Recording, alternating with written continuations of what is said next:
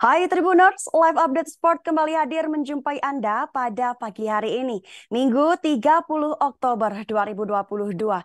Dalam beberapa waktu ke depan, ada sejumlah berita olahraga terkini yang akan kami sampaikan untuk Anda.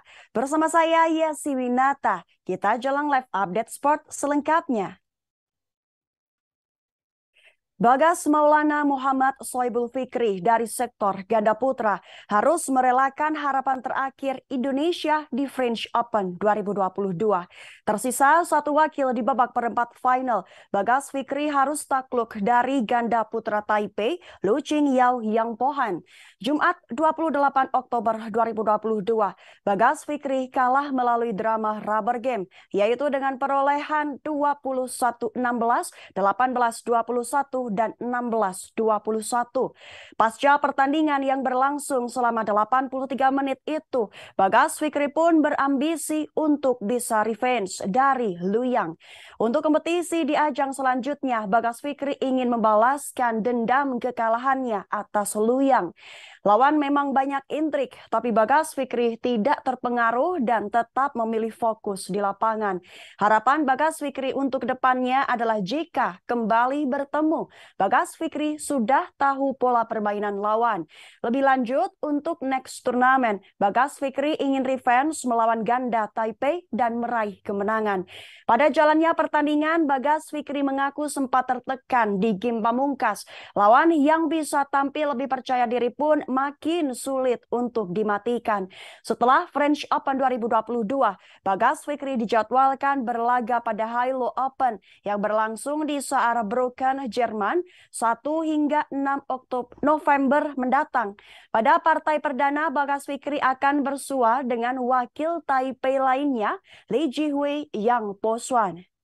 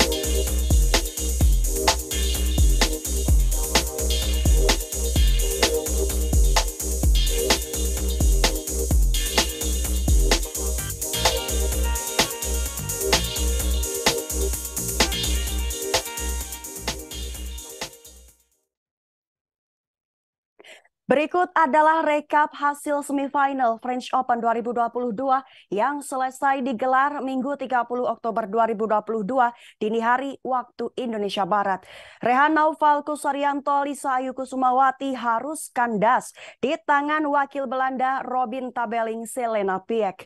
Pasangan ganda campuran itu sempat tampil beringas di game pertama, tetapi di comeback oleh Robin Selena pada set kedua dan ketiga.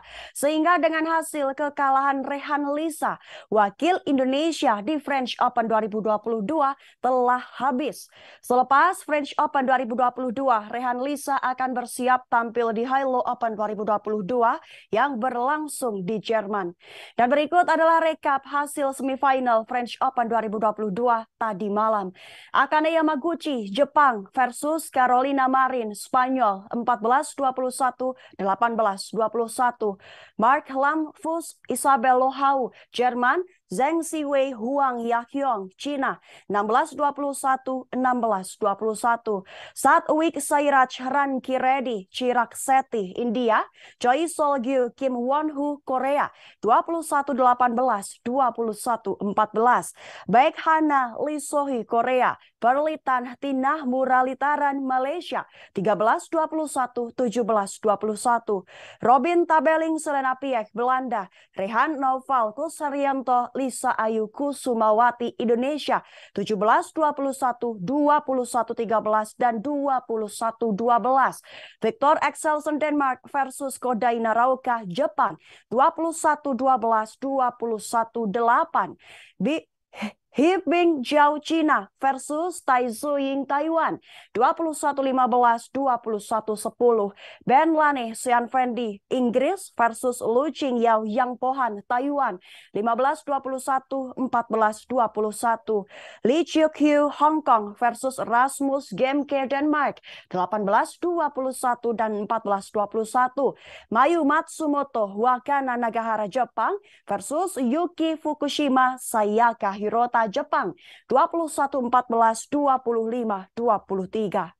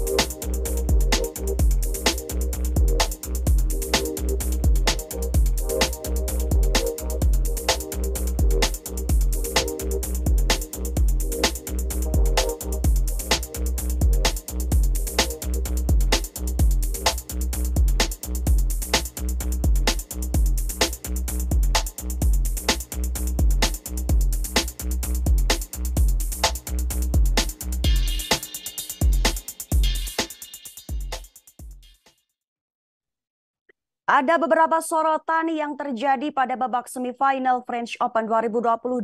Salah satunya membuat Indonesia positif tanpa gelar. Harapan terakhir Indonesia dari sektor ganda campuran, Rehano Falco Sarianto, Lisa Ayu Kusumawati harus terhenti di babak semifinal French Open 2022. Sabtu 29 Oktober 2022.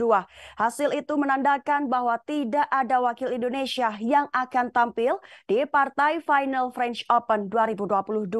Sehingga yang pasti Indonesia positif tidak memiliki satu gelar pun pada gelaran French Open 2022.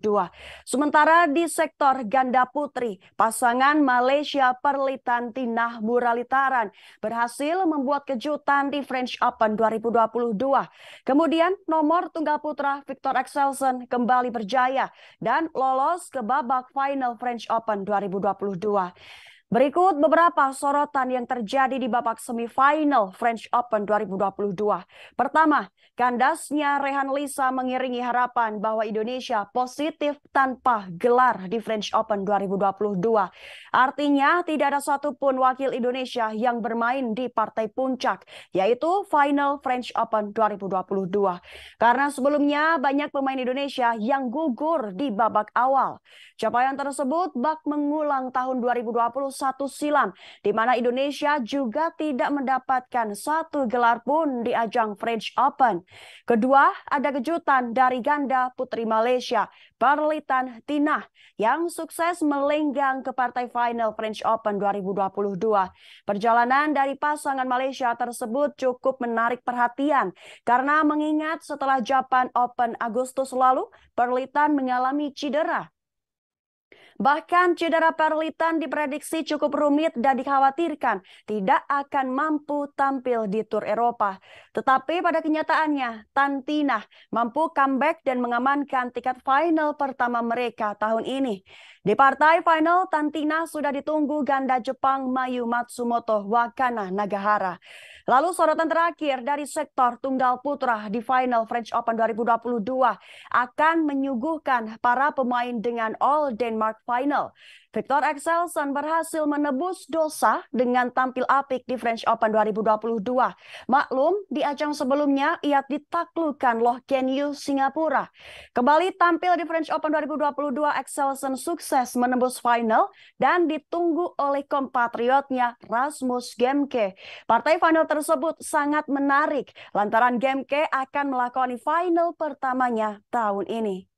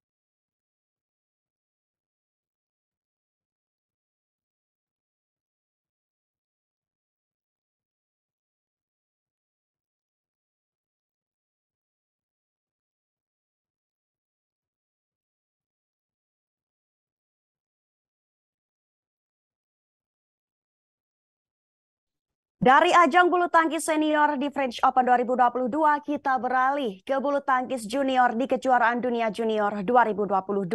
Hasil yang diperoleh di kejuaraan jun dunia junior 2022 memberi kabar baik untuk Indonesia. Pasangan ganda putra Indonesia, Moh Putra Erwiansyah, Patra Harapan Rindo Rindo, sukses melaju ke final kejuaraan dunia junior 2022. Kejuaraan dunia junior 2022 dilangsungkan di Deportes de Santander, Spanyol, Sabtu 29 Oktober 2022 malam.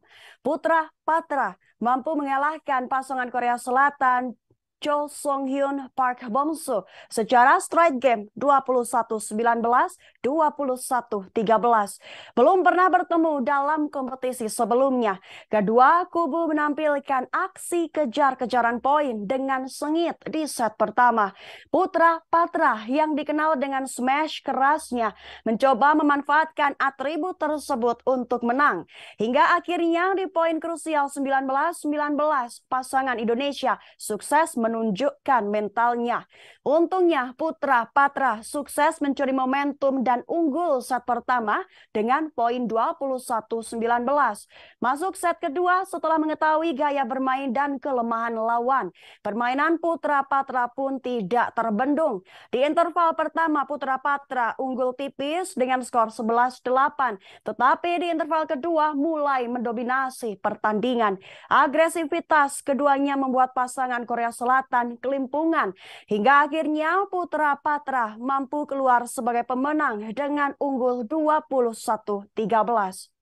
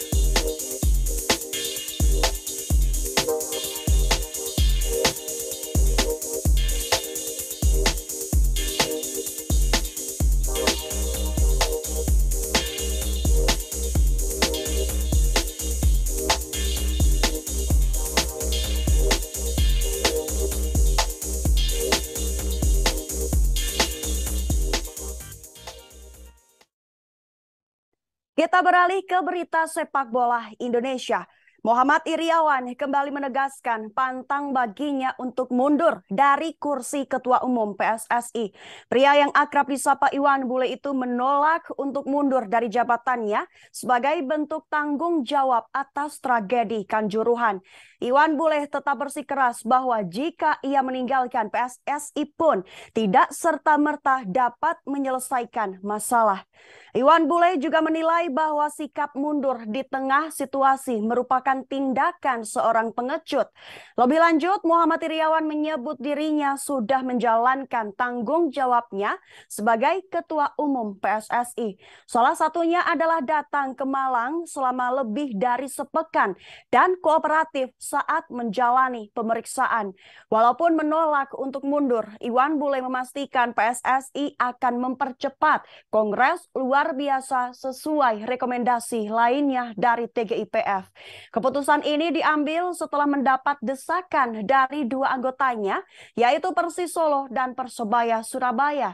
Tahapan KLB sendiri akan dimulai dengan mengirimkan surat pemberitahuan kepada FIFA yang berisi usulan Kongres. Sebagai informasi, desakan agar Muhammad Iriawan mundur dari kursi Ketua Umum PSSI muncul tidak lama setelah tragedi Kanjuruhan.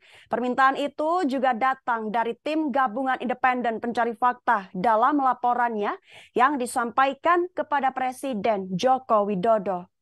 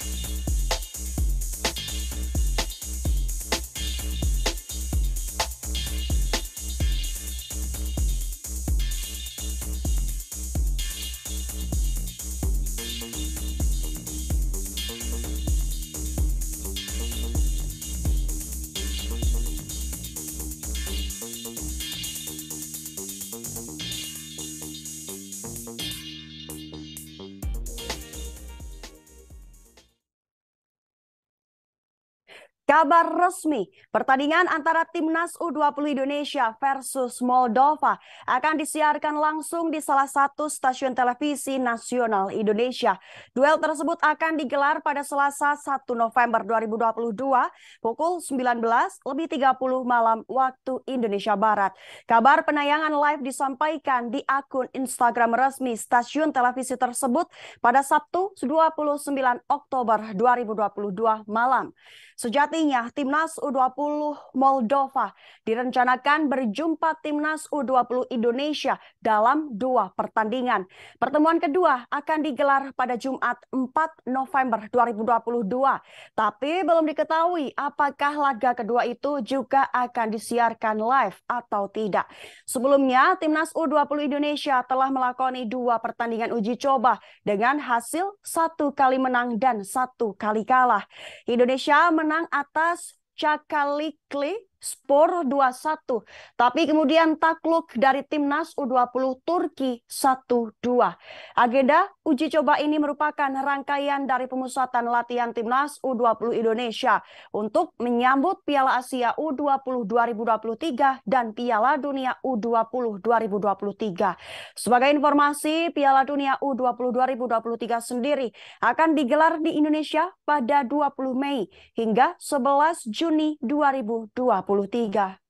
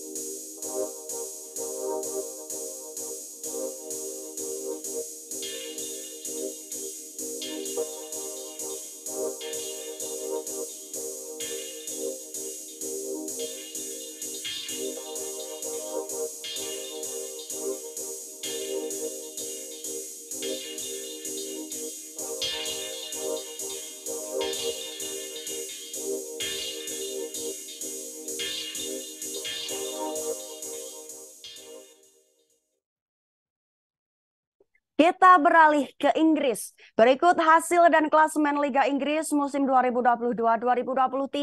Tottenham Hotspur jadi spesialis pencetak gol menit akhir, sedangkan Liverpool dan Chelsea tuai hasil memalukan pekan ini. Matchday 14 Liga Inggris 2022-2023 telah digelar Minggu 30 Oktober 2022 dini hari.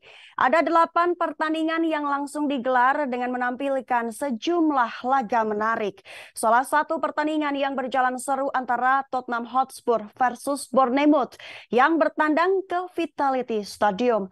Bertindak sebagai tamu, Spurs langsung tertinggal 0-2 berkat Bres More hingga babak kedua berjalan 4 menit.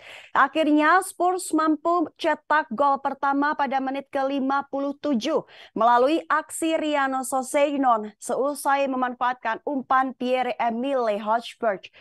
Setelah mencetak gol pertama, Spurs semakin bersemangat menggempur gawang tim tuan rumah. Hasilnya, Ben Davis berhasil menyamakan kedudukan pada menit 73 melalui sundulan dengan memanfaatkan sepak pojok Ivan Perisic. Seolah pertandingan akan berakhir imbang, Rodrigo Bentancur pun datang sebagai pahlawan bagi Spurs. Menit ke-90 plus 2, Rodrigo sukses menjebol gawang Bournemouth dan berikan kemenangan krusial bagi Spurs dengan skor 3-2 atas Bournemouth. Gol dari Rodrigo juga sekaligus mengukuhkan reputasi Spurs sebagai tim dengan spesialis pencetak gol dan pada menit-menit akhir jelang pertandingan selesai. Spurs telah empat kali mencetak gol kemenangan pada menit ke-90 di pertandingan tandang sejak awal musim 2021-2022. Sementara di pertandingan lain, dua klub papan atas Liga Inggris, Liverpool dan Chelsea memperoleh hasil memalukan. Chelsea dipaksa menyerah 1-4 dari Brighton and Hove Albion saat berlaga di Amex Stadium. Parahnya lagi, dua dari empat gol Brighton dicetak melalui aksi bunuh diri para pemain Chelsea. Gol bunuh diri pertama dicipta Ruben Love Loftus-Cheek menit 14 dan gol kedua tercipta dari kaki Trevor Kalobah menit 42. Sementara Liverpool kalah dari klub penghuni zona degradasi Leeds United di Stadion Anfield. Liverpool menyerah dengan skor tipis 1-2 dari Leeds United karena gol kemenangan yang dicetak oleh Crescencio Somerville pada menit 89. Dengan hasil-hasil di atas, Spurs dan Chelsea masing-masing masih tetap berada di posisi ketiga dan kelima. Sementara Liverpool kembali merosot ke posisi 9 dengan hanya mengoleksi 16 poin dari 12 laga. Manchester City untuk sementara mengambil alih puncak klasemen Liga Inggris seusai menang dengan skor 1-0 atas Leicester City. Berikut hasil Liga Inggris 2022-2023 matchday 14. Leicester City 0-1 Manchester City. Bournemouth kalah 2-3 dari Tottenham Hotspur. Brentford ditahan imbang satu sama oleh Wolverhampton Wanderers. Brighton and Hove Albion menang 4-1 atas Chelsea. Crystal Palace menang tipis 1-0 dari Southampton. Newcastle United menang telak 4-0 atas Aston Villa. Fulham imbang 0 sama atas Everton. Liverpool kalah 1-2 atas Leeds United. Dan berikut adalah klasemen Liga Inggris pada matchday ke-14. Manchester City di posisi pertama dengan 29 poin, Arsenal di posisi 2 dengan 28 poin, Tottenham 26 poin, Newcastle 24 poin, dan Chelsea di posisi 5 dengan 21 poin. Di posisi 6 ada Manchester United 20 poin, Fulham 19 poin, Brighton 18 poin, Liverpool 16 poin, dan di posisi 10 ada ada Crystal Palace 16 poin.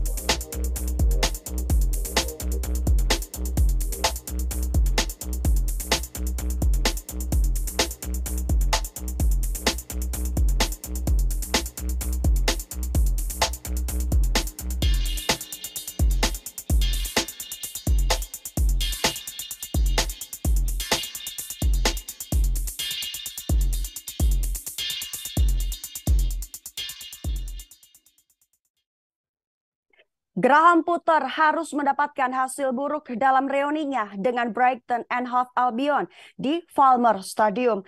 Reuni Graham Potter harus berakhir buruk karena timnya Chelsea terkena bantaian memalukan dari Brighton 1-4.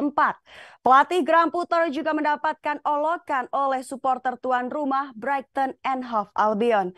Chelsea menelan kekalahan dari Brighton dalam laga pekan 14 Liga Inggris musim 2022-2023 bertandang ke Stadion Falmer Sabtu 29 Oktober 2022 malam. Chelsea dipermak 1-4 oleh tuan rumah. Pada babak pertama pun Chelsea sudah tertinggal 3 gol lebih dulu dari Brighton. Leandro Trossard mencetak gol tercepat pada menit kelima. Diikuti dua gol bunuh diri Ruben Loftus-Cheek menit 14 dan Trevor Kalobah menit 42. Sementara masuk babak kedua, Chelsea sempat membalas satu gol melalui Kai Havertz. Menit 48 sebelum pasca cross memastikan kemenangan 4-1 timnya melalui sebuah gol pada menit ke-90 plus 2. Hasil ini membuat Brighton mantap di posisi 7 dengan 18 poin, sedangkan Chelsea tertahan di peringkat kelima dengan mengantongi 21 poin. Supporter Brighton memanfaatkan keunggulan tersebut untuk mengolok-olok mantan pelatihnya yang kini menangani Chelsea, Graham Potter. Para penggemar Brighton meneriakan olokan jika Graham Potter akan mendapatkan surat pemecatan besok pagi. Mereka tampaknya masih kecewa dengan keputusan Puter meninggalkan Brighton pada musim ini. Pasalnya semenjak ditinggal Puter ke Chelsea, performa Brighton merosot tajam. Sebelum menghadapi Chelsea, Brighton melewati lima ajang Liga Inggris dengan dua kemenangan dan tiga kekalahan.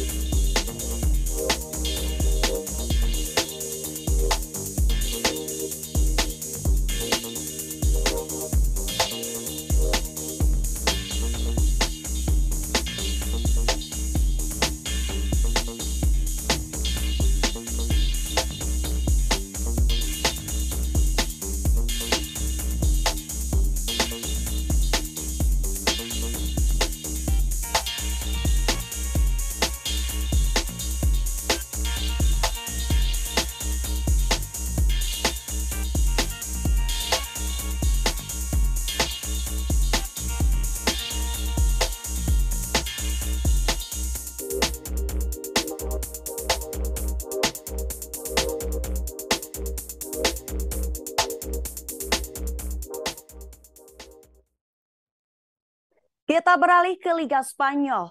Berikut adalah hasil dan klasemen Liga Spanyol 2022-2023. Atletico Madrid tumbang di markas Cadiz setelah kecolongan gol di menit akhir. Matchday ke-12 Liga Spanyol 2022-2023 bergulir pada Sabtu 29 Oktober malam hingga Minggu 30 Oktober dini hari. Sebanyak empat pertandingan digelar dengan salah satunya laga sengit antara Cadiz dan Atletico Madrid. Duel yang digelar di Estadio Nuevo Mirandilla berakhir dengan skor 2-3 untuk kemenangan Cadiz. Dalam laga tersebut, Cadiz berhasil mencetak gol pada menit pertama melalui sepakan Theo Bongonda. Selepas turun minum, Atletico mencoba bangkit dengan tampil lebih menyerang. Tetapi gawang Atletico malah kembali jebol pada menit ke-81. Setelah melakukan berbagai upaya, Atletico berhasil menipiskan skor pada menit 8 85 melalui gol bunuh diri Luis Hernandez yang salah mengantisipasi serangan Joao Felix. Dua menit berikutnya, Felix berhasil mencatatkan namanya di papan skor sekaligus membawa Atletico menyamakan kedudukan menjadi dua sama. Tapi ketika pertandingan akan berakhir, Ruben Sobrino berhasil mencetak gol kemenangan Cadiz dalam masa injury time, tepatnya menit 90 plus 9. Berikut hasil match ke-12 Liga Spanyol 2022-2023. Almeria menang 3-1 atas Celta Vigo. Cadiz menang 3-2 atas Atletico Madrid. Sevilla kalah 0-1 atas Rayo Vallecano. Valencia kalah 0-1 dari Barcelona. Dan berikut klasemen matchday ke-12 Liga Spanyol 2022-2023. Barcelona berada di puncak dengan 31 poin sama dengan Real Madrid yang masih menyisakan satu laga.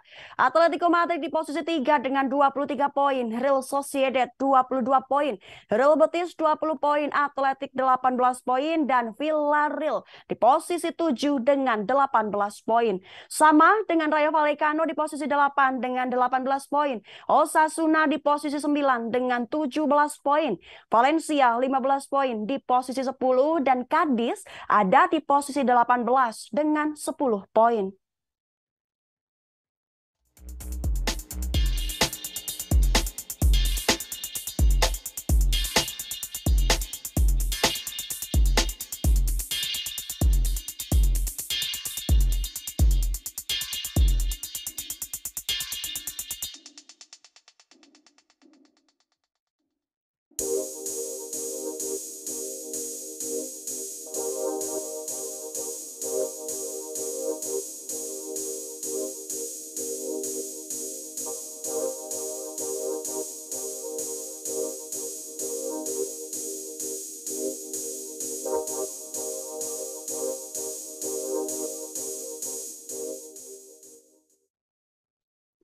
Pada pertandingan Liga Spanyol diwarnai dua gol yang dianulir dan gol larut Robert Lewandowski. Barcelona menang dramatis atas Valencia. Barcelona bertemu dengan Valencia dalam matchday ke-12 Liga Spanyol 2022-2023 di Estadio Mestalla Minggu 30 Oktober 2022 dini hari. Dan hasilnya Barcelona menang tipis 1-0 atas Valencia. El Barca, julukan Barcelona, tampil lebih mendominasi dengan memegang penguasaan bola sebesar 68 persen. Dari segi peluang, Barcelona melepaskan 13 tembakan dengan tiga mengarah ke gawang. Sedangkan Valencia hanya mengkreasikan tiga kesempatan, yang dua di antaranya menuju tepat sasaran. Dua gol yang dianulir oleh wasit Ricardo de Burgos terjadi pada menit ke-23 dan menit ke-50. Kala itu di menit 23, Ansu Fati kembali mendapat peluang matang di dalam kotak 16, mendapat umpan terobosan dari Robert Lewandowski. Dengan tenang, Ansu Fati menyambut operan tersebut dengan sepakan kaki kanan yang berhasil menggetarkan jala gawang Valencia. Sayangnya, gol tersebut dianulir wasit karena Ansu Fati lebih dulu berada dalam posisi offside. Lalu selepas turun minum, Samuel Lino sempat membuat pendukung Valencia bersorak pada menit ke-50. Ia berhasil menjebol gawang Marc-Andre Ter Stegen dengan sontekan seusai meneruskan umpan silang Thierry Correia dari sisi kanan. Tetapi gol tersebut dibatalkan Ricardo da Burgos karena terlihat Marcos de Sousa lebih dulu menyentuh bola dengan tangannya sebelum sampai ke kaki Lino. Hingga bisa Barcelona menang dramatis dari Valencia, yaitu gol semata wayang berhasil dilesakkan pada menit ke-90 plus 3. Lewandowski mendapat umpan dari Rapinya di dalam kotak penalti. Lalu dengan kaki kanan ditendang ke gawang dan berujung gol kemenangan Barcelona 1-0 atas Valencia.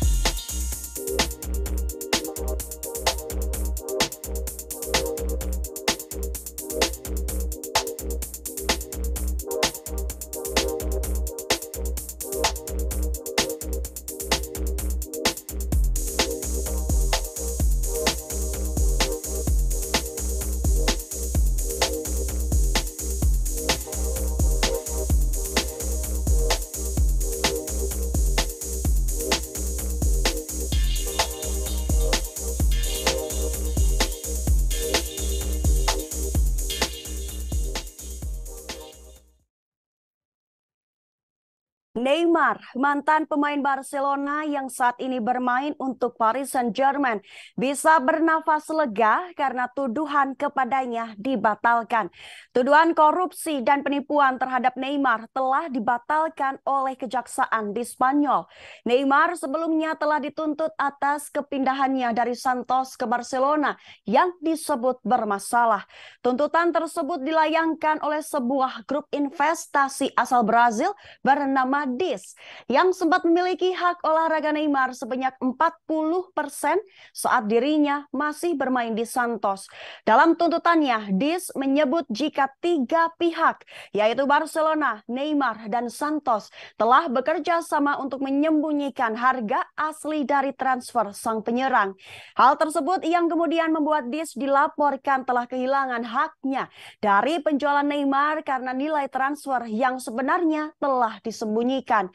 Jaksa di Spanyol kemudian menuntut hukuman penjara 2 tahun untuk Neymar dan pembayaran denda 10 juta euro atau setara 155 miliar rupiah dalam kasus tersebut.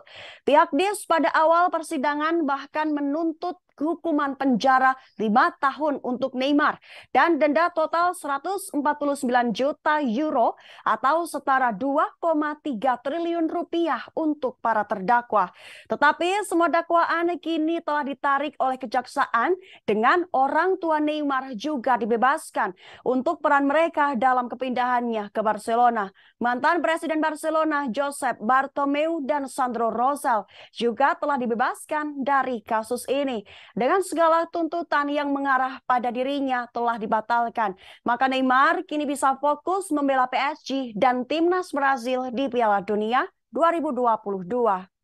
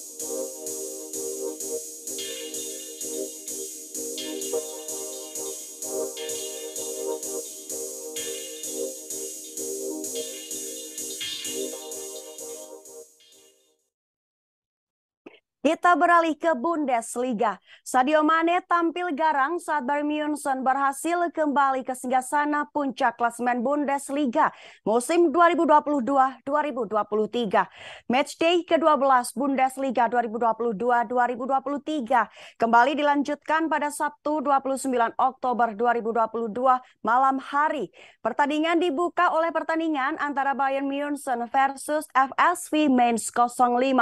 Bertindak sebagai tuan tuan rumah di Allianz Arena. Bayern Munchen melibas Mainz dengan skor 6-2. Tim asuhan Julian Nagelsmann itu mendapatkan hadiah penalti setelah Sadio Mane dijatuhkan oleh Alexander Heck di dalam kotak terlarang. Mane sebenarnya sempat gagal mengeksekusi tendangan penalti tersebut, tetapi ia langsung menyambar bola yang berhasil ditepis oleh Robin Zanten. Dengan tendangan kaki kiri, Mane mengubah bola rebound itu menjadi gol ketiga bagi Bayern Munchen. Mainz sempat memiliki harapan untuk mengimbangi Bayern Munchen seusai Silvan Whitmer mencetak gol pada menit 45. Tetapi memasuki babak kedua, Bayern Munchen tampil lebih garang dan kembali mencetak gol pada menit 58. Leon Goretzka mencetak gol keempat untuk The Bavarian seusai memanfaatkan mendapatkan umpan silang dari Sadio Mane. Mane benar-benar tampil hebat dalam laga tersebut dengan mencatatkan dua assist dan satu gol dalam satu pertandingan. Akan tetapi kehebatan Mane harus terhenti pada menit ke-76 setelah Nagelsmann memutuskan untuk menggantikannya dengan Matistel. Erik Masim Koupo Moting kemudian mengakhiri pertandingan dengan skor 6-2 untuk kemenangan Bayern Munchen melalui golnya menit ke-8 86. Dengan hasil tersebut, Bayern Munchen kini kembali ke singgah sana mereka di puncak klasemen sementara Bundesliga. Di pertandingan lain, RB Leipzig dan Borussia Dortmund berhasil menang atas lawannya masing-masing. RB Leipzig sukses mengajar Bayern Leverkusen dengan skor 2-0, sementara Dortmund berhasil mengalahkan Eintracht Frankfurt dengan skor tipis 1-2. Berikut hasil lengkap Bundesliga 2022-2023 hingga matchday 12. Werder Bremen menang 1-0 Hertha Berlin. Bayern Munchen menang telak 6-2 atas PSV Mainz 05.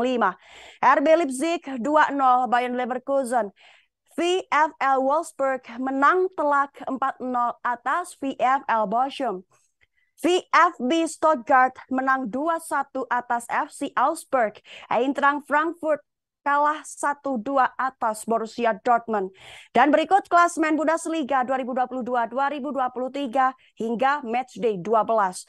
Bayern Munchen di posisi pertama dengan 25 poin, Union Berlin 23 poin, Dortmund 22 poin, Freiburg 21 poin, dan Frankfurt 20 poin. Lalu di posisi 6 ada Leipzig 19 poin, Bremen 18 poin sama dengan Mainz 05 di posisi 8, Hoffenheim 17 poin, M Gladbach 16 poin di posisi 10.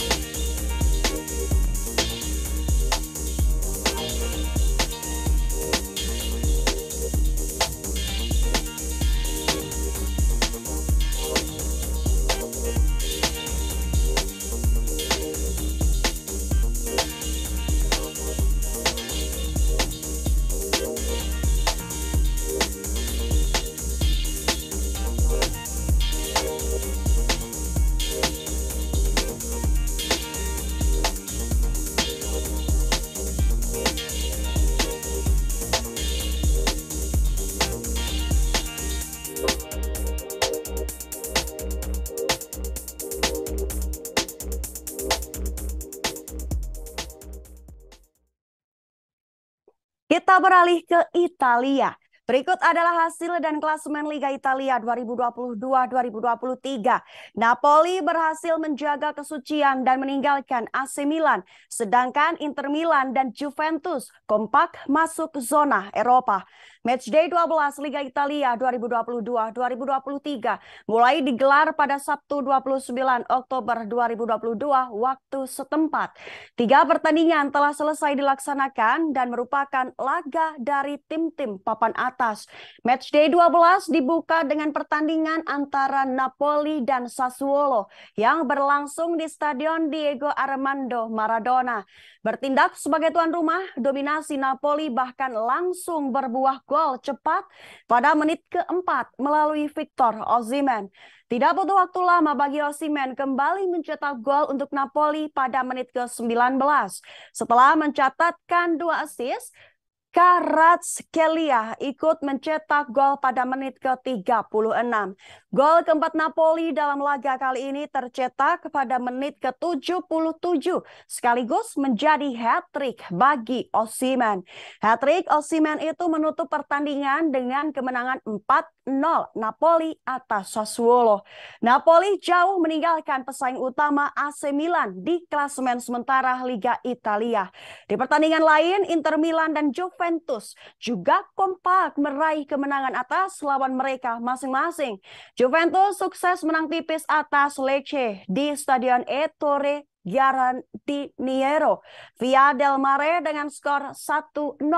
Gol semata wayang Juventus dalam laga tersebut dicetak oleh pemain pengganti Nicolo Fagioli pada menit ke-73. Sementara Inter Milan berhasil menang telak 3-0 saat menjamu Sampdoria di Stadion Giuseppe Meazza. Tiga gol Inter Milan masing-masing dicetak oleh Stefan De Vrij pada menit ke-21, Nicolo Barella menit ke-44, dan Joaquin Correa 73. Dengan hasil tersebut, Juventus dan Inter Milan kini kompak masuk ke zona Eropa di klasemen sementara Liga Italia musim ini.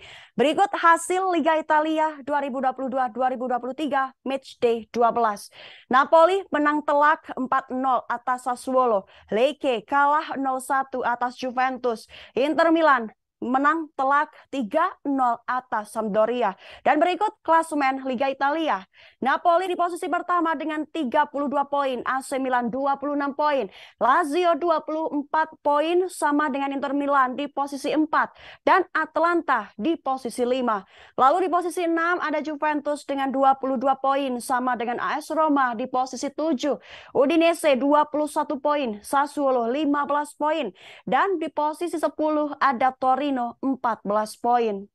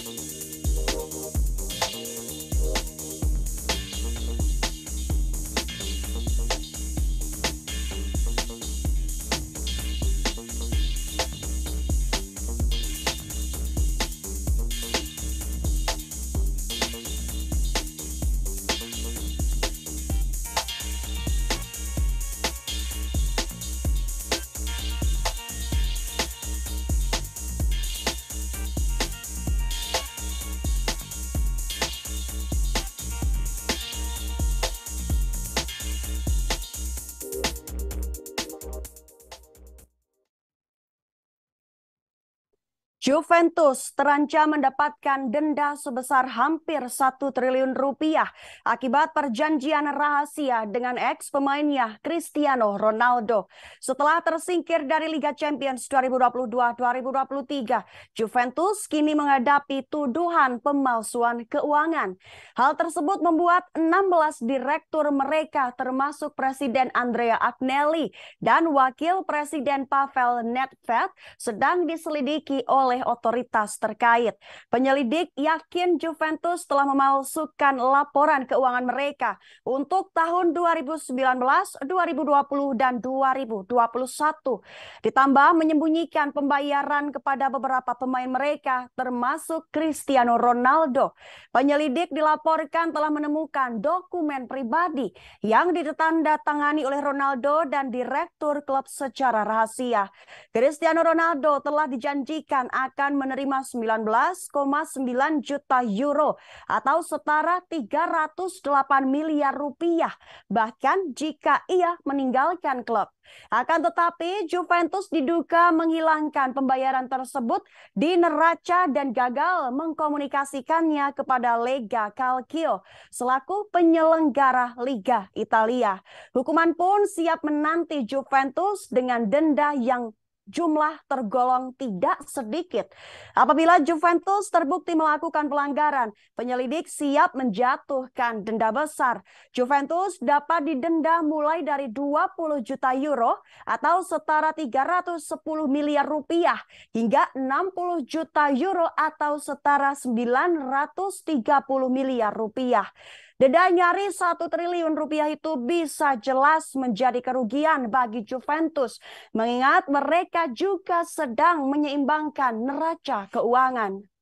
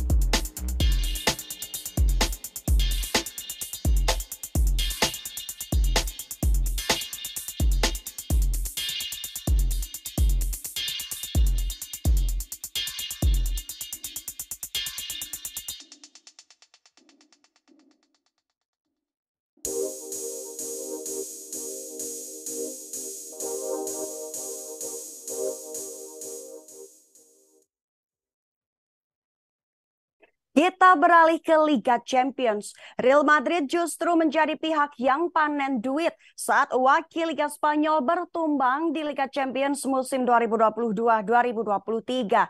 Status Real Madrid sebagai satu-satunya wakil Liga Spanyol yang tersisa di Liga Champions musim ini membawa berkah bagi klub tersebut.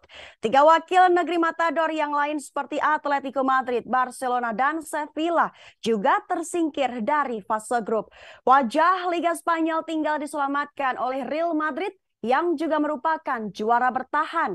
Kondisi ini tentu memunculkan kebanggaan tersendiri dalam tubuh Real Madrid. Dan tidak hanya itu, mereka juga memiliki keuntungan besar dalam hal finansial. Real Madrid tidak perlu lagi membagi hak siar begitu tim-tim Spanyol lain tersingkir Keuntungan hak siar yang dibayarkan UEFA ke wakil Spanyol akan menjadi milik Real Madrid sepenuhnya. Saat ini pendapatan El Real dari hak siar Liga Champions sudah mencapai 8,6 juta euro atau sekitar 133,26 miliar rupiah. Jumlah tersebut bisa berlipat ganda andai Real Madrid mampu melaju hingga partai puncak. Jika kembali masuk final, Real Madrid akan akan memperoleh pendapatan sebesar 11,7 juta euro atau sekitar 181,31 miliar rupiah. Status juara bertahan membuat Real Madrid masih memegang status sebagai salah satu unggulan dari lima laga yang dilalui Real Madrid di Liga Champions musim ini. Mereka baru menelan satu kekalahan. Kombinasi tim yang solid dan berpengalaman berpeluang membawa Real Madrid melaju lebih jauh. Jika skenario ini terjadi, Real Madrid akan mendapatkan keuntungan yang berlipat ganda.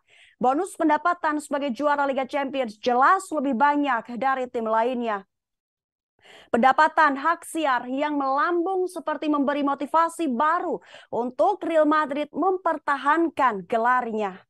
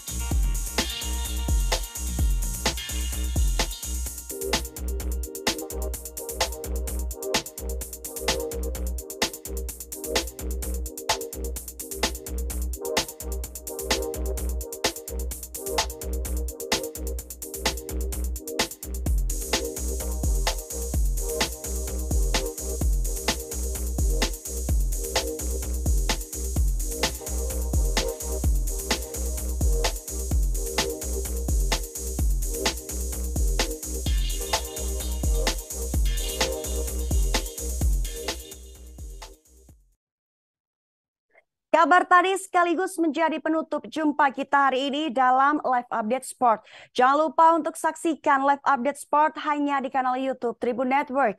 Saya Yesi Winata beserta kru yang bertugas pamit. Terima kasih dan sampai jumpa.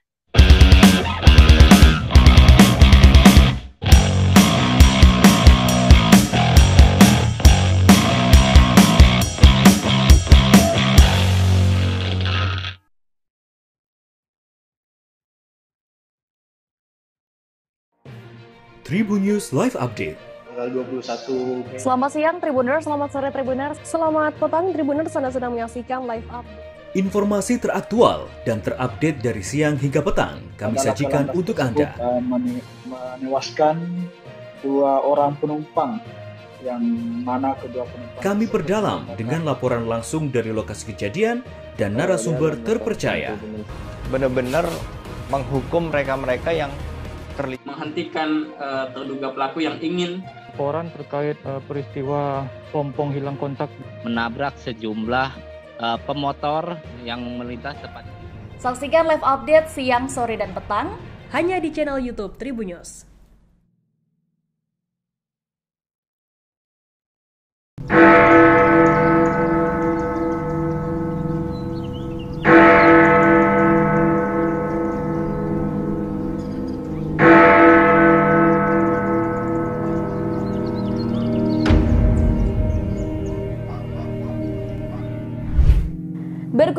Jam Gadang di kota Bukit Tinggi, Provinsi Sumatera Barat menjadi impian banyak orang.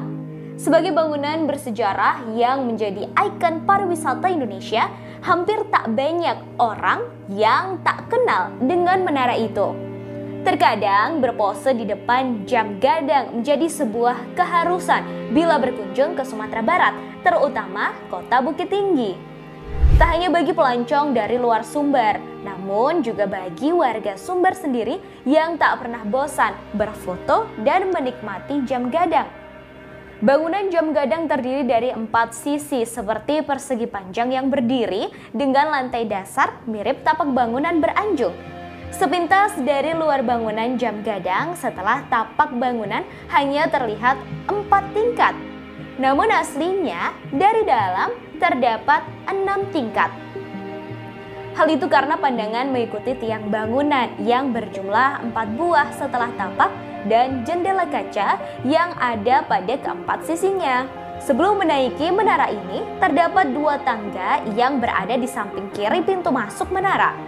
Pintu masuk menghadap ke arah barat. Setiap tingkat bangunan dihubungkan dengan tangga melingkar yang kian ke atas, kian kecil karena mengikuti pola bangunan yang mengerucut ke atas. Di bagian atas terdapat atap bergonjong empat yang semuanya berbahan kayu dan penuh ukiran khas Minangkabau. Ruangan paling menakjubkan tentu ruangan yang berisikan mesin-mesin jam gadang. Mesin yang disebut-sebut hanya ada dua di dunia. Satu di jam gadang dan satu lagi dipakai untuk menggerakkan jam raksasa menara Big Ben di London, Inggris yang juga menjadi kebanggaan negara itu. Beranjak ke bagian puncak menara, terdapat sebuah lonceng berukuran besar. Di tengah-tengah lonceng terdapat tulisan B. Fortman, Rellinghausen, dan Iwe Germany. Diketahui Fortman adalah nama belakang Bernhard Fortman, si pembuat jam, dan Recklinghausen, nama kota di Jerman. Tempat mesin jam ini diproduksi pada 1892. Lonceng ini selalu berbunyi setiap waktu menunjukkan menit ke 00. Misal pukul 8 waktu Indonesia Barat dan sebagainya.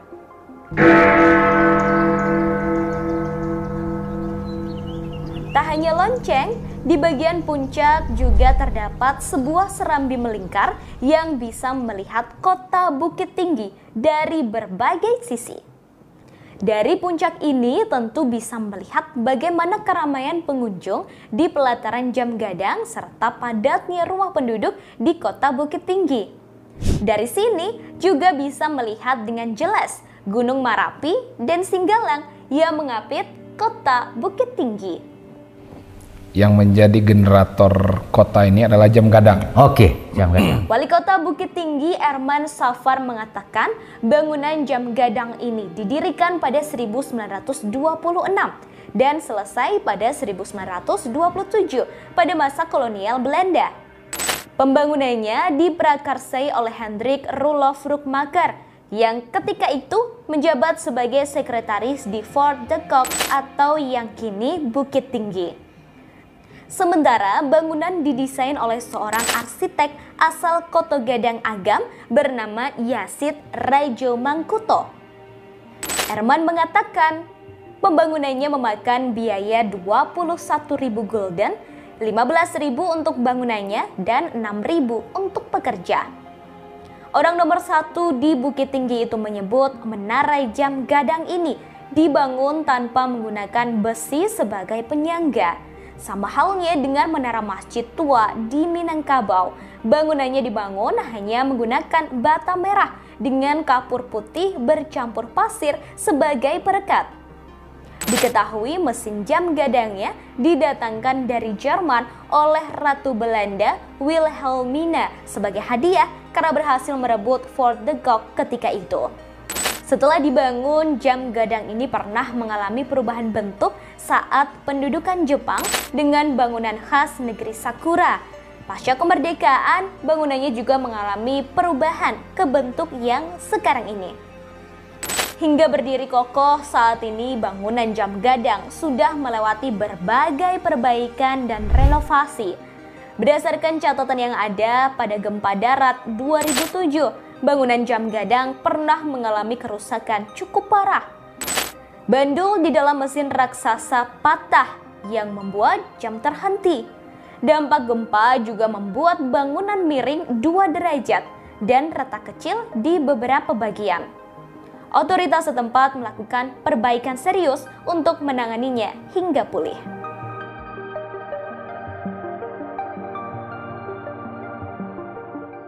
Terima kasih sudah nonton. Jangan lupa like, subscribe, dan share ya.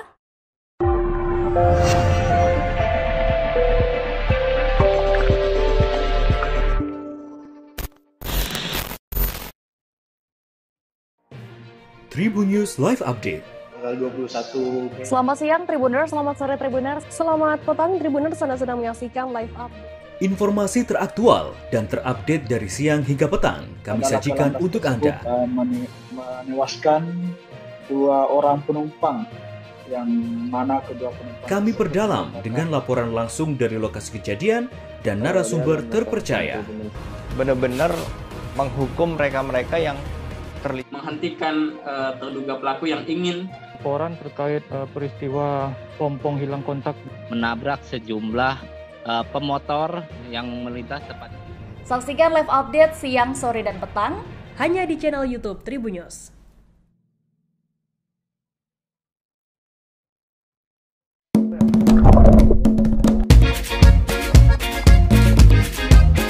Selamat datang di Akuarium Raja Ampat, Pulau Sawandarek.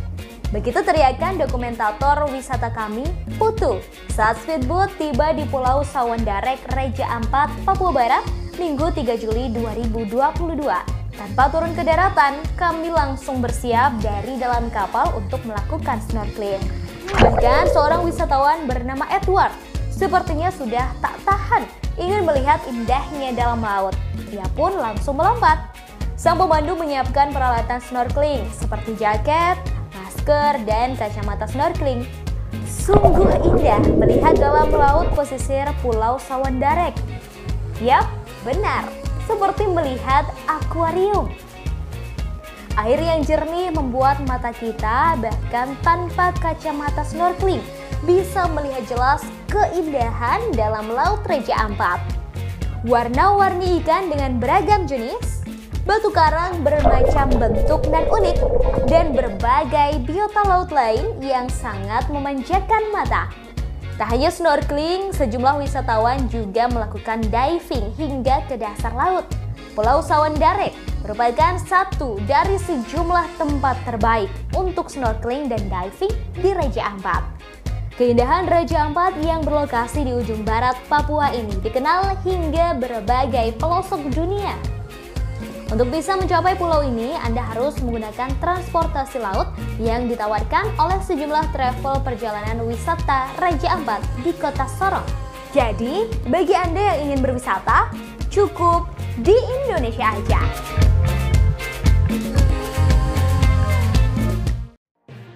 Tribun News Live Update tanggal 21 Selamat siang Tribuners, selamat sore Tribuners, selamat petang Tribuners Anda sedang menyaksikan live up. Informasi teraktual dan terupdate dari siang hingga petang kami Adalah sajikan untuk Anda. eh, mene- menewaskan dua orang penumpang yang mana kedua penumpang Kami perdalam dengan laporan langsung dari lokasi kejadian dan narasumber terpercaya. Benar-benar menghukum mereka-mereka yang terlibat menghentikan eh, terduga pelaku yang ingin Laporan terkait eh, peristiwa pompong hilang kontak menabrak sejumlah eh, pemotor yang melintas tepat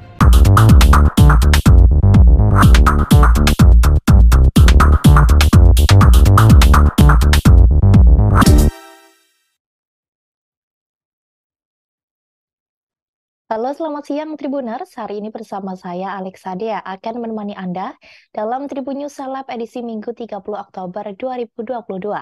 Dan inilah informasi terkait sejumlah selebriti untuk Anda. Kita menuju informasi pertama Tribuners, artis Nikita Mirzani diketahui saat ini ditahan atas laporan dari Dito Mahendra atas kasus dugaan pencemaran nama baik. Atas hal itu, artis yang akrab disapanya itu pun dengan tegas mengatakan bahwa dirinya mengibarkan bendera peperangan dengan lelaki yang merupakan kekasih dari penyanyi Nindi Ayunda tersebut. Diketahui Kejaksaan Negeri atau Kejari Serang resmi menahan aktris Nikita Mirzani selama 20 hari. Artis yang, kar- yang kerap disapa Nyai ini dijerat menggunakan Undang-Undang ITE. Sebagai kuasa hukum Nikita Mirzani, Fahmi Bahmid mengatakan bahwa kliennya dalam kondisi sehat. Ia juga mengatakan bahwa Nikita dalam kondisi santai dan justru tertawa karena merasa tidak ada tekanan. Nikita berpesan kepada Fahmi untuk tetap on track dalam mengurus proses hukum yang tengah berlangsung. Lebih lanjut, Fahmi mengatakan untuk Nikita pribadi, kliennya itu berdoa agar orang yang menzolimi dirinya dapat dibalas dengan hukuman dari Tuhan. Menurut Nikita, penahanannya saat ini sudah merupakan perjalanan hidupnya. Artis yang kerap disapa Niki itu juga mengatakan jika kondisinya kini pun tidak terganggu sama sekali. Sementara itu, meski kini mendekam di balik jeruji besi, Fahmi mengatakan Nikita tidak meminta apa pun. Ia hanya menegaskan bahwa peperangan akan terus dikibarkan. Fahmi Bahmi juga menegaskan bahwa Nikita Mirzani belum bisa dinyatakan bersalah sebelum adanya putusan dari pengadilan. Dirinya menegaskan kepada semua pihak untuk tidak menyalahkan Nikita terlebih dahulu sebelum adanya putusan tersebut. Diberitakan sebelumnya Nikita Mirzani sempat berteriak ketika akan dilakukan penahanan. Hal tersebut disampaikan oleh kuasa hukum Dito Mahendra yakni Yafet Risi. Ia pun mengaku menonton video yang memperlihatkan saat Nikita Mirzani ditangkap dan ditahan. Kemudian terdengar Nikita berteriak histeris hingga menangis. Dari teriakan itulah Yafet menilai Nikita berpotensi melakukan pelanggaran hukum lainnya. Pasalnya, dalam teriakan tersebut Nikita sempat mempertanyakan siapa yang membayar hingga dirinya harus ditahan. Menurut Yafet, pernyataan Nikita itu merupakan sebuah tuduhan.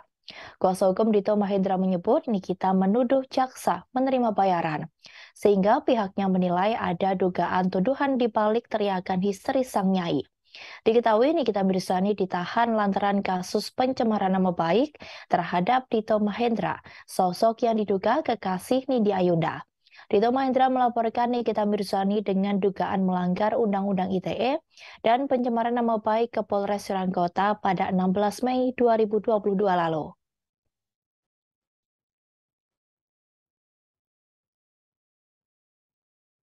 Lain permintaan lainnya selain pizza karena gitu. kaki Ki pengen pizza jadi Orang kan pizza sejuta. Udah per- udah jadi mau makan bareng-bareng sama-sama Apa saking akrabnya dia dengan tahanan lain atau seperti apa? Oh enggak, orang kalau mau beramal macam-macam. Ada amal pizza, ada amal nasi goreng. orang beramal Anda persoalkan ini pusing saya nanti ya.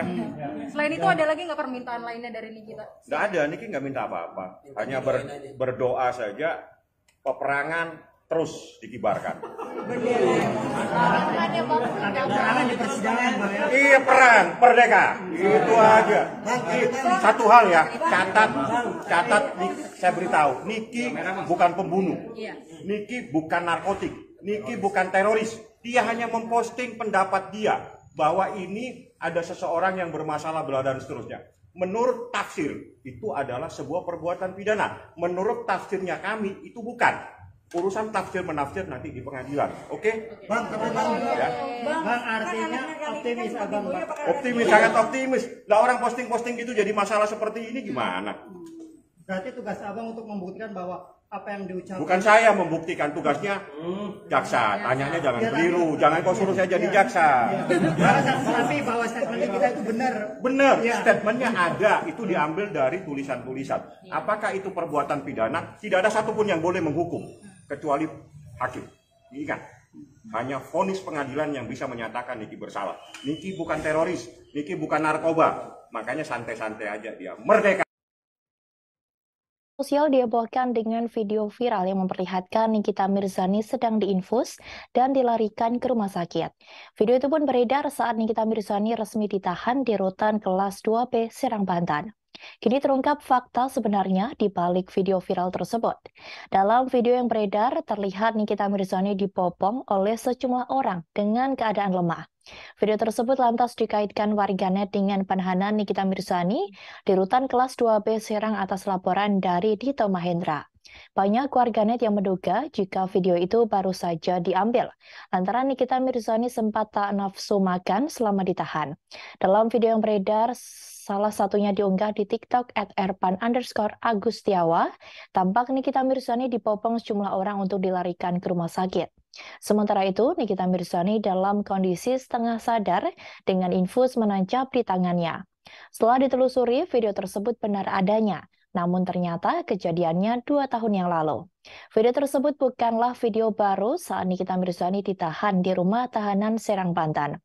Potongan dari video berdurasi 21 menit 5 detik itu, Nikita Mirzani melakukan operasi plastik. Video itu pun diunggah di kanal YouTube Crazy Nick Merrill pada 21 Oktober 2020 lalu. Sementara itu di sisi lain, Kepala Rutan Serang, Dodi Naksabani sempat menyampaikan kondisi Nikita Mirzani. Dodi mengatakan nafsu makan Nikita Mirzani sudah kembali dan mau makan. Meski dikenal sebagai artis terkenal, Dodi mengatakan bahwa ibu tiga anak itu tidak pilih-pilih makanan. Selain itu, gerak-gerik Nikita Mirzani selama di penjara terus dipantau oleh petugas. Menurut Dodi Naksabani, Nikita Mirzani tidak dibiarkan berkeliaran terlalu jauh dari blok kamar perempuan. Saat ini, Niki berada di kamar blok perempuan bersama delapan warga binaan pemasyarakatan atau WPP perempuan lainnya. Dodi mengatakan Nikita Mirzani sudah berbaur bersama dengan para WPP perempuan di rutan.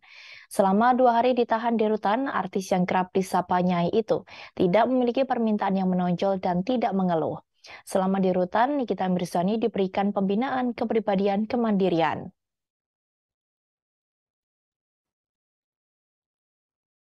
Di kamar berapa sih, Kak?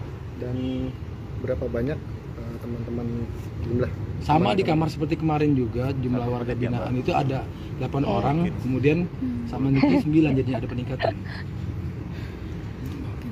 Kira sudah mulai berbaur dengan teman di kamar. Oh, sudah sangat berbeda. Mbak, apa Mbak Nikita ini udah berbaur dengan teman-teman yang lain di blok wanita. Jadi cepat Tapi masih diawasi ya bang? masih tetap ya. Ah, iya. Saya juga sempat mengeluh nggak sih?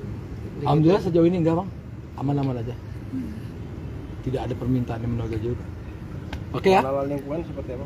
Untuk pengenalan lingkungan 14 hari ini. 14 hari ini ya sama seperti yang lain juga. Jadi tetap karena kita nggak ada apa mapenaling untuk perempuan, jadi tetap di kamar-kamar itu aja. Pembinaan kepribadian, kepribadian kemandirian aja bang. Bang, sebelumnya kan kita nggak nafsu makan sama mengeluh sebelit itu Oh, masih alhamdulillah di rutan makan kita mau udah mau sekarang. nggak pilih-pilih juga makan makan. Makan apa? Nggak pesan trapek atau apa gitu. Di sini nggak ada. Nggak ada sejauh ini nggak. Itu aja biasa biasa aja. Seadanya, Saya Bang, ya. disediakan dari tanah. Ya Mbak ya, Bang. Ya, terima kasih ya, Bang. Penangguhan penahanan yang diajukan ke Kejaksaan Negeri Serang milik Nikita Mirzani ditolak. Hal itu disampaikan oleh kuasa hukum Dito Mahendra Yafet Risi. Atas penolakan penangguhan penahanan tersebut, membuat Yafet semakin yakin atas pasal berlapis yang disangkakan oleh kliennya.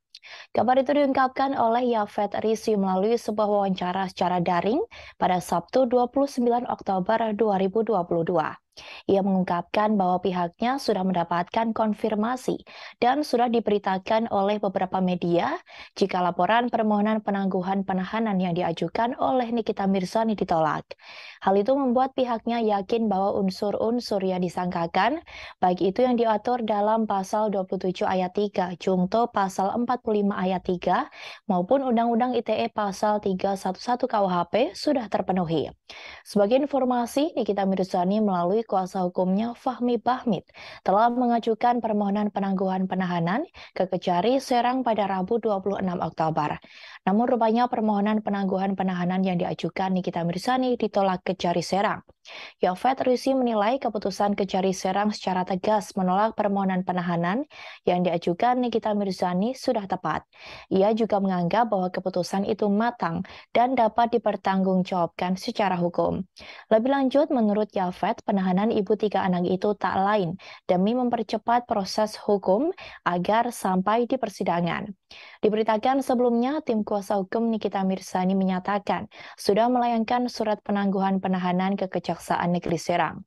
Tim kuasa hukum San Salvator menyampaikan surat penangguhan hukuman tersebut dilayangkan pihaknya pada Rabu 26 Oktober siang. Untuk langkah hukum selanjutnya, San mengaku belum ditentukan di internalnya. Diketahui Nikita Mirzani telah ditetapkan sebagai tersangka kasus dugaan tindak pidana Undang-Undang ITE. Ia dijerat undang-undang tersebut karena diduga mencemarikan nama baik melalui media sosial, seperti yang dilaporkan oleh Dito Mahendra. Meski statusnya sudah menjadi tersangka, sebelumnya Nikita tidak dilakukan penahanan. Ia hanya diwajibkan untuk menjalani wajib lapor seminggu sekali berdasarkan pertimbangan memiliki anak. Namun Nikita Mirzani kini menjadi tahanan Kejaksaan Negeri Serang terhitung sejak tanggal 25 Oktober sampai dengan 13 November 2022.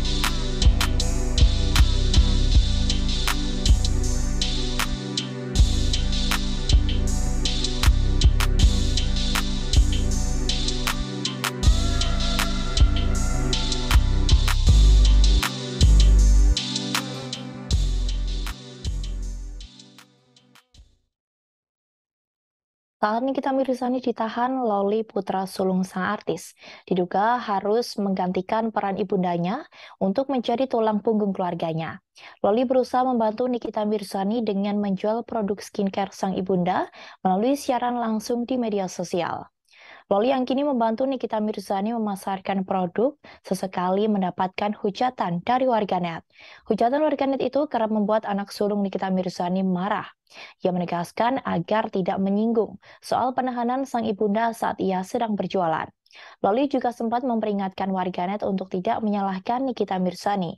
Tak hanya Loli yang menjadi perhatian warganet seusai Nikita Mirzani ditahan, namun kedua anaknya yang lain juga menjadi sorotan. Oleh karena itu, satu di antara alasan Nikita Mirzani mengajukan permohonan penangguhan penahanan, yakni karena ketiga anaknya. Hal itu diungkapkan oleh kuasa hukumnya Fahmi Bahmid saat ditemui di rutan kelas 2B Serang pada Kamis lalu. Demi bebas, suami Bahmid meyakinkan bahwa Nikita Mirzani tak akan pernah kabur karena ia seorang ibu yang memiliki tiga anak. Sebab diketahui Nikita lah yang selama ini menjadi tulang punggung keluarganya dan harus menghidupi ketiga anaknya. Maka dari itu, ia tidak akan berani untuk melarikan diri. Sementara itu, dalam pengajuan penangguhan penahanan yang diajukan, Fami Bahmid mengajukan dirinya sendiri sebagai jaminan bahwa Nikita Mirzani tidak akan kabur. Selain hal tersebut, Fahmi juga menegaskan bahwa kliennya itu tidak akan menghilangkan barang bukti.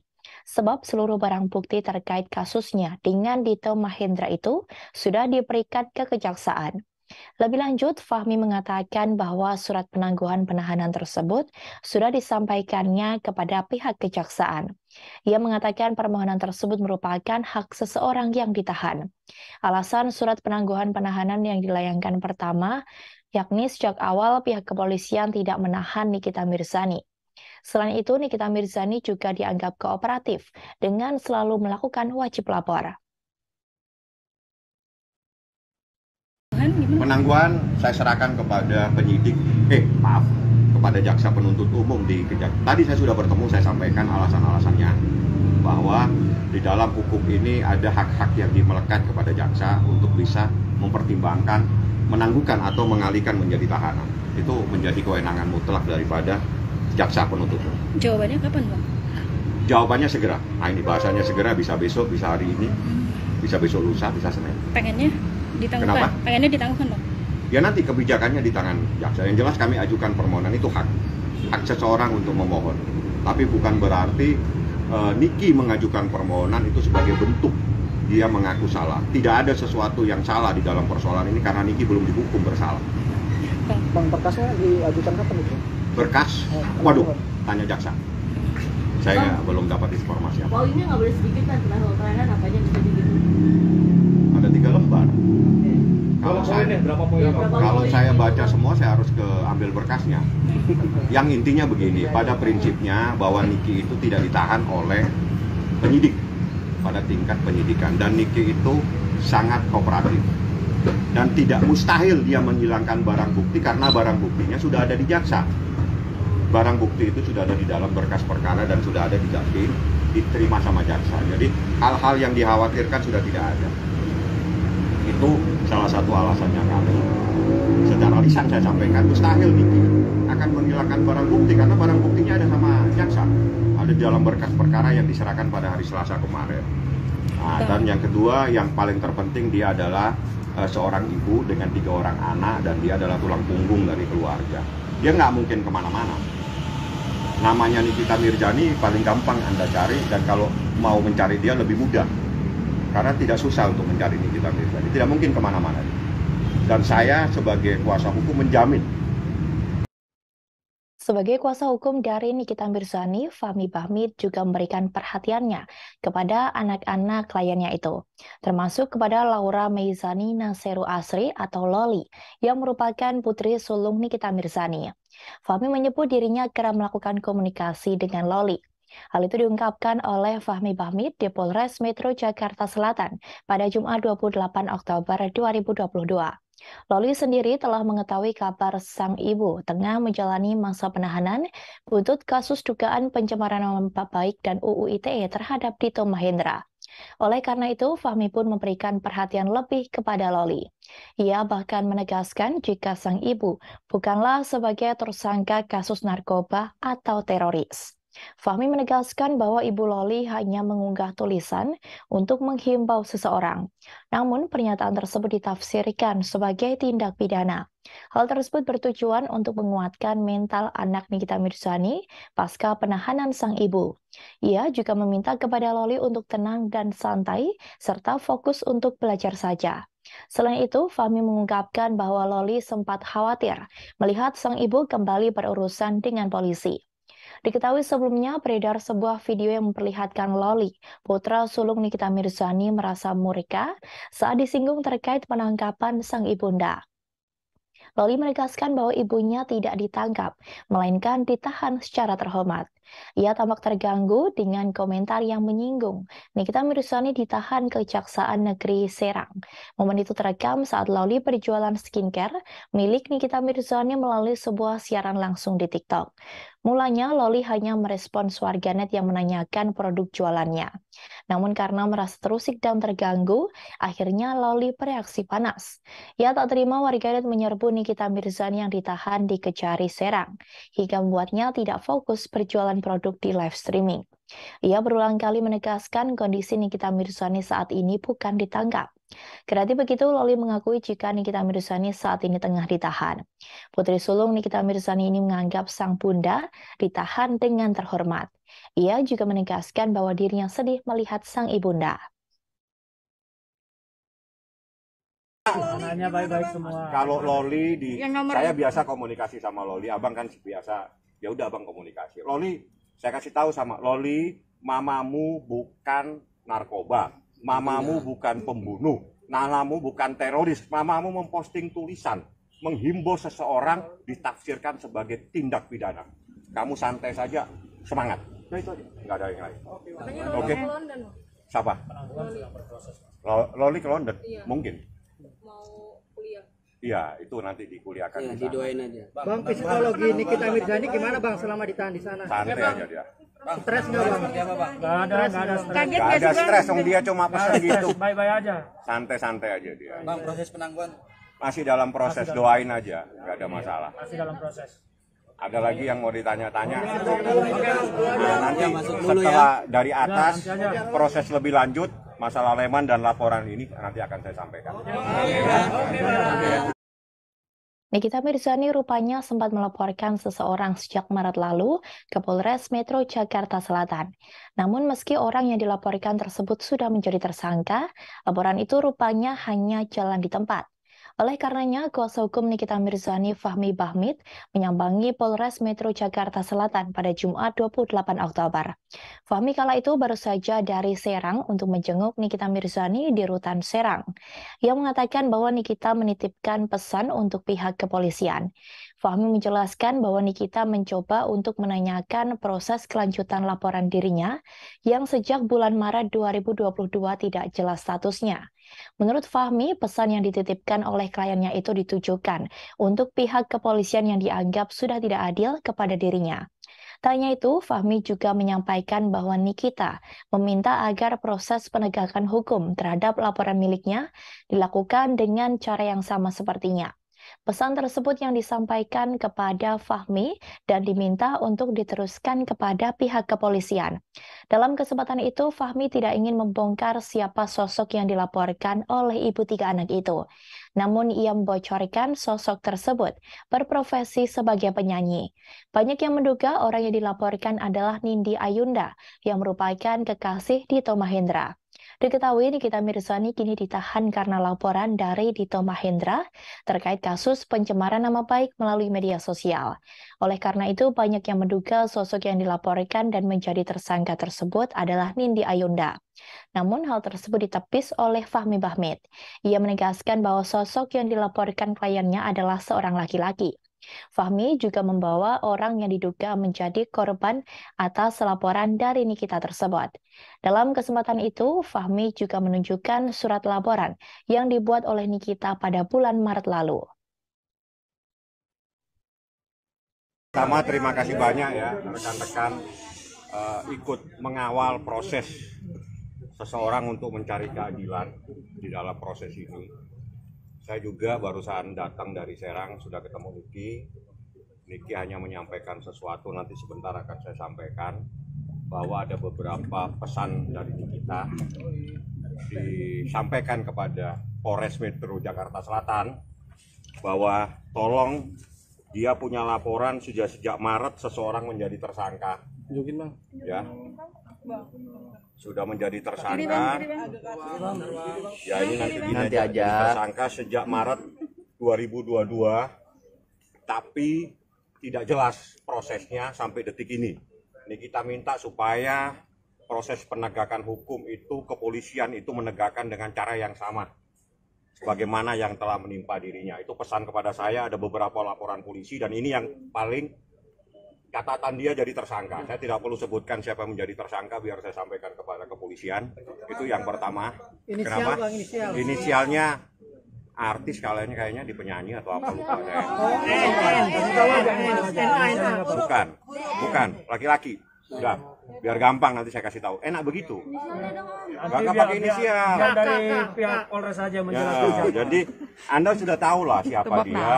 Ada dua orang yang di dalam surat ini sudah menjadi tersangka sejak bulan Maret, tapi tidak jelas ini sudah bulan Oktober. Nggak tahu nih prosesnya seperti apa, tapi ini kita luar biasa sekali. Kepolisian menerapkan eh, proses penegakan hukum yang berbeda. Jadi dia minta tolong Bang sampaikan kepada Polres perlakukan proses hukum itu yang sama kepada setiap masyarakat. Satu yang kedua ini saya bawa lagi korban dua tahun laporannya muter-muter nggak jelas. Ya, ini suara Leman, ini manusianya. Nih, kamu ke sini aja ke depan. Ini orangnya sudah hampir dua tahun sama istrinya. Ya ini juga kami akan datang, kami mau tahu sampai sejauh mana proses ini.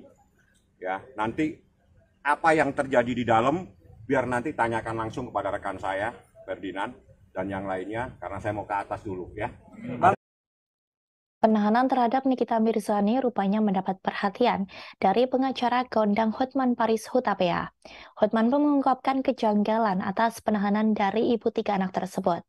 Hal itu diungkapkan oleh Hotman Paris melalui video yang diunggah di Instagram pribadinya pada Kamis 27 Oktober 2022.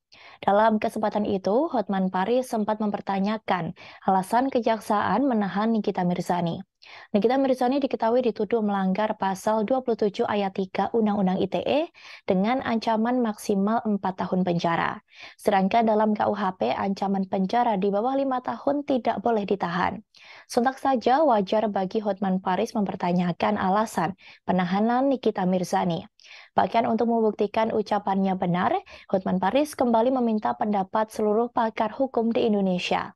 Setelahnya, unggahan Hotman Paris itu dibagikan ulang di akun Fitri Salhuteru, yakni sahabat dari Nikita Mirzani. Sebab dikatakan Fitri, video tersebut sudah dihapus oleh Hotman Paris. Fitri mengatakan bahwa menurutnya, membela Nikita Mirzani perlu keberanian. Video itu pun nantinya akan dihapus juga oleh Fitri Salhuteru.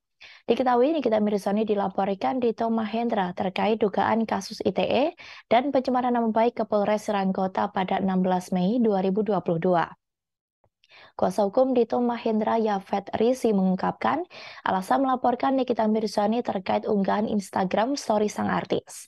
Melalui media sosialnya, Nikita Mirzani menyebut Dito Mahendra penipu dan PHP. Dasar itulah yang membuat Dito Mahendra melaporkan Nikita Mirzani dengan tuduhan pencemaran nama baik dan menjeratnya dengan Undang-Undang ITE. Dito melalui kuasa hukumnya secara tegas menyatakan tidak mengenal Nikita. Maka dari itu, ketika pertama kali melihat story Nikita yang menyindirnya, Dito mengaku kaget. Pun Yafet Rizi turut menjelaskan Dito dengan Nikita tidak pernah berinteraksi secara personal. Kliennya tidak terima ketika dituduh oleh Nikita Mirzani menipu hingga PHP atau pemberi harapan palsu. Dito merasa unggahan Nikita Mirzani tersebut mencemarkan nama baiknya. Sehingga ia mengambil tindakan untuk melaporkan sang artis kontroversial itu ke Polresta Serangkota pada 16 Mei 2022 silam. apa yang dituduhkan kepada Nikita Mirzani? Apakah ada pasal selain pasal 27 ayat 3 Undang-Undang ITE? Karena kalau yang dituduhkan hanya pasal 27 ayat 3 Undang-Undang ITE, ancaman hukumannya hanya 4 tahun. Dan menurut KUHAP, kalau ancaman hukumannya di bawah 5 tahun, tidak boleh ditahan. Maka saya mau mempertanyakan kepada kejaksaan, selain pasal 27 ayat 3 Undang-Undang ITE, apakah ada pasal lain yang dituduhkan kepada Nikita Mirzani? tolong dijawab ini ke publik karena banyak orang bertanya ke Hotman. Saya tidak menyuruh tapi hanya bertanya, apakah ada pasal lain selain pasal 27 ayat 3 Undang-Undang ITE yang ancaman hukumannya maksimum 4 tahun? Ada enggak pasal lain yang dituduhkan kepada Nikita Mirzani? Kalau memang pasal yang dituduhkan hanya pasal 27 ayat 3 Undang-Undang ITE, maka saya mau minta pendapat semua ahli hukum di seluruh Indonesia atas dasar apa Nikita Mirzani harus ditahan? Atas dasar apa? Karena undang-undangnya kuhab jelas-jelas menyebutkan kalau di bawah lima tahun tidak bisa ditahan. Tolong dijelaskan oleh pihak kejaksaan kepada publik pasal berapa yang dituduhkan sehingga bisa ditahan dan juga tolong pendapat para ahli hukum pendapat para ahli hukum atas kejadian ini. Ini hanya bertanya. Salam Hotman 911. Kita menuju informasi berikutnya Tribunars, Kaisang Pangarep dan Erina Gudono kini kompak mengunggah foto prewedding mereka menjelang pernikahan. Diketahui pernikahan putra bungsu Presiden Jokowi itu akan digelar pada bulan Desember mendatang. Jalinan asmara keduanya pun diketahui oleh publik relatif singkat sebelum memutuskan untuk menikah. Diketahui sebelum menjalin hubungan dengan Erina Gudono, Kaisang Pangarep sempat berpacaran dengan Nadia Arifta. Kedekatan Kaisang Pangarep dan Erina Gudono pertama kali terendus saat keduanya kepergok menonton pembukaan Piala Presiden di Stadion Manahan Solo pada 11 Juni 2022 lalu. Sebuah video beredar memperlihatkan Kaisang Pangarep yang merangkul bahu Erina Gudono. Saat itu merupakan momen pertama Erina menonton pertandingan sepak bola secara langsung. Sejak kepergok menonton sepak bola bersama, Kaisang dan Erina dikabarkan memiliki hubungan spesial. Melalui unggahan TikTok at Laki Panji Asmoro, Kaisang dan Erina tampak menghadiri kondangan bersama pada 4 Juli lalu. Dalam video tersebut, mereka ramah menyapa tamu undangan yang ingin berfoto bersama. Hubungan asmara Kaisang dengan Erina pun semakin diperkuat dengan unggahan dari Kahiyang Ayu. Dalam unggahan di Instagram at Ayang Kahiyang, Kahiyang memperlihatkan potretnya bersama Kaisang dan Erina. Selain itu, caption dalam unggahan itu yang menjadi kode bahwa keduanya akan segera melangsungkan pernikahan. Tak hanya itu, dalam foto tersebut juga terlihat Erina yang memakai cincin. Unggahan tersebut pun kembali diunggah oleh Erina melalui Instagram story miliknya dengan dua stiker hati merah muda. Kini keduanya kompak mengunggah foto prewedding pada masing-masing Instagram mereka. Mereka melakukan foto prewedding di Stadion Manahan Solo. Kaisang dan Erina kompak memakai kaos jersey berwarna merah. Keduanya memakai kaos kaki panjang berwarna merah lengkap dengan sepatu sepak bola.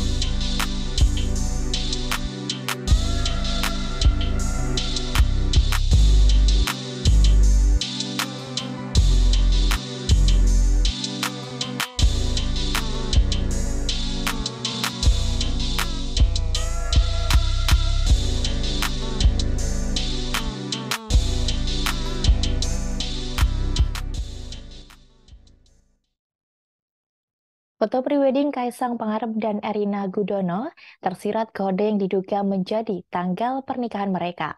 Hal itu terlihat dalam nomor punggung jersey mereka yang ken yang mereka kenakan yakni 10 dan 12 yang diduga mereka akan menikah pada 10 Desember 2022.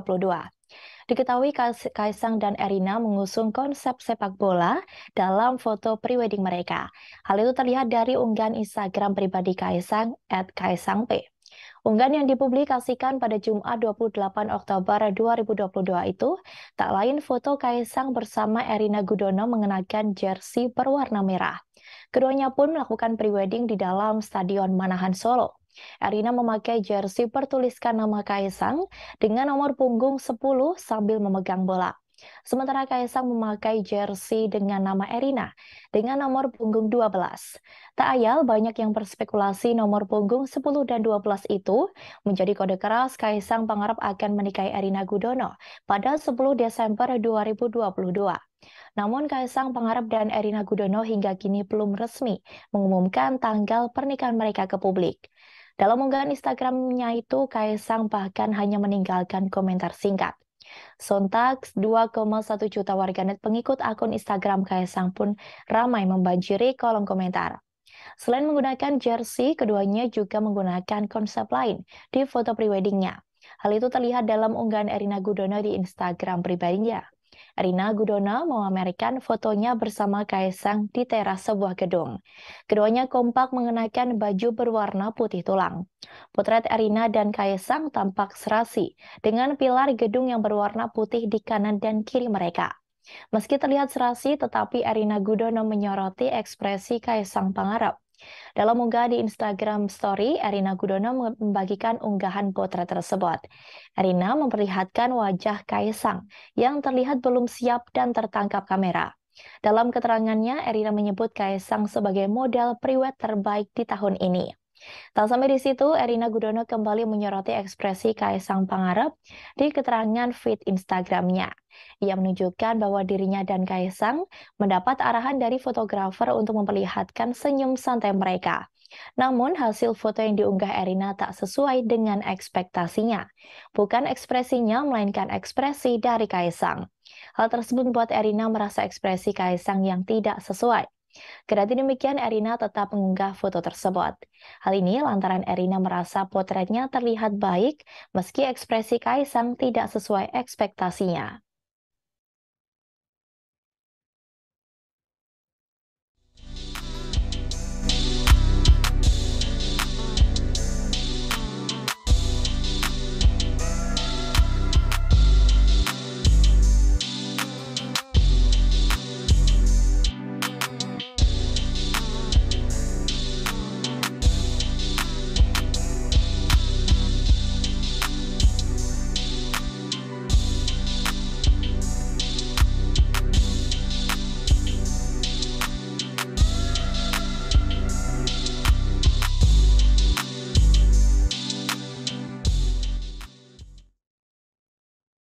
Menjelang pernikahan Kaisang, Iriana Joko Widodo sempat mengajak Erina Gudono menonton konser Ari Lasso. Konser bertajuk Kehidupan ketiga itu digelar di Balai Sarbini, Jakarta Selatan pada Jumat 28 Oktober. Terlihat ibu negara Iriana Jokowi bersama kedua anaknya Kaisang Pangarep dan Kahiyang Ayu turut hadir untuk menonton konser Ari Lasso. Namun ada satu hal yang menyita perhatian publik. Hal itu lantaran tampak sosok Erina Gudono hadir bersama Iriana Jokowi. Mereka tampak duduk bergabung bersama penonton lainnya di tribun yang sudah disediakan. Pun dengan Erina Gudono duduk di samping Iriana Jokowi. Pada saat itu, Erina Gudono mengenakan pakaian berwarna abu-abu. Rambut panjang Erina Gudono tampak terurai dan mengenakan masker. Sementara Kaisang Pangarep duduk di samping Erina Gudono. Dalam konser tersebut, Ari Lasso tampak memberikan penghormatan kepada Iriana Jokowi. Lantaran Iriana Jokowi sempat melambaikan tangannya ke arah Ari Lasso. Kemudian Ari Lasso kembali menyanyikan lagu yang berjudul Hampa. Lagu Hamba merupakan lagu favorit dari Ibu Iriana Jokowi. Padahal sebelumnya Ari Lasso telah menyanyikan lagu tersebut. Namun ia rela membawakan lagu Hampa untuk kedua kalinya demi Iriana Jokowi. Diberitakan sebelumnya, Ari Lasso membuka konsernya bertajuk Kehidupan Ketiga dengan lagu Misteri Ilahi di Balai Sarbini, Jakarta pada Jumat 28 Oktober. Diketahui lagu tersebut dirilis pada 2001 silam dari album Ari Lasso berjudul Sendiri Dulu. Ari Lasso terlihat mengenakan setelan jas berwarna hitam. Penonton yang hadir pun memberikan tepuk tangan dan sorak-sorai kepada mantan vokalis Dewa 19 itu. Penyanyi, penyanyi berusia 49 tahun itu berharap lagu yang ia nyanyikan bisa sampai kepada seluruh masyarakat Indonesia. Diketahui di konser kehidupan ketiga ini, Ari Lasso sekaligus merayakan kiprahnya di industri musik tanah air yang kini telah berusia 30 tahun.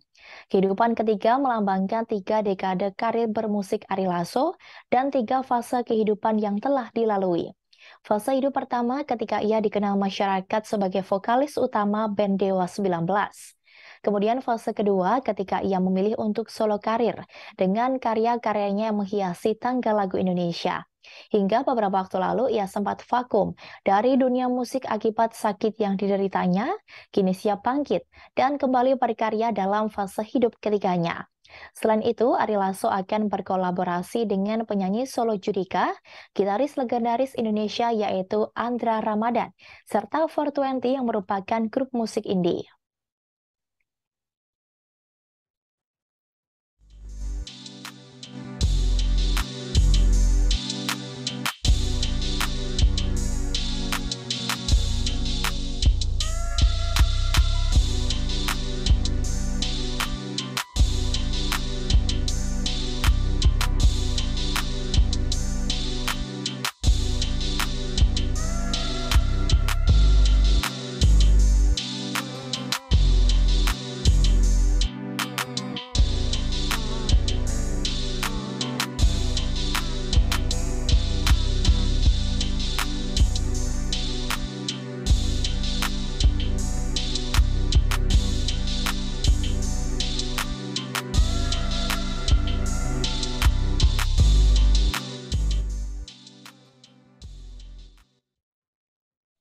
Kita beralih ke informasi berikutnya Tribuners. Rizky Bilar belum lama ini diketahui diamuk oleh tetangganya karena menyetir mobil dengan kecepatan tinggi di area komplek. Tetapi hingga saat ini tidak diketahui bagaimana kelanjutan dari permasalahan tersebut. Oleh sebab itu, tim mediagri.id kemudian mencari informasi dari seorang tetangga Rizky Bilar di kawasan Jagakarsa, Jakarta Selatan. Sayangnya, pria tersebut mengatakan tak ada di tempat ketika kejadian Rizky Bilar dilabrak warga sekitar. Sebab diakuinya kala itu dirinya sedang berada di Bandung. Namun, pria tersebut memberikan informasi terkait kediaman Rizky Bilar di kawasan Jagakarsa, Jakarta Selatan. Menurutnya, Rizky Bilar mengontrak di rumah tersebut kurang lebih sejak satu tahun lalu. Ternyata rumah tersebut dijadi, dijadikan kantor oleh Rizky Bilar. Seperti diketahui sebelumnya, kabar Rizky Bilar dilabrak warga ramai di media sosial dan diunggah ulang oleh beberapa akun gosip. Dalam video yang diketahui diabadikan oleh seorang wanita, menyebut bahwa Rizky Bilar ngebut di jalan komplek. Atas perbuatannya itu, Rizky Bilar pun dilabrak warga yang merupakan seorang pria parubaya. Terlihat dalam video yang beredar, Rizky Bilar beradu argumen dengan pria Parubaya yang merupakan tetangganya. Diketahui perekam bersuara wanita itu mengatakan agar memberi nasihat kepada Rizky Bilar saat membawa mobil. Disebutkan tidak boleh sembarangan membawa mobil di komplek, terlebih jalanan tersebut bukan jalan tol. Perekam video lantas meminta supir tetangganya untuk tidak ikut campur. Terlihat pria dalam video tersebut tersulut emosi saat berbicara dengan Rizky Bilar. Namun belum diketahui secara detail masalah mobil tersebut. Hingga kini baik Lesti Kejora maupun Rizky Bilar belum buka suara terkait dengan video yang beredar tersebut. Video itu juga belum bisa dikonfirmasi kebenarannya, apakah video itu merupakan video lama atau baru-baru ini.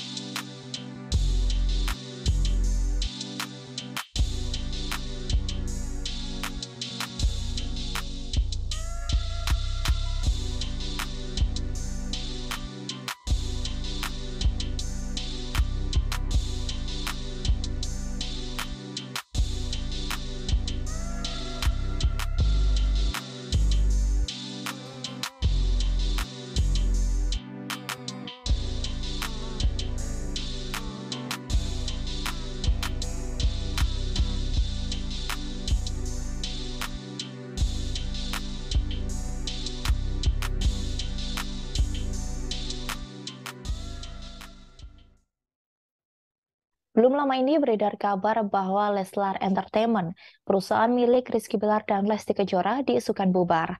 Akhirnya, kabar tersebut dikonfirmasi oleh manajer Rizky Bilar, Ariel Lobster alias Boril. Ia tak menampik bahwa Leslar Entertainment telah bubar. Tak cukup sampai di situ, Boril juga menjelaskan hal-hal di balik keputusan Leslar Entertainment bubar. Ia menyebutkan bahwa Bilar dan Lesti masih butuh waktu untuk menenangkan diri dan mengurangi aktivitas. Bilar dan Lesti juga ingin lebih intim dan fokus menjadi diri yang lebih baik lagi. Sementara itu untuk aktivitas di media sosial sendiri, Lesti sudah mulai kembali muncul ke ke publik. Sedangkan akun Instagram Bilar yang dikabarkan hilang sampai kini diketahui belum kembali. Diketahui sebelumnya, channel Leslar Entertainment milik Lesti Kejora dan Rizky Bilar dikabarkan bubar. Alhasil, sebuah video sebuah bisnis digital Lesti Kejora dan Rizky Bilar hilang. Hal ini pun disangkut pautkan dengan kasus KDRT yang dilakukan Rizky Bilar pada Lesti Kejora. Sebab sejak Lesti memilih untuk berdamai seusai mendapatkan KDRT dari Bilar, banyak hal yang terlihat berubah dari keduanya. Tak terkecuali orang-orang di lingkungannya, serta bisnis yang Rizky Bilar dan Lesti Kejora bangun bersama. Informasi bubarnya Leslar Entertainment itu mencuat, seusai seorang timnya membagikan foto perpisahan seraya isyaratkan pamit. Terlihat dari unggahan seorang karyawan bernama Bagas Garnita yang mengunggah momen bersama Lesti dan Bilar serta karyawan yang lain. Melalui kolom keterangan, ia menuliskan terima kasih kepada Lesti dan Bilar karena pengalaman kerja selama 11 bulan terakhir. Ia berharap masih bisa berjumpa dengan keduanya di lain waktu dan bisa bekerja sama kembali. Hal senada juga disampaikan oleh karyawan lain seperti Dede Prawira, Ricardo Andreas, dan Mas Gongli.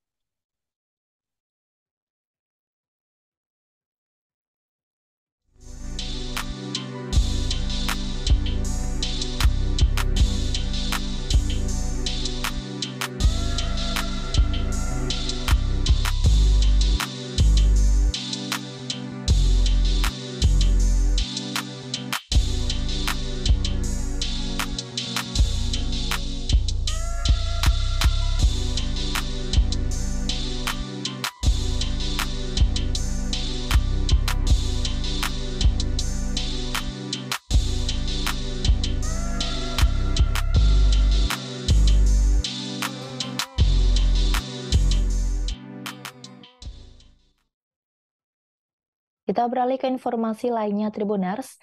Atas mundurnya Gilang Widya Pramana alias Curagan 99 sebagai Presiden Arema FC rupanya mendapat respons kurang baik dari para supporter.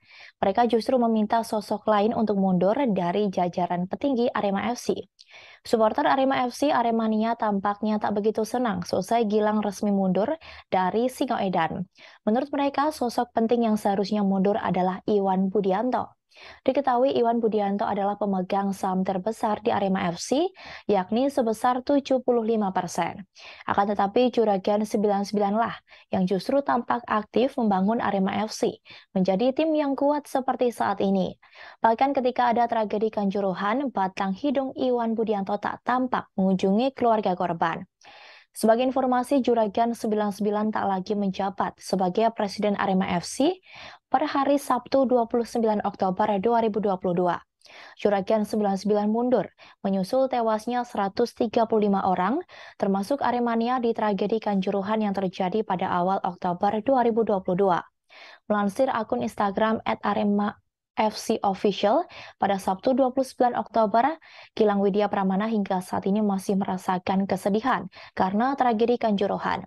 Ia dan beberapa rekannya di manajemen terus mengunjungi keluarga korban dan memberikan santunan.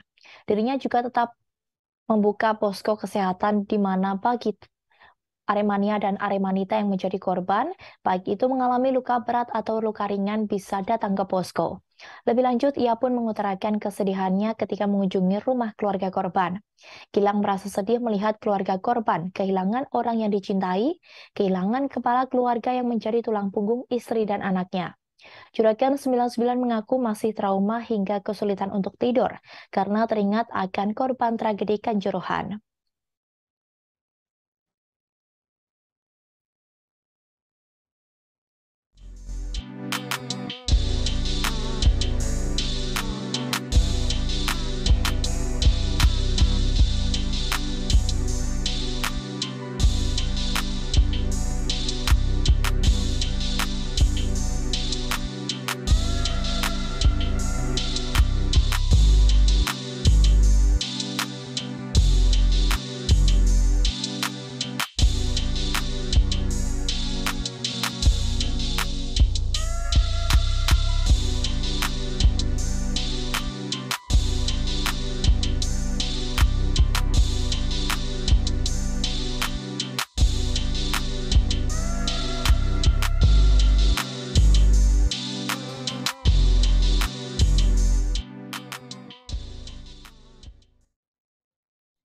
Kita menuju informasi berikutnya Tribuners. Gisela Anastasia akhirnya mengakui kedekatannya dengan seorang pengusaha Rino Sudarjo. Ia mengaku saat ini masih dalam masa penjajakan dan sudah mengenalkannya kepada sang putri Kempita.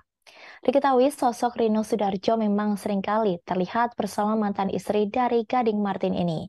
Kedekatan keduanya ini lantas memunculkan isu bahwa ada hubungan spesial antara Gisel dan Rino. Terkait gosip ini, Gisel akhirnya membenarkan bahwa dirinya dekat dengan Rino Sudarjo. Ia pun meminta doa kepada publik terkait hubungannya dengan Rino. Namun ketika ditanya apakah ia sudah berpacaran dengan Rino, Gisel tampaknya tak ingin banyak berkomentar. Ia hanya menyebut dirinya dan Rino hanya perkawan baik dan memiliki hubungan dekat.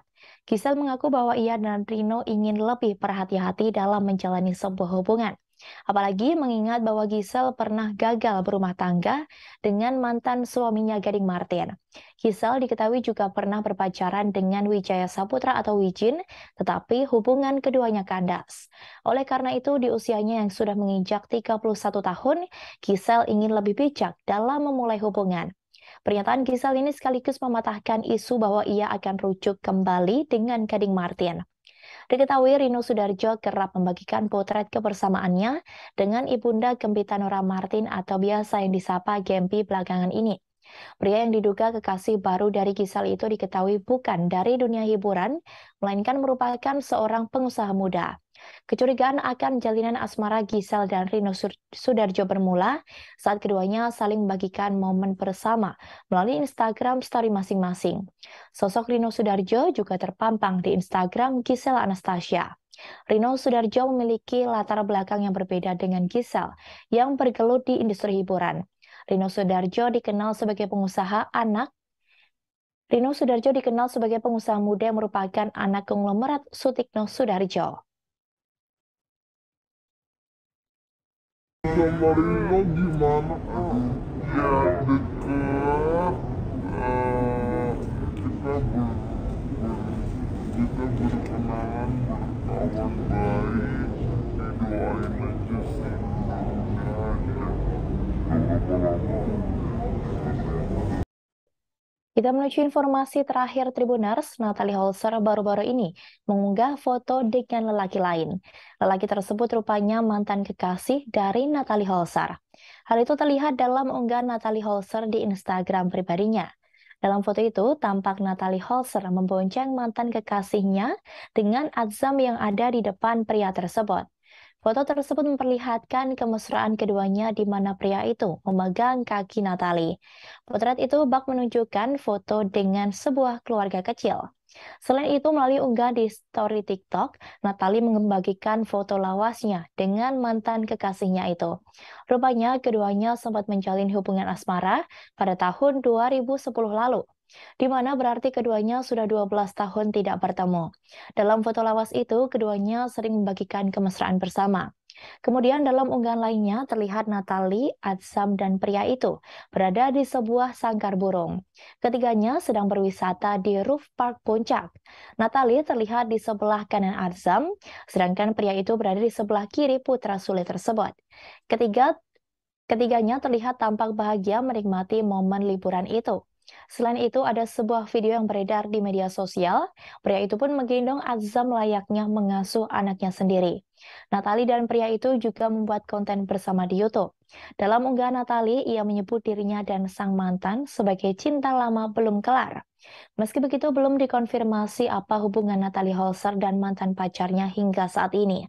Namun banyak dari warganet yang menyebut mereka cocok apabila menjalin hubungan lagi.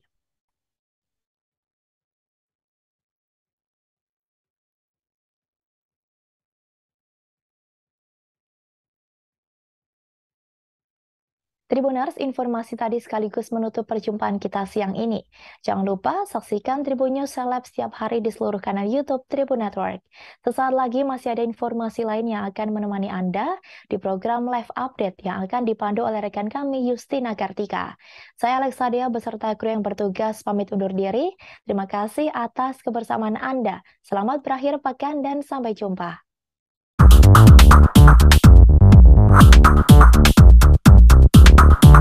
Tribun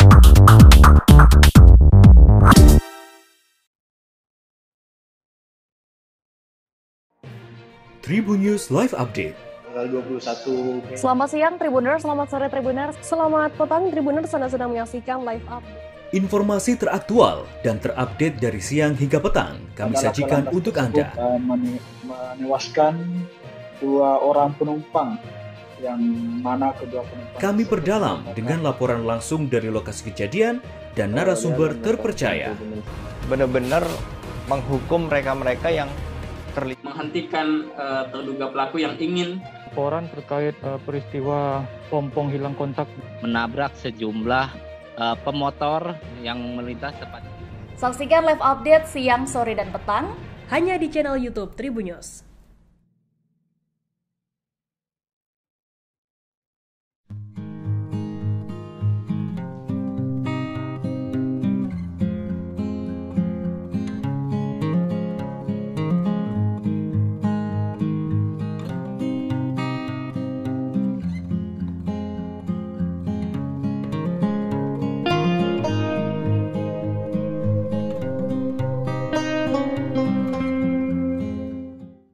Kota Padang memiliki destinasi wisata yang menarik untuk dijelajahi. Dari wisata alam, budaya, hingga kuliner. Mengunjungi Kota Padang belum lengkap rasanya kalau belum datang ke jembatan Siti Nurbaya.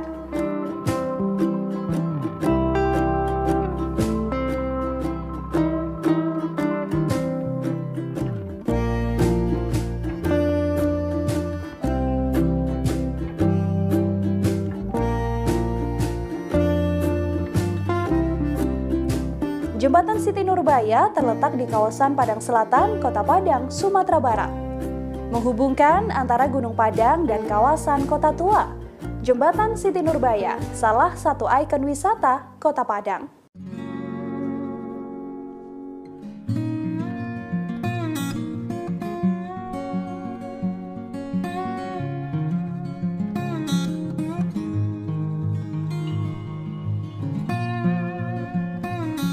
Nama jembatan ini diambil dari satu legenda Minang, yakni Siti Nurbaya.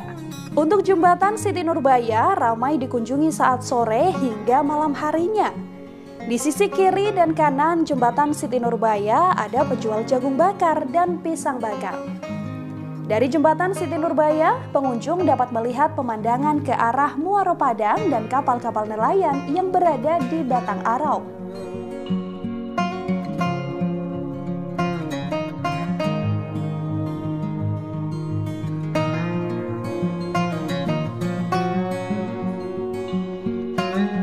Bagi yang ingin mengunjungi jembatan Siti Nurbaya, dapat memesan transportasi online karena untuk transportasi umum seperti angkot tidak tersedia rute ke sini.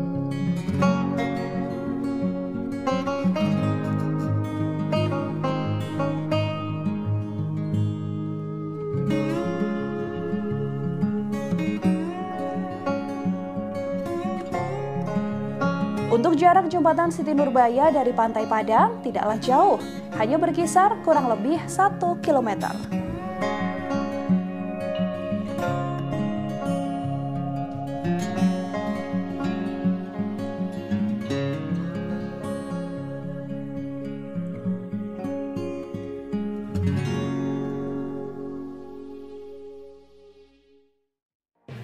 Tribun News Live Update. Tanggal 21 Selamat siang Tribuners, selamat sore Tribuners, selamat petang Tribuners Anda sedang menyaksikan live up. Informasi teraktual dan terupdate dari siang hingga petang kami adalah sajikan untuk Anda. eh, mene- menewaskan dua orang penumpang yang mana kedua penumpang Kami perdalam dengan laporan langsung dari lokasi kejadian dan narasumber terpercaya. benar-benar menghukum mereka-mereka yang terlibat menghentikan eh, terduga pelaku yang ingin laporan terkait eh, peristiwa pompong hilang kontak. Menabrak sejumlah eh, pemotor yang melintas tepat. Saksikan live update siang, sore, dan petang. Hanya di channel YouTube Tribunnews.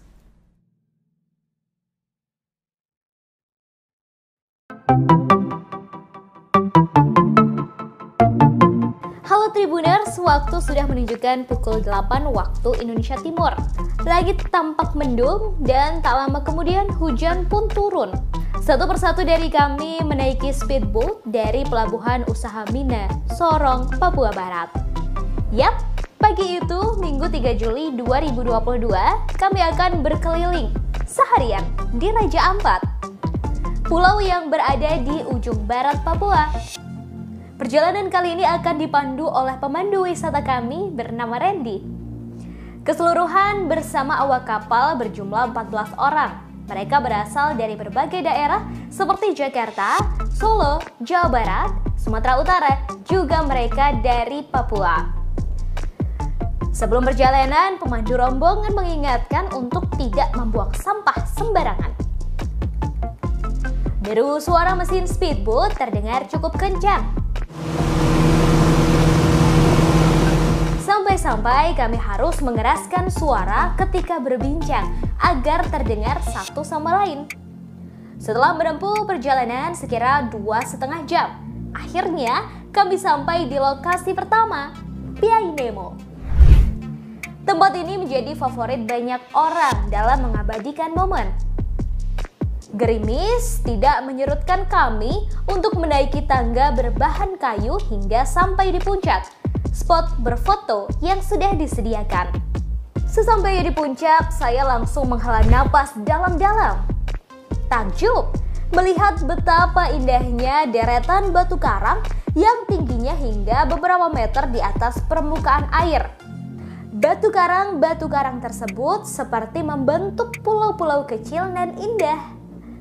Pemandangan yang sangat eksotis ini tersohor hingga penjuru dunia loh Tribuners. Pion Demo sebenarnya sangat akrab dengan masyarakat Indonesia. Karena pemandangan deretan karang berbentuk pulau ini ada di uang kertas Rp100.000. Sayangnya, tiba-tiba hujan turun cukup lebat. Kami pun bergantian turun mencari tempat berteduh di beberapa simpang tangga yang sudah disediakan seperti gazebo.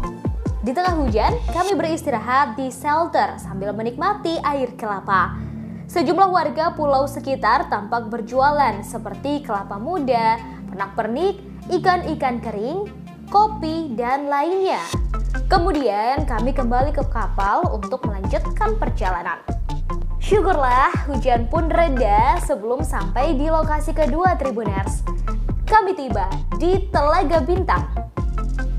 Untuk meraih puncak pun tidak sejauh Piai Nemo.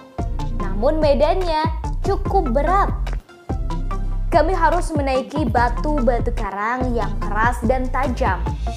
Harus bergantian lantaran jalurnya hanya cukup untuk satu orang. Sampai di atas, kami bisa melihat batu karang tinggi yang membentuk seperti pulau-pulau kecil. Dan seperti namanya, kami bisa menyaksikan telaga berbentuk bintang. Di bawah airnya terlihat sangat jernih kami bisa melihat batu karang serta ikan-ikan dengan mata telanjang. Tak lama rombongan melanjutkan perjalanan menggunakan kapal, yaitu ke kampung wisata Arborek. Menurut Putu, fotografer wisata kami, lokasi ini adalah kampung wisata pertama yang ada di Raja Ampat loh. Arborek masuk 10 besar desa wisata terbaik di Indonesia. Daya tarik lain tempat ini adalah memiliki dasar laut yang sangat menawan. Anda bisa bersnorkeling, melihat karang dan berbagai biota laut.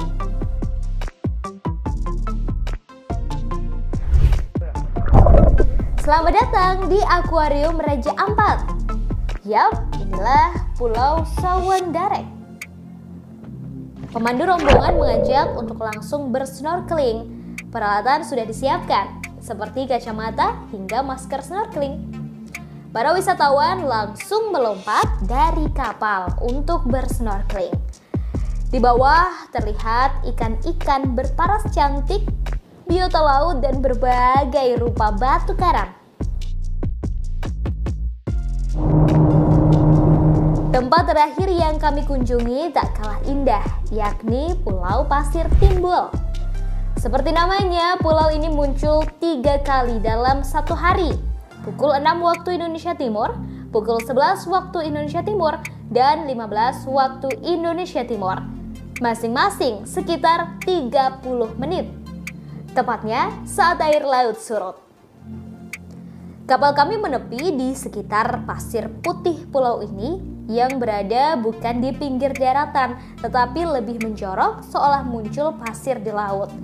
Wisatawan tampak berfoto di pulau ini berlatar pulau roti yang memang bentuknya menyerupai roti. Anak-anak pun terlihat senang bermain pasir putih.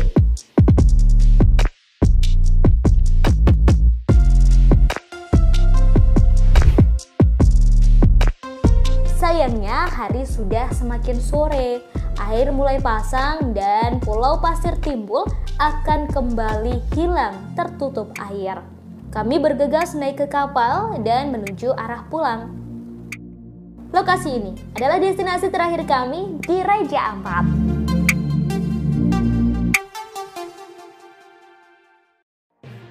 Tribun News Live Update tanggal 21 Selamat siang Tribuners, selamat sore Tribuners, selamat petang Tribuners Anda sedang menyaksikan live up. Informasi teraktual dan terupdate dari siang hingga petang kami sajikan untuk Anda. mene- menewaskan dua orang penumpang yang mana kedua penumpang Kami perdalam dengan laporan langsung dari lokasi kejadian dan narasumber terpercaya. Benar-benar menghukum mereka-mereka yang terlibat menghentikan eh, terduga pelaku yang ingin Laporan terkait eh, peristiwa pompong hilang kontak menabrak sejumlah eh, pemotor yang melintas tepat Saksikan live update siang, sore, dan petang hanya di channel YouTube Tribunnews.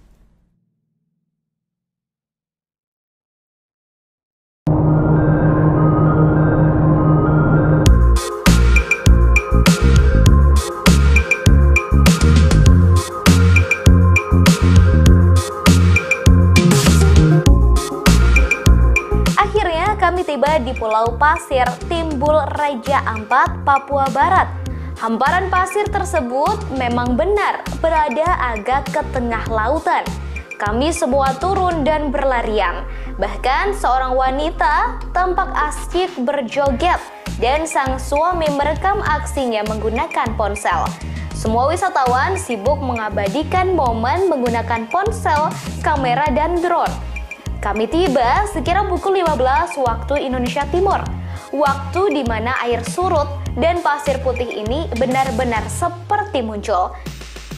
Menurut pemandu wisata kami, Randy, Pulau Pasir timbul muncul tiga kali dalam satu hari, yaitu pukul 6 waktu Indonesia Timur, 11 waktu Indonesia Timur, dan 15 waktu Indonesia Timur, masing-masing sekitar 30 menit, tepatnya saat air laut surut. Yang lebih menarik lagi, di ujung pulau pasir timbul ini terdapat pulau kecil menyerupai roti hingga disebut Pulau Roti. Sebelum ke Pulau Pasir Timbul, kami sempat ke lokasi wisata lain di Raja Ampat yang juga tak kalah indah, yakni Pieng Nemo, Telaga Bintang, Arbore, dan Sawan Darek. Kami memulai perjalanan dari kota Sorong menggunakan speedboat sejak pukul 8 waktu Indonesia Timur. Pulau Pasir Timbul menjadi destinasi terakhir kami dalam trip seharian di Pulau Raja Ampat.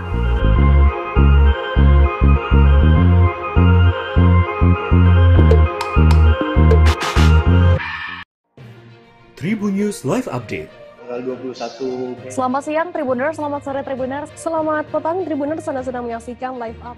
Informasi teraktual dan terupdate dari siang hingga petang kami sajikan untuk Anda. mene- menewaskan dua orang penumpang yang mana kedua penumpang Kami perdalam dengan laporan langsung dari lokasi kejadian dan narasumber terpercaya. benar-benar menghukum mereka-mereka yang terlibat menghentikan eh, terduga pelaku yang ingin laporan terkait eh, peristiwa pompong hilang kontak menabrak sejumlah eh, pemotor yang melintas tepat Saksikan live update siang, sore, dan petang hanya di channel YouTube Tribunnews.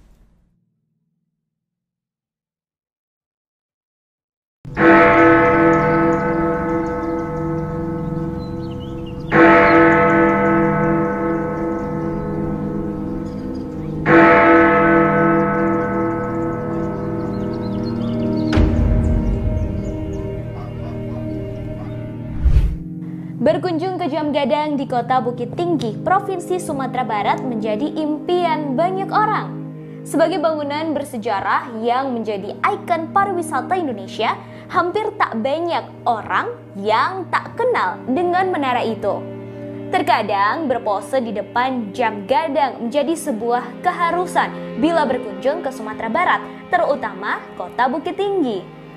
Tak hanya bagi pelancong dari luar Sumber, namun juga bagi warga Sumber sendiri yang tak pernah bosan berfoto dan menikmati jam gadang.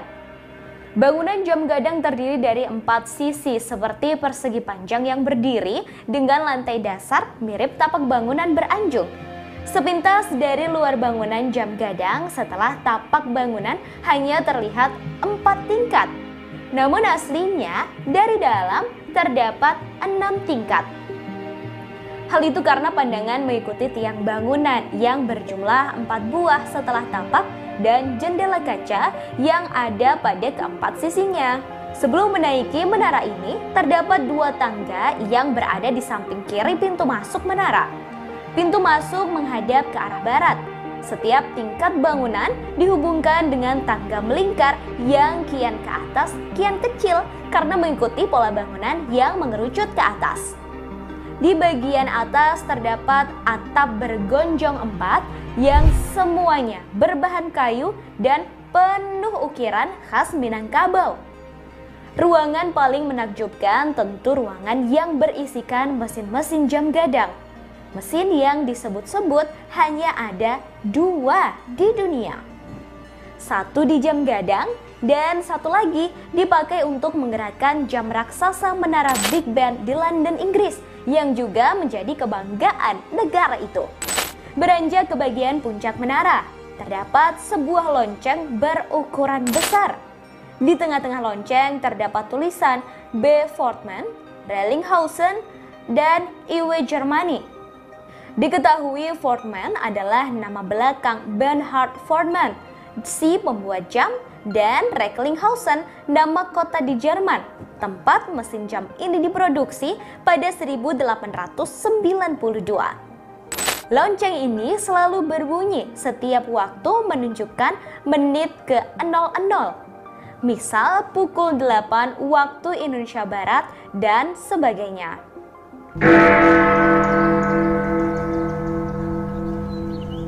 Tak hanya lonceng, di bagian puncak juga terdapat sebuah serambi melingkar yang bisa melihat kota Bukit Tinggi dari berbagai sisi.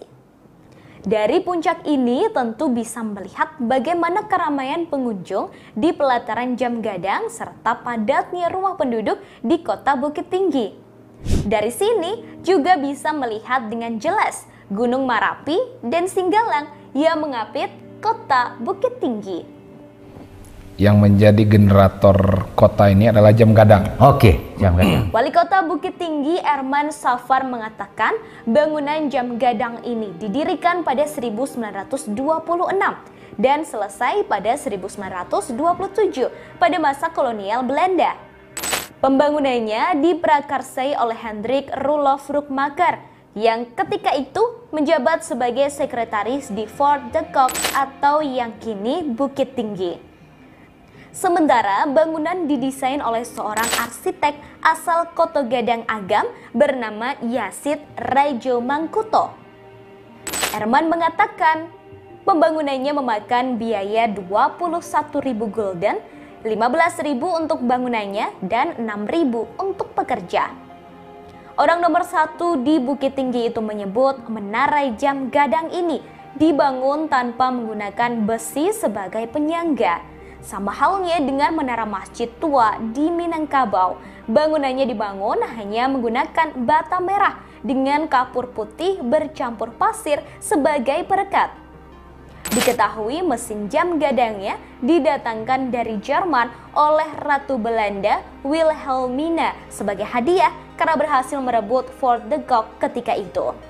Setelah dibangun, jam gadang ini pernah mengalami perubahan bentuk saat pendudukan Jepang dengan bangunan khas negeri Sakura. Pasca kemerdekaan, bangunannya juga mengalami perubahan ke bentuk yang sekarang ini.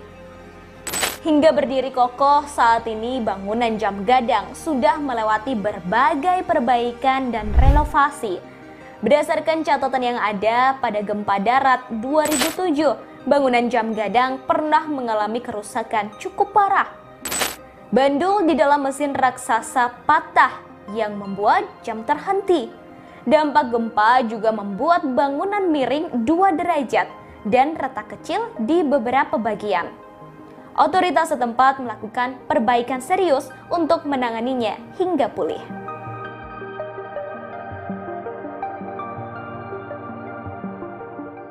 Terima kasih sudah nonton. Jangan lupa like, subscribe, dan share ya.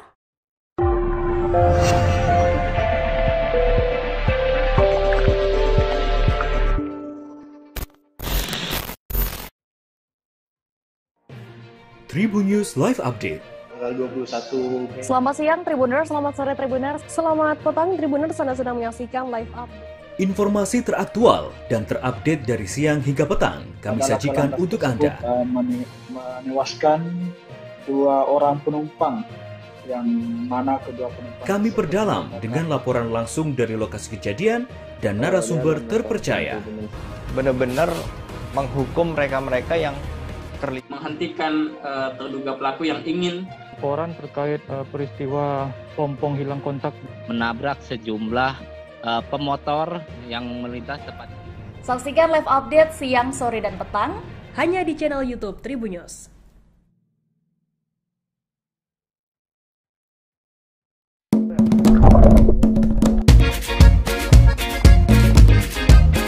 Selamat datang di Akuarium Raja Ampat, Pulau Sawandarek. Begitu teriakan dokumentator wisata kami, Putu, saat speedboat tiba di Pulau Sawandarek, Raja Ampat, Papua Barat, Minggu 3 Juli 2022. Tanpa turun ke daratan, kami langsung bersiap dari dalam kapal untuk melakukan snorkeling. Bahkan seorang wisatawan bernama Edward sepertinya sudah tak tahan ingin melihat indahnya dalam laut. Ia pun langsung melompat. Sang pemandu menyiapkan peralatan snorkeling seperti jaket, masker, dan kacamata snorkeling.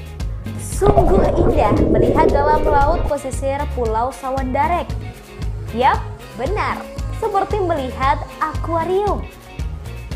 Air yang jernih membuat mata kita bahkan tanpa kacamata snorkeling bisa melihat jelas keindahan dalam laut Raja Ampat.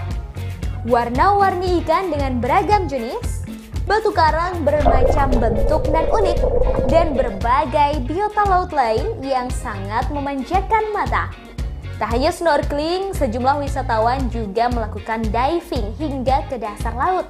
Pulau Sawandarek merupakan satu dari sejumlah tempat terbaik untuk snorkeling dan diving di Raja Ampat.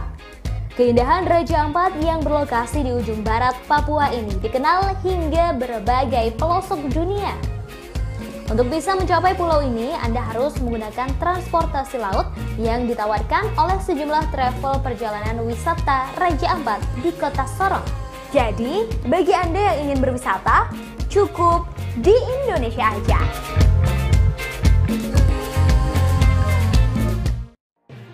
Tribun News Live Update. tanggal 21 Selamat siang Tribuners, selamat sore Tribuners, selamat petang Tribuners Anda sedang menyaksikan live up.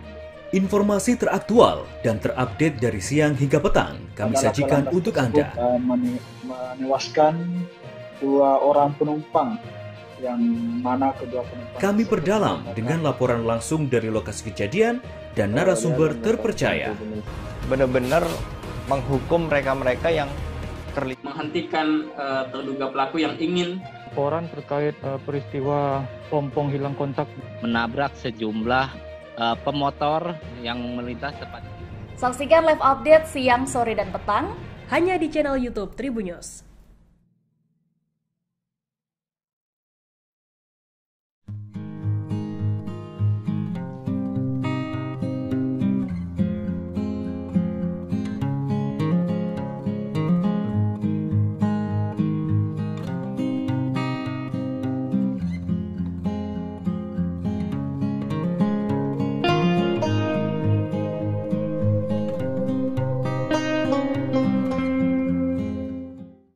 Kota Padang memiliki destinasi wisata yang menarik untuk dijelajahi. Dari wisata alam, budaya, hingga kuliner. Mengunjungi Kota Padang belum lengkap rasanya kalau belum datang ke jembatan Siti Nurbaya.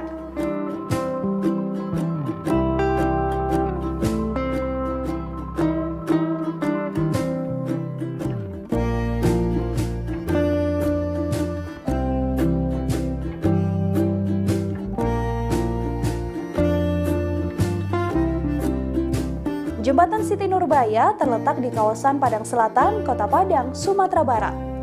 Menghubungkan antara Gunung Padang dan kawasan Kota Tua. Jembatan Siti Nurbaya, salah satu ikon wisata Kota Padang.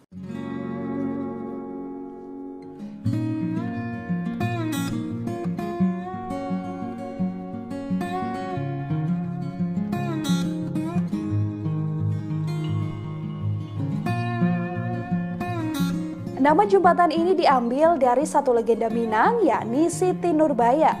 Untuk jembatan Siti Nurbaya ramai dikunjungi saat sore hingga malam harinya. Di sisi kiri dan kanan jembatan Siti Nurbaya ada penjual jagung bakar dan pisang bakar. Dari jembatan Siti Nurbaya, pengunjung dapat melihat pemandangan ke arah Muaro Padang dan kapal-kapal nelayan yang berada di Batang Arau.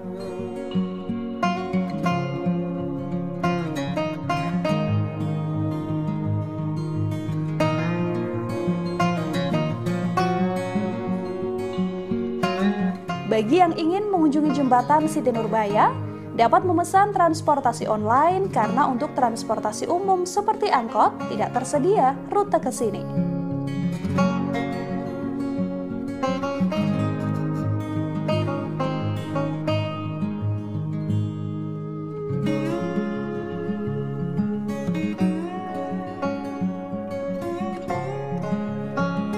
Jarak jembatan Siti Nurbaya dari Pantai Padang tidaklah jauh, hanya berkisar kurang lebih 1 km.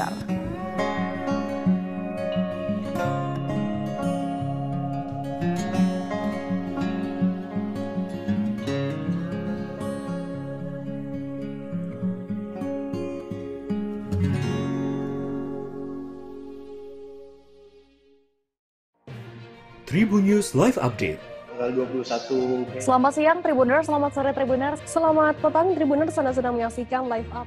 Informasi teraktual dan terupdate dari siang hingga petang kami sajikan untuk Anda. mene- menewaskan dua orang penumpang yang mana kedua penumpang Kami perdalam dengan laporan langsung dari lokasi kejadian dan narasumber terpercaya. Benar-benar menghukum mereka-mereka yang terlibat menghentikan eh, terduga pelaku yang ingin Laporan terkait eh, peristiwa pompong hilang kontak. Menabrak sejumlah eh, pemotor yang melintas tepat. Saksikan live update siang, sore, dan petang. Hanya di channel YouTube Tribunnews. Halo Tribuners, waktu sudah menunjukkan pukul 8 waktu Indonesia Timur. Langit tampak mendung dan tak lama kemudian hujan pun turun. Satu persatu dari kami menaiki speedboat dari pelabuhan usaha Mina, Sorong, Papua Barat. Yap, pagi itu Minggu 3 Juli 2022 kami akan berkeliling seharian di Raja Ampat, pulau yang berada di ujung barat Papua. Perjalanan kali ini akan dipandu oleh pemandu wisata kami bernama Randy. Keseluruhan bersama awak kapal berjumlah 14 orang. Mereka berasal dari berbagai daerah seperti Jakarta, Solo, Jawa Barat, Sumatera Utara, juga mereka dari Papua. Sebelum perjalanan, pemandu rombongan mengingatkan untuk tidak membuang sampah sembarangan. Deru suara mesin speedboat terdengar cukup kencang. Sampai-sampai kami harus mengeraskan suara ketika berbincang agar terdengar satu sama lain. Setelah menempuh perjalanan sekira dua setengah jam, akhirnya kami sampai di lokasi pertama, Piai Nemo. Tempat ini menjadi favorit banyak orang dalam mengabadikan momen. Gerimis tidak menyurutkan kami untuk menaiki tangga berbahan kayu hingga sampai di puncak, spot berfoto yang sudah disediakan. Sesampainya di puncak, saya langsung menghela napas dalam-dalam. Takjub melihat betapa indahnya deretan batu karang yang tingginya hingga beberapa meter di atas permukaan air. Batu karang-batu karang tersebut seperti membentuk pulau-pulau kecil dan indah. Pemandangan yang sangat eksotis ini tersohor hingga penjuru dunia loh Tribuners. Demo sebenarnya sangat akrab dengan masyarakat Indonesia. Karena pemandangan deretan karang berbentuk pulau ini ada di uang kertas Rp100.000. Sayangnya, tiba-tiba hujan turun cukup lebat kami pun bergantian turun mencari tempat berteduh di beberapa simpang tangga yang sudah disediakan seperti gazebo. Di tengah hujan, kami beristirahat di shelter sambil menikmati air kelapa. Sejumlah warga pulau sekitar tampak berjualan seperti kelapa muda, pernak-pernik, ikan-ikan kering, kopi, dan lainnya. Kemudian kami kembali ke kapal untuk melanjutkan perjalanan. Syukurlah hujan pun reda sebelum sampai di lokasi kedua Tribuners. Kami tiba di Telaga Bintang. Untuk meraih puncak pun tidak sejauh Piai Nemo. Namun medannya cukup berat. Kami harus menaiki batu-batu karang yang keras dan tajam. Harus bergantian lantaran jalurnya hanya cukup untuk satu orang. Sampai di atas, kami bisa melihat batu karang tinggi yang membentuk seperti pulau-pulau kecil. Dan seperti namanya, kami bisa menyaksikan telaga berbentuk bintang. Di bawah airnya terlihat sangat jernih. Kami bisa melihat batu karang serta ikan-ikan dengan mata telanjang. Tak lama rombongan melanjutkan perjalanan menggunakan kapal, yaitu ke kampung wisata Arborek. Menurut Putu, fotografer wisata kami, lokasi ini adalah kampung wisata pertama yang ada di Raja Ampat loh.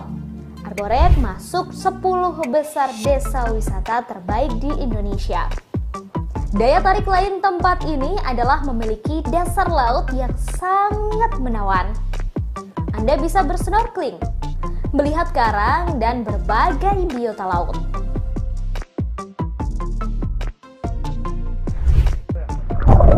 Selamat datang di Akuarium Raja Ampat. Yap, inilah Pulau Sawandarek. Pemandu rombongan mengajak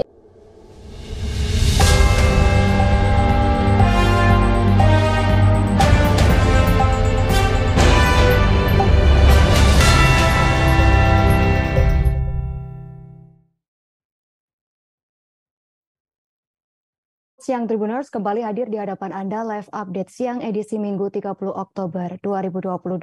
Siang ini akan kami sajikan informasi teraktual dan terpercaya dari berbagai wilayah di Indonesia dan akan dilaporkan secara langsung oleh reporter kami di lapangan. Bersama saya Justina Kartika dan inilah live update siang selengkapnya.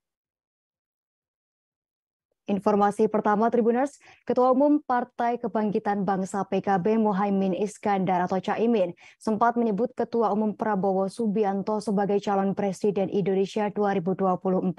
Hal itu dikatakan Caimin saat berpidato pada acara Road to Election di Tenis Indoor Kompleks Gelora Bung Karno GBK di Jakarta pada Minggu 30 Oktober 2022. Menurutnya Prabowo harus kenal dengan para ketua DPD dan DPC PKB se-Indonesia karena kini sudah berkoalisi.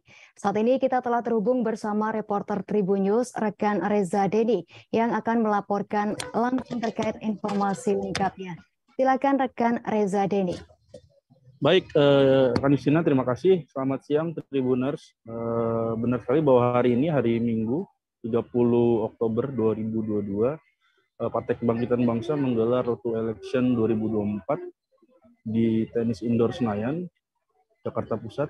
Adapun acara ini merupakan acara acara puncak dari uh, acara konsolidasi dan koordinasi gitu para jajaran DPW, DPD, dan DPC PKB di seluruh Indonesia yang tersebar di beberapa hotel di Jakarta dan akhirnya di, di, di, di, dikumpulkan dipusatkan di Tenis Indoor Senayan Jakarta Pusat. Adapun dalam acara puncak ini eh, PKB mengundang jajaran eh, apa partai koalisinya yakni Partai Gerindra dan hadir juga Ketua Umum Partai Gerindra Prabowo Subianto, juga Sekretaris Jenderal Partai Gerindra Ahmad Muzani, Wakil dan Wakil Ketua Umum Partai Gerindra eh, Sugiono begitu.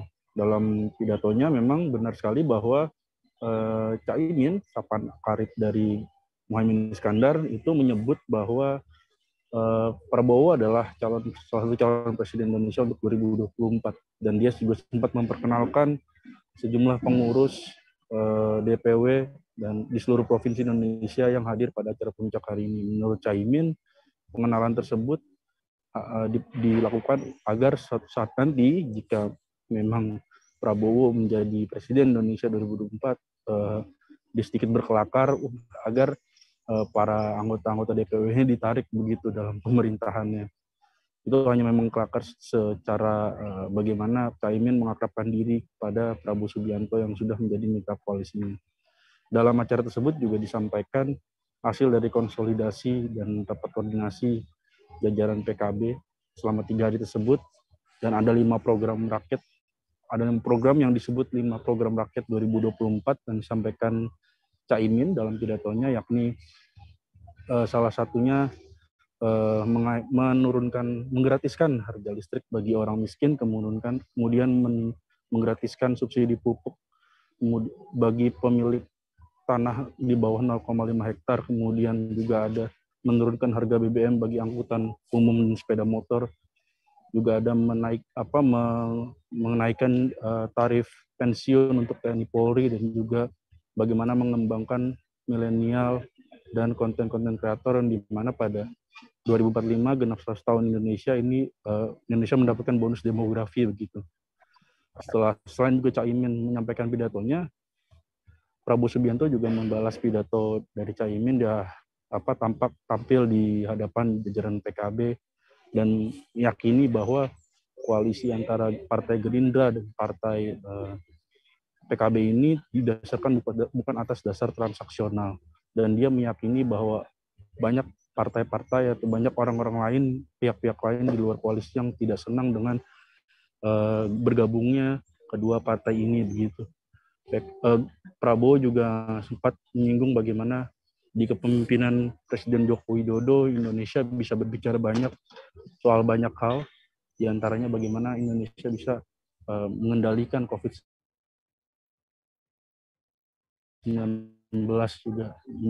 Apa uh, keluar dari keluar dari uh, jurang resesi yang mengancam pada tahun 2023 dan pidato tersebut juga di, disambut oleh gemuruh tangan jajaran uh, DPW dan DPD, DPC, PKB dan mereka juga sempat meneriakan bahwa Prabowo capres 2004 dan juga Prabowo presiden di 2024 gitu.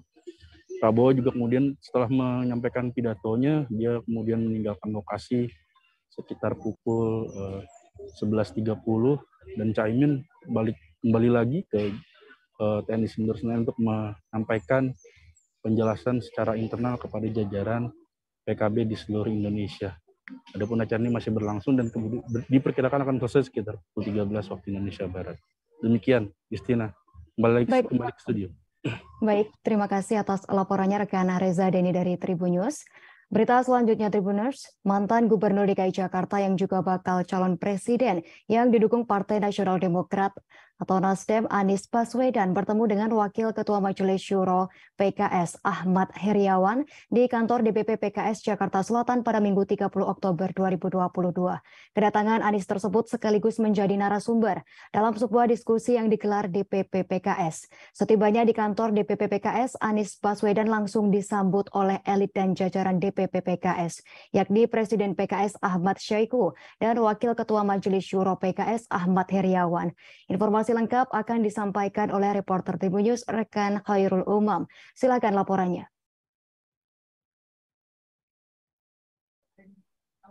Uh, ya, terima kasih uh, rekan Justina. Selamat siang Tribuners. Uh, memang pagi tadi sekira pukul 9 waktu Indonesia Barat, mantan Gubernur DKI Jakarta yang juga bakal calon presiden dari Partai Nasdem yakni Anies Baswedan uh, bertemu dengan Presiden PKS Ahmad Saiku dan juga Wakil Ketua Majelis Suro PKS uh, Ahmad Heriawan di kantor DPP PKS di kawasan Jakarta Selatan. Uh, kedatangan Anies tersebut juga sekaligus untuk menjadi narasumber dalam sebuah diskusi yang digelar oleh DPP PKS. Namun sebelum uh, Anies menjadi narasumber dalam diskusi tersebut, uh, Anies Baswedan sempat melakukan pertemuan secara tertutup dengan Ahmad Heriawan dan juga Ahmad Saiku. Uh, usai pertemuan tersebut, Anies mengungkapkan bahwa banyak hal yang dibicarakan dengan Ahmad Saiku dan juga Ahmad Heriawan. Satu di antaranya yakni mengenai uh, persiapan menuju pemilu 2024.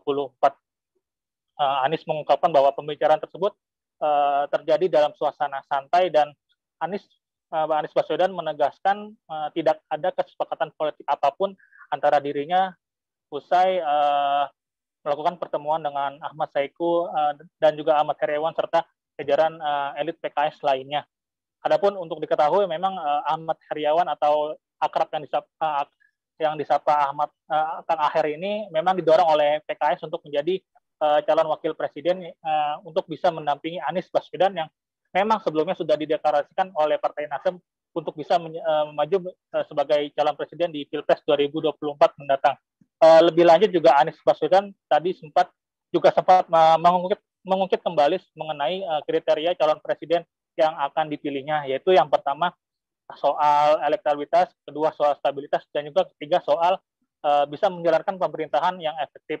Terakhir, Anies Baswedan juga sempat mengungkapkan kedekatan dirinya dengan Kang Aher saat keduanya masih menjabat sebagai Gubernur DKI Jakarta dan juga Gubernur Jawa Barat.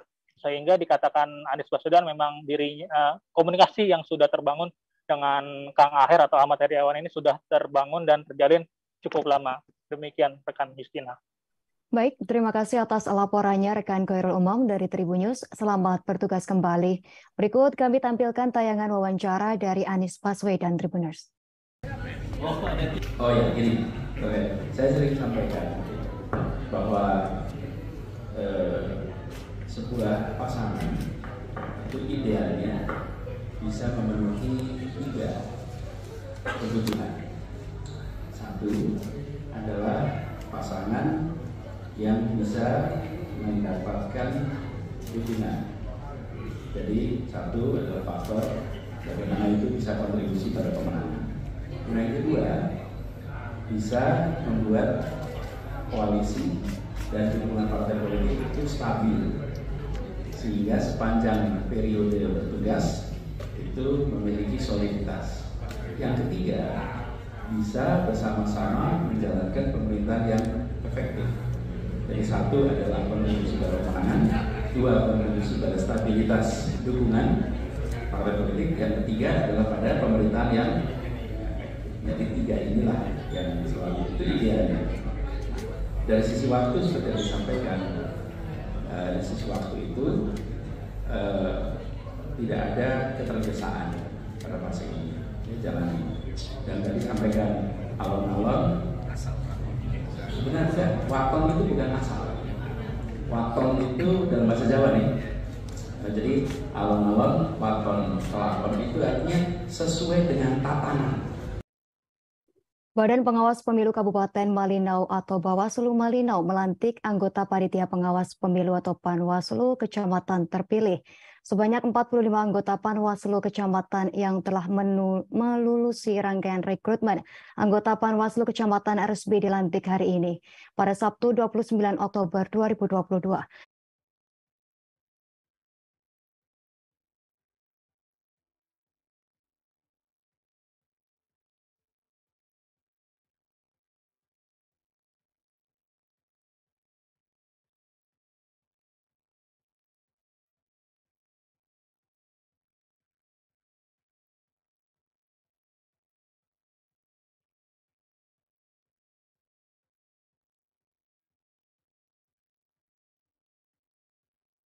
Dewan Pimpinan Pusat DPP PDIP membekali seribu orang kader baru PDIP di seluruh Indonesia. Acara itu berlangsung secara tatap muka dan hybrid di kantor sekolah Partai PDIP Lenteng Agung Jakarta Selatan pada Minggu 30 Oktober 2022.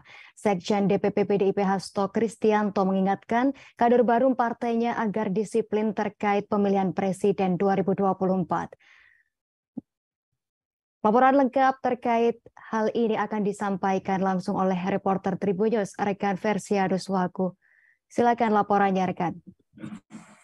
Baik, rekan Justina dan Tribunnews sekalian, selamat siang. Ya, uh, hari ini Minggu uh, 30 Oktober 2022, Dewan Pimpinan Pusat uh, Partai Demokrasi Indonesia Perjuangan atau PDIP membekali seribu orang kader baru uh, di seluruh Indonesia. Acara itu berlangsung secara tatap muka dan uh, hybrid di kantor sekolah Partai PDIP Lenteng Agung, Jakarta Selatan. Sekjen PD, PDIP Hasto Kristianto mengingatkan kader baru partainya agar disiplin terkait dengan pemilihan presiden atau pilpres 2024. Eh, Hasto menuturkan terkait dengan urusan uh, capres maupun cawapres merupakan kewenangan dari Ketua Umum PDIP Megawati Soekarno Putri. Menurut dia hal tersebut sesuai dengan keputusan Kongres Partai Berlambang Moncong Putih itu. Karenanya Hasto uh, meminta kader PDIP agar tak membuat gerakan tambahan, kecuali bergerak turun ke bawah membantu perekonomian rakyat agar bisa pulih dari pandemi COVID-19. Hasto menuturkan pihaknya terus menginstruksikan kepada kader PDIP agar terus melakukan konsolidasi bersama rakyat. Hal itu kata dia guna ketika ada perintah dari Megawati soal Pilpres 2004, maka seluruh kader PDIP siap bergerak memenangkannya. Dalam kesempatan itu, Jenderal TNI Purnawirawan Gani Buarsito yang bergabung menjadi kader PDIP mendapat tugas baru dari uh, Ketua PDIP Megawati Soekarno Putri.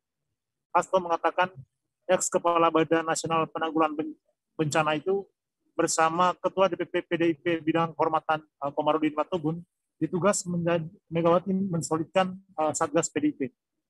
Sebagai informasi tribunal sekalian, uh, ada enam orang purnawirawan TNI dan Polri yang bergabung menjadi uh, anggota baru PDP.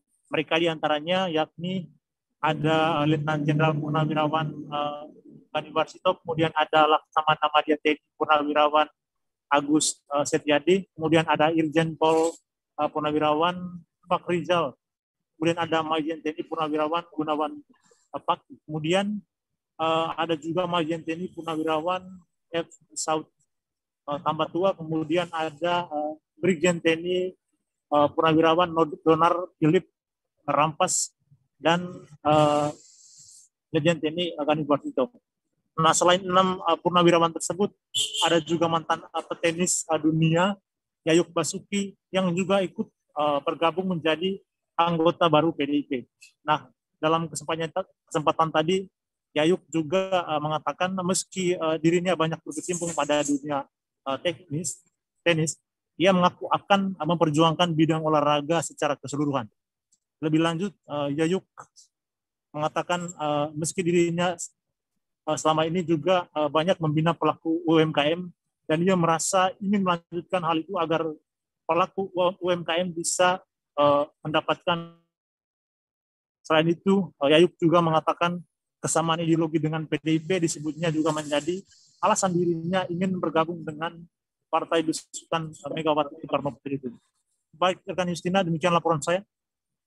Baik, terima kasih atas laporannya rekan Versia Duswaku dari reporter Tribunus.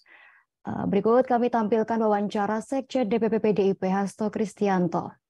Seribu dan kemudian akan dilakukan terus-menerus di bawah tanggung jawab dari Pak Jarod Saiful Hidayat selaku Ketua DPP Bidang Ideologi dan Organisasi.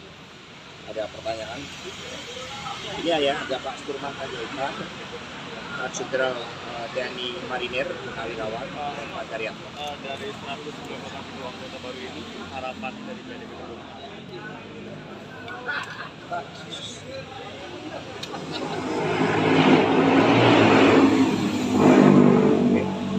Ya, dengan pembekalan ini diharapkan setiap anggota baru memiliki kesadaran ideologi yang didasarkan pada uh, Pancasila sebagaimana termaktub di dalam pembukaan Undang-Undang Dasar 1945 dengan falsafahnya yang dipidatokan oleh Bung Karno pada tanggal 1 Juni 1945.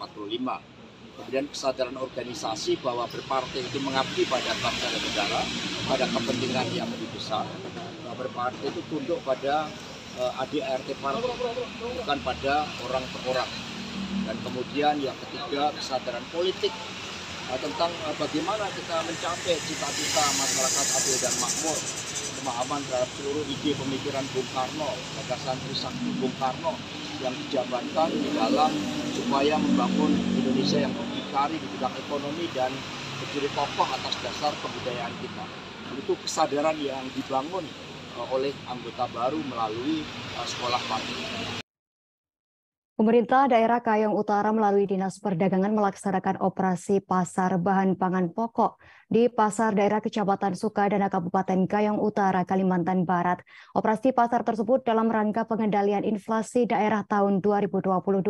Pada operasi pasar ini telah disiapkan paket sembako bagian kebutuhan masyarakat di daerah ini. Dalam kegiatan ini pun memberikan mandat kepada Dinas Perindustrian, Perdagangan, Koperasi dan UKM Kabupaten Kayong Utara, serta kerjasama Dinas Pertanian dan Pangan Kayong Utara bersama Perum Bulog Kanca Ketapang. Informasi lengkap akan disampaikan oleh reporter Tribun Pontianak, rekan Jovi Lasta. Silakan laporannya, rekan Jovi. Siap, terima kasih uh, rekan Yusina. Bisa saya sampaikan bahwa uh, beberapa waktu lalu telah dilaksanakan terkait dengan operasi pasar bahan bahan pangan pokok seperti itu uh, oleh pemerintah Kabupaten Kayong Utara melalui uh, dinas terkait itu dinas uh, Disperindakop dinas perdagangan dan juga kerjasama antara dinas pertanian dan uh, Perum Bulog kantor cabang Ketapang. Nah ini dalam rangka untuk uh, pengendalian inflasi dan juga terkait dengan uh, kenaikan harga BBM seperti itu di tahun 2022 ini. Jadi pemerintah Kabupaten Kayong Utara melakukan langkah untuk uh, melaksanakan operasi pasar bahan pangan murah yang terjangkau oleh masyarakat uh, Kabupaten Kayong Utara. Nah, untuk uh, terlaksana uh, beberapa waktu lalu itu di uh, Kecamatan uh, Sukadana. Nah, sebelumnya ini telah dilakukan uh, di beberapa kecamatan di di enam kecamatan ya di Kabupaten Kayong Utara. Nah, uh, yang pertama itu di daerah Pulau Maya Kecamatan Pulau Maya, di uh, Kecamatan Kepulauan Karimata, uh, Seponti, Teluk Batang, Simpang Hilir, dan terakhir di Kecamatan Sukarana, tepatnya di pusat Kabupaten Kayong Utara. Nah itu diperkirakan sekitar 10.000 paket yang disebarkan oleh pihak Desperindakop uh, bersama instansi terkait dan OPD terkait dan pihak lainnya dalam melakukan operasi pasar murah bagi masyarakat yang ada di Kabupaten Kayong Utara. Nah, untuk harganya sendiri ini, ini untuk satu paket yang di, di, uh, disalurkan di uh, pasar daerah di Kecamatan Sukarana yang beberapa waktu lalu itu. Ini satu paket ini ada uh, dua kilo uh, gula, dua uh, bungkus uh, minyak goreng, uh, satu bungkus tepung segitiga biru, uh, mie lima bungkus seperti itu. Nah harganya itu uh, sekitar 56.000 seperti itu untuk satu paketnya. Nah itu dari uh, dinas uh, Disperindakop Kabupaten Kayong Utara. Nah selain itu juga ada dari dinas uh, Pertanian dan Pangan kerjasama dengan Perum Bulog Kanca Ketapang, yaitu untuk paket uh, satu satu bungkus ini uh, beras dan juga ini satu kerat telur seperti itu.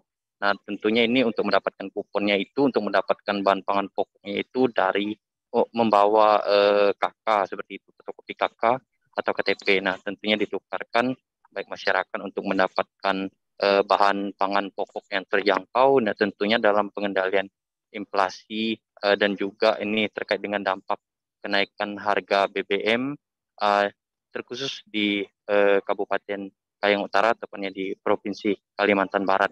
Nah, dari uh, pernyataan dari Kepala Disperindakop UKM Kayang Utara yaitu Bapak Miknopianto, beliau menyampaikan bahwa uh, berharap semoga uh, bahan pangan pokok ini uh, dapat bermanfaat bagi masyarakat khususnya di uh, wilayah enam kecamatan ini ya karena kan di uh, Kabupaten Kayang Utara ini merupakan daerah kepulauan seperti itu.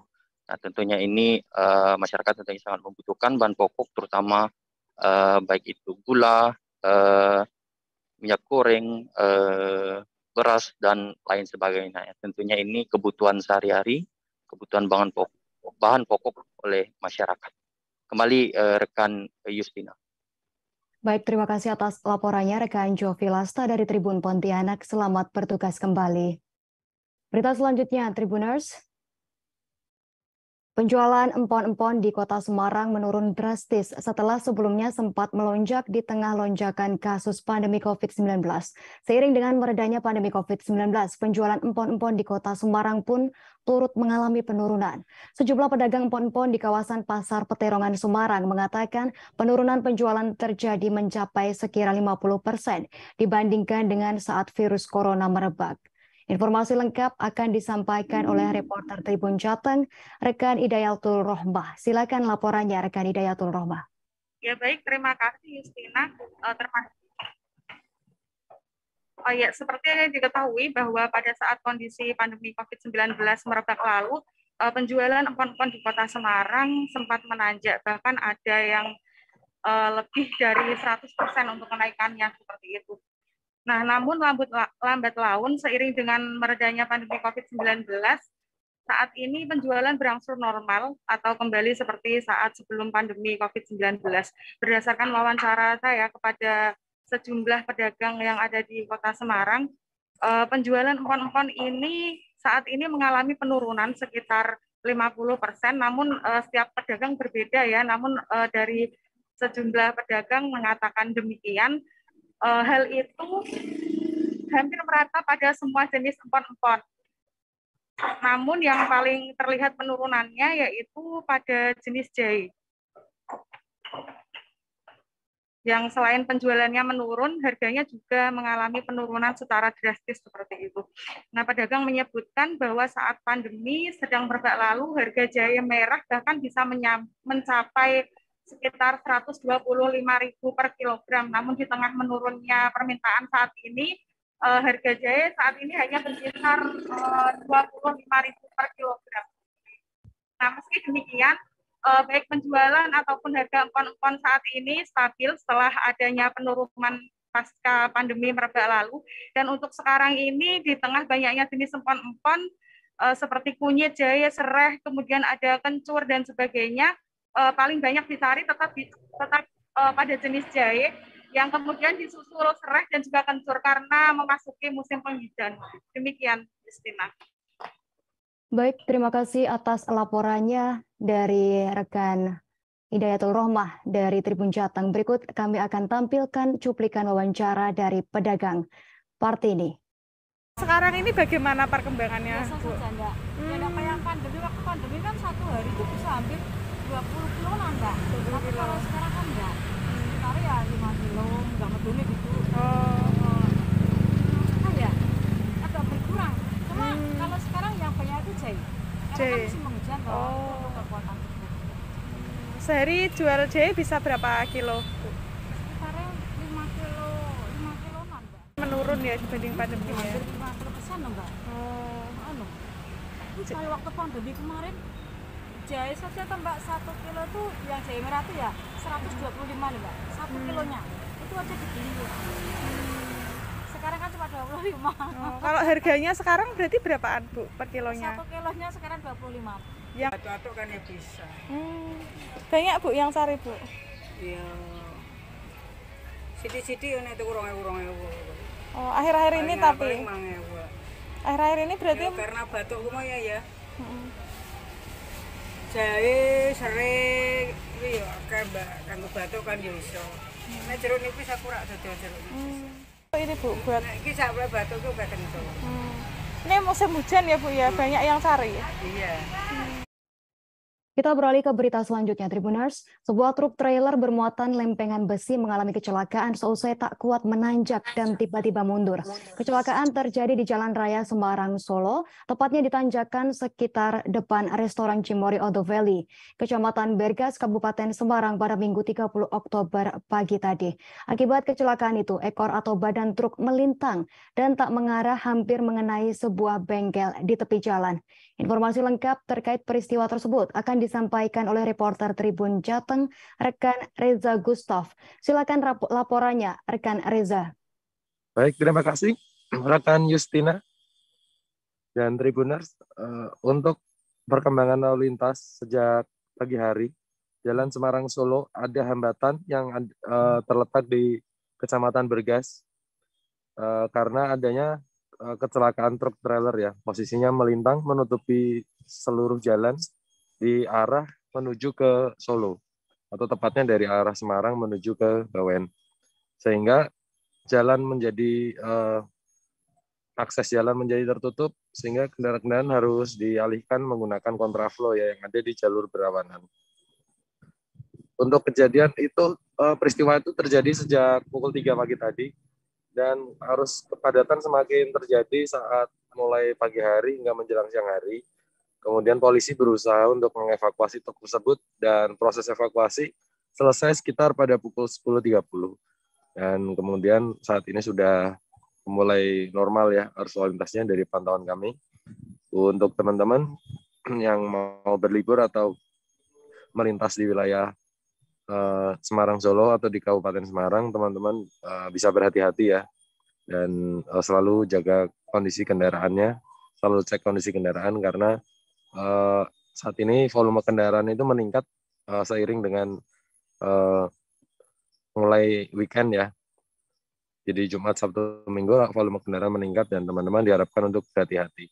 Dan uh, untuk kecelakaan tersebut tidak ada korban, tidak ada korban dan tidak ada kendaraan lain yang terlibat jadi ini kecelakaan tunggal dan uh, tidak terlalu menonjol kejadiannya menurut penuturan dari uh, anggota unit Turjawali Satuan Lalu Lintas Polres Semarang. Begitu yang bisa disampaikan, Justina. Terima kasih. Baik, terima kasih atas laporannya rekan Reza Gustaf. Selamat bertugas kembali. Menjelang perayaan Natal, pohon Natal di S Hardware Manado Town Square atau Mantos, Kota Manado menarik perhatian pengunjung. Terpantau pada Sabtu 29 Oktober 2022. S memberikan berbagai penawaran menarik terkait kebutuhan dekorasi hingga hampers dengan berbagai tema. Terlihat di pohon Natal tema tahun ini, Wonderful Christmas Starts Here. Deputi Manager S Hardware Manado Fahri Mokodongan mengatakan S menyediakan beberapa pohon yang memiliki Ciri khas yakni Holy Night, Sleigh Ride, dan Candlelight. Saat ini kita telah terhubung dengan reporter Tribun Manado, rekan Vistel Mukuan, yang akan melaporkan terkait informasi lengkapnya. Silakan rekan Vistel Mukuan. Ya, terima kasih rekan Justina. Memang perlu diketahui oleh Tribuners bahwa di Kota Manado adalah salah satu Kota Manado Sulawesi Utara adalah salah satu daerah yang cukup banyak uh, umat Kristennya di Sulawesi Utara sehingga memang uh, untuk perlengkapan atau aksesoris uh, menjelang perayaan hari Natal memang banyak diminati oleh sebagian masyarakat Sulawesi Utara. Nah, dari hasil pantauan kami di Manado Town Square atau Mantos, di sana ada uh, Ace Hardware di sana berjualan aksesoris dan pohon Natal. Nah, kurang lebih dari hasil pantauan kami ada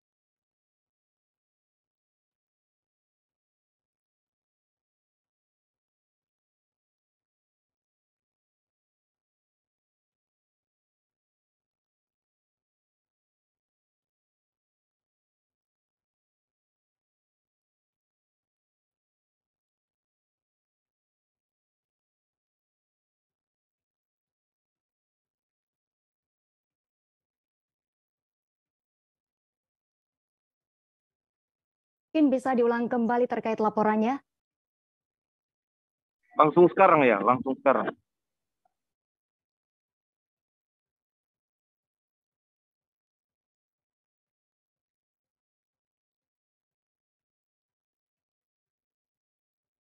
di Kota Manado, Sulawesi Utara, eh, sebagian besar masyarakatnya merayakan eh, hari Natal atau kalau di Kota Manado lebih dikenal kelahiran Yesus Kristus.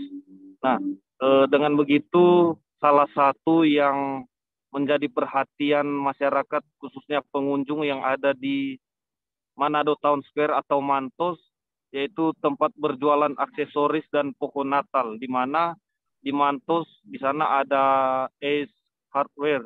Di sana menyediakan berbagai jenis aksesoris dan pohon Natal. Dari hasil pantauan kami e, pada kemarin memang kurang lebih ada puluhan pohon Natal yang e, sudah ditata di samping dan depan Ace Hardware. Di situ sudah ada berbagai jenis aksesoris yang dipajang di bagian depan. Jadi tinggal pilihan dari masyarakat maunya yang mana. Selain itu, masyarakat juga bisa membeli hanya pohon dan bisa membeli hanya aksesoris. Bisa juga eh, dengan keinginan-keinginan masyarakat sendiri. Harus dibuat seperti apa nanti ada staff dari ACE untuk membuatnya sendiri di lokasi. Nah, dan juga dari hasil pantauan kami, sebagian besar para pengunjung memang pohon Natal ini menarik perhatian mereka sehingga ada juga beberapa pengunjung yang lewat sambil memvideokan bahkan ada yang mengabadikan anak atau keluarga mereka sambil bersuah foto di bagian pohon Natal yang ada di ACE ini. Nah, menurut Deputi Manager Fahri yang menyebut memang eh, Oktober lebih khususnya di bulan November sebagian besar pembeli memang cukup banyak di bulan November dan bulan Oktober ini sudah mulai banyak. Dia juga menyebut hari ini di bulan Oktober ini mulai naik per hari dia bisa menjual kurang lebih 20 pohon baik dari pohon kecil hingga pohon besar. Dan pohon kecil ini harganya minimal satu juta dan ada yang hingga sampai ke 20 juta satu pohon itu ada yang tingginya satu meter setengah, ada yang dua, tiga, dan empat meter untuk pohon-pohonnya dan tinggal tergantung juga aksesorisnya. Bahkan pohon-pohon ini ada yang dikirim di luar uh, kota Manado sampai di uh, kepulauan di kepulauan Talaut. Memang masih termasuk Sulawesi Utara. Bahkan dia menyebut meskipun dua tahun uh, telah dilewati di bulan Desember khususnya dalam perayaan Natal setelah pandemi, namun bagi pasti uh, untuk penjualan pohon Natal tidak menurun uh, drastis, hanya sedikit penurunan untuk beberapa tahun, dua tahun terakhir yang dilewati sejak pandemi. Namun untuk tahun 2022 ini menurut Fahri malah kan penjualan lebih meningkat dari sebelumnya pandemi. Meskipun dia menyampaikan dari pemerintah memprediksi akan adanya invasi pada tahun 2022. Namun ia menyebut itu tidak berpengaruh bagi mereka dalam penjualan pohon. Dan ia juga menyebut eh, pada bulan November yang eh, dari akhir bulan Oktober sampai bulan November ada diskon sampai 70%. Dengan begitu dia berharap bagi eh, pengunjung yang ingin membeli boleh melihat-lihat secara langsung untuk aksesoris dan pohon yang mereka jual. Demikian rekan Justina. Baik, terima kasih atas laporannya rekan Fistel Mukohan dari Tribun Manado. Selamat bertugas kembali. Berita selanjutnya, Tribuners, Sabrang Mowo Damar Panulo yang karib disapa Noe, vokalis dan keyboardis band Leto mengisi acara peringatan Bulan Bahasa dan Sastra 2022 di kampus Universitas PGRI Semarang, Kris pada Rabu 26 Oktober 2022. Kegiatan bertajuk Bangkit Bersama Kuatkan Bahasa Indonesia diadakan di Balairung Ukris, Jalan Lontar, Kota Semarang. Pada kesempatan tersebut, Noi mengisi acara bincang-bincang tentang proses kreatif dirinya yang memiliki latar belakang pendidikan sebagai sarjana matematika dan fisika dari Universitas Alberta di Edmondo, Kanada. Di sisi lain, ia juga mampu menciptakan lirik lagu dan menjadi vokalis band Leto. Dengan kemampuannya tersebut, Noe membagikan pengalaman agar bisa memaksimalkan potensi diri. Informasi lengkap akan disampaikan oleh reporter Tribun Jateng rekan Amanda Rizkiana. Silakan laporannya rekan Amanda Rizkiana. Baik, terima kasih rekan Justina. Uh, siapa yang mau Damar Panulo atau akan dikenal sebagai Noe, vokalis dan keyboardis Spin Leto mengisi acara peringatan Bulan Bahasa dan Sastra 2022 di kampus Universitas PGRI Semarang atau UPSIS. Pada kesempatan tersebut, Noe uh, mengisi acara bincang-bincang tentang proses kreatif dirinya. Nah, Noe membagikan pengalamannya uh, agar bisa memaksimalkan potensi diri. Noe mengatakan di hadapan mahasiswa ada maupun civitas akademika UGRIS bahwa kesuksesan merupakan pertemuan persiapan dan kesempatan. Uh, ia menegaskan bahwa sudah harus bersiap dengan belajar mencari ilmu, sementara kesempatan merupakan rahasia di Allah yang datangnya tidak kita tahu. Noe pun membagikan cerita bahwa intelektualitas sangat penting di dunia modern untuk kasus apa pun yang dihadapi. Sementara induk dari intelektualitas itu merupakan attention atau atensi atau perhatian. Ia mencontohkan guru yang sama dapat menghasilkan murid yang pintar maupun yang kurang pintar. Yang membedakan dari murid tersebut ialah attention atau perhatian yang diberikan pada guru. Pay attention, perhatikan sungguh-sungguh apa pun yang perlu dipelajari. Perhatikan, tegas Noe. Sedangkan induk dari perhatian ialah interest atau ketertarikan karena ketika tertarik pada sesuatu akan perhatikan dengan saksama. Ketika perhatian sudah terjadi, ilmu akan datang sendiri, ujar Noe. Ia juga mengatakan, perhati, perhatikan apa yang membuat tertarik dan sepenuh hati untuk mengikuti karena mungkin belum tentu ilmu yang disampaikan dan apakah ilmu itu merupakan bagian dari persiapan menuju kesempatan yang akan datang. Tetapi ketertarikan merupakan syarat Tuhan uh, yang sedang memberi kunci untuk membuka pintu yang akan dibuka di masa depan terang Moy. Pada kesempatan yang sama, Dekan Fakultas Pendidikan Bahasa dan Seni FPBS UPSIS, Dr. Astropah MPD mengatakan bincang bahasa merupakan puncak dari rangkaian peringatan Bulan Bahasa dan Sastra yang setiap tahun digelar oleh UPSIS. Sebelumnya, UPSIS juga menggelar kegiatan memperingati Bulan Bahasa dan Sastra kegiatan Bulan Bahasa dan Sastra yang setiap tahunnya diadakan di UPSIS dan kegiatan Bincang Bahasa ini merupakan puncak dari rangkaian kegiatan, ujar Dr. Asropa. Ia juga mengungkapkan alasannya mengundang Noe ialah karena Noe merupakan sosok pemuda yang bisa menjadi inspirasi bagi mahasiswa UPSIS. Dengan latar belakang luar biasa ditambah dengan ilmu dan kemampuannya yang telah menginspirasi. Selain itu, Noe merupakan seniman dan musisi dengan karya-karya yang uh, legendaris. Dalam kegiatan tersebut, Civitas Akademika maupun mahasiswa UPSIS mengenakan pakaian adat daerah yang ada di Indonesia. Momentum Bulan Bahasa dan Sastra kali ini berbarengan dengan semangat Sumpah Pemuda yang harapannya dapat mematik semangat para mahasiswa sebagai pemuda harapan bangsa. Sekian dari saya, rekan Justina, saya kembalikan. Terima kasih atas laporannya rekan Amanda Rizkiana dari Tribun Jateng. Tribuners, berikut kami tampilkan tayangan wawancara Dekan Fakultas Pendidikan Bahasa dan Seni FPBS UPKRIS dari Iya, ini merupakan puncak acara kegiatan peringatan Bulan Bahasa dan Sastra. Uh, selain kegiatan-kegiatan seperti lomba baca puisi, seminar, dan ini Puncak Bahasa merupakan puncak dari kegiatan Bulan Bahasa yang setiap tahunnya diadakan di UBRIS ini. Kenapa mengundang uh, Sabrang ini? Iya, karena memang beliau adalah uh, sosok pemuda yang mungkin bisa menjadikan inspirasi dari anak-anak mahasiswa kami, terutama katanya dengan bagaimana beliau berpendidikan, karena luar biasa uh, latar belakangnya juga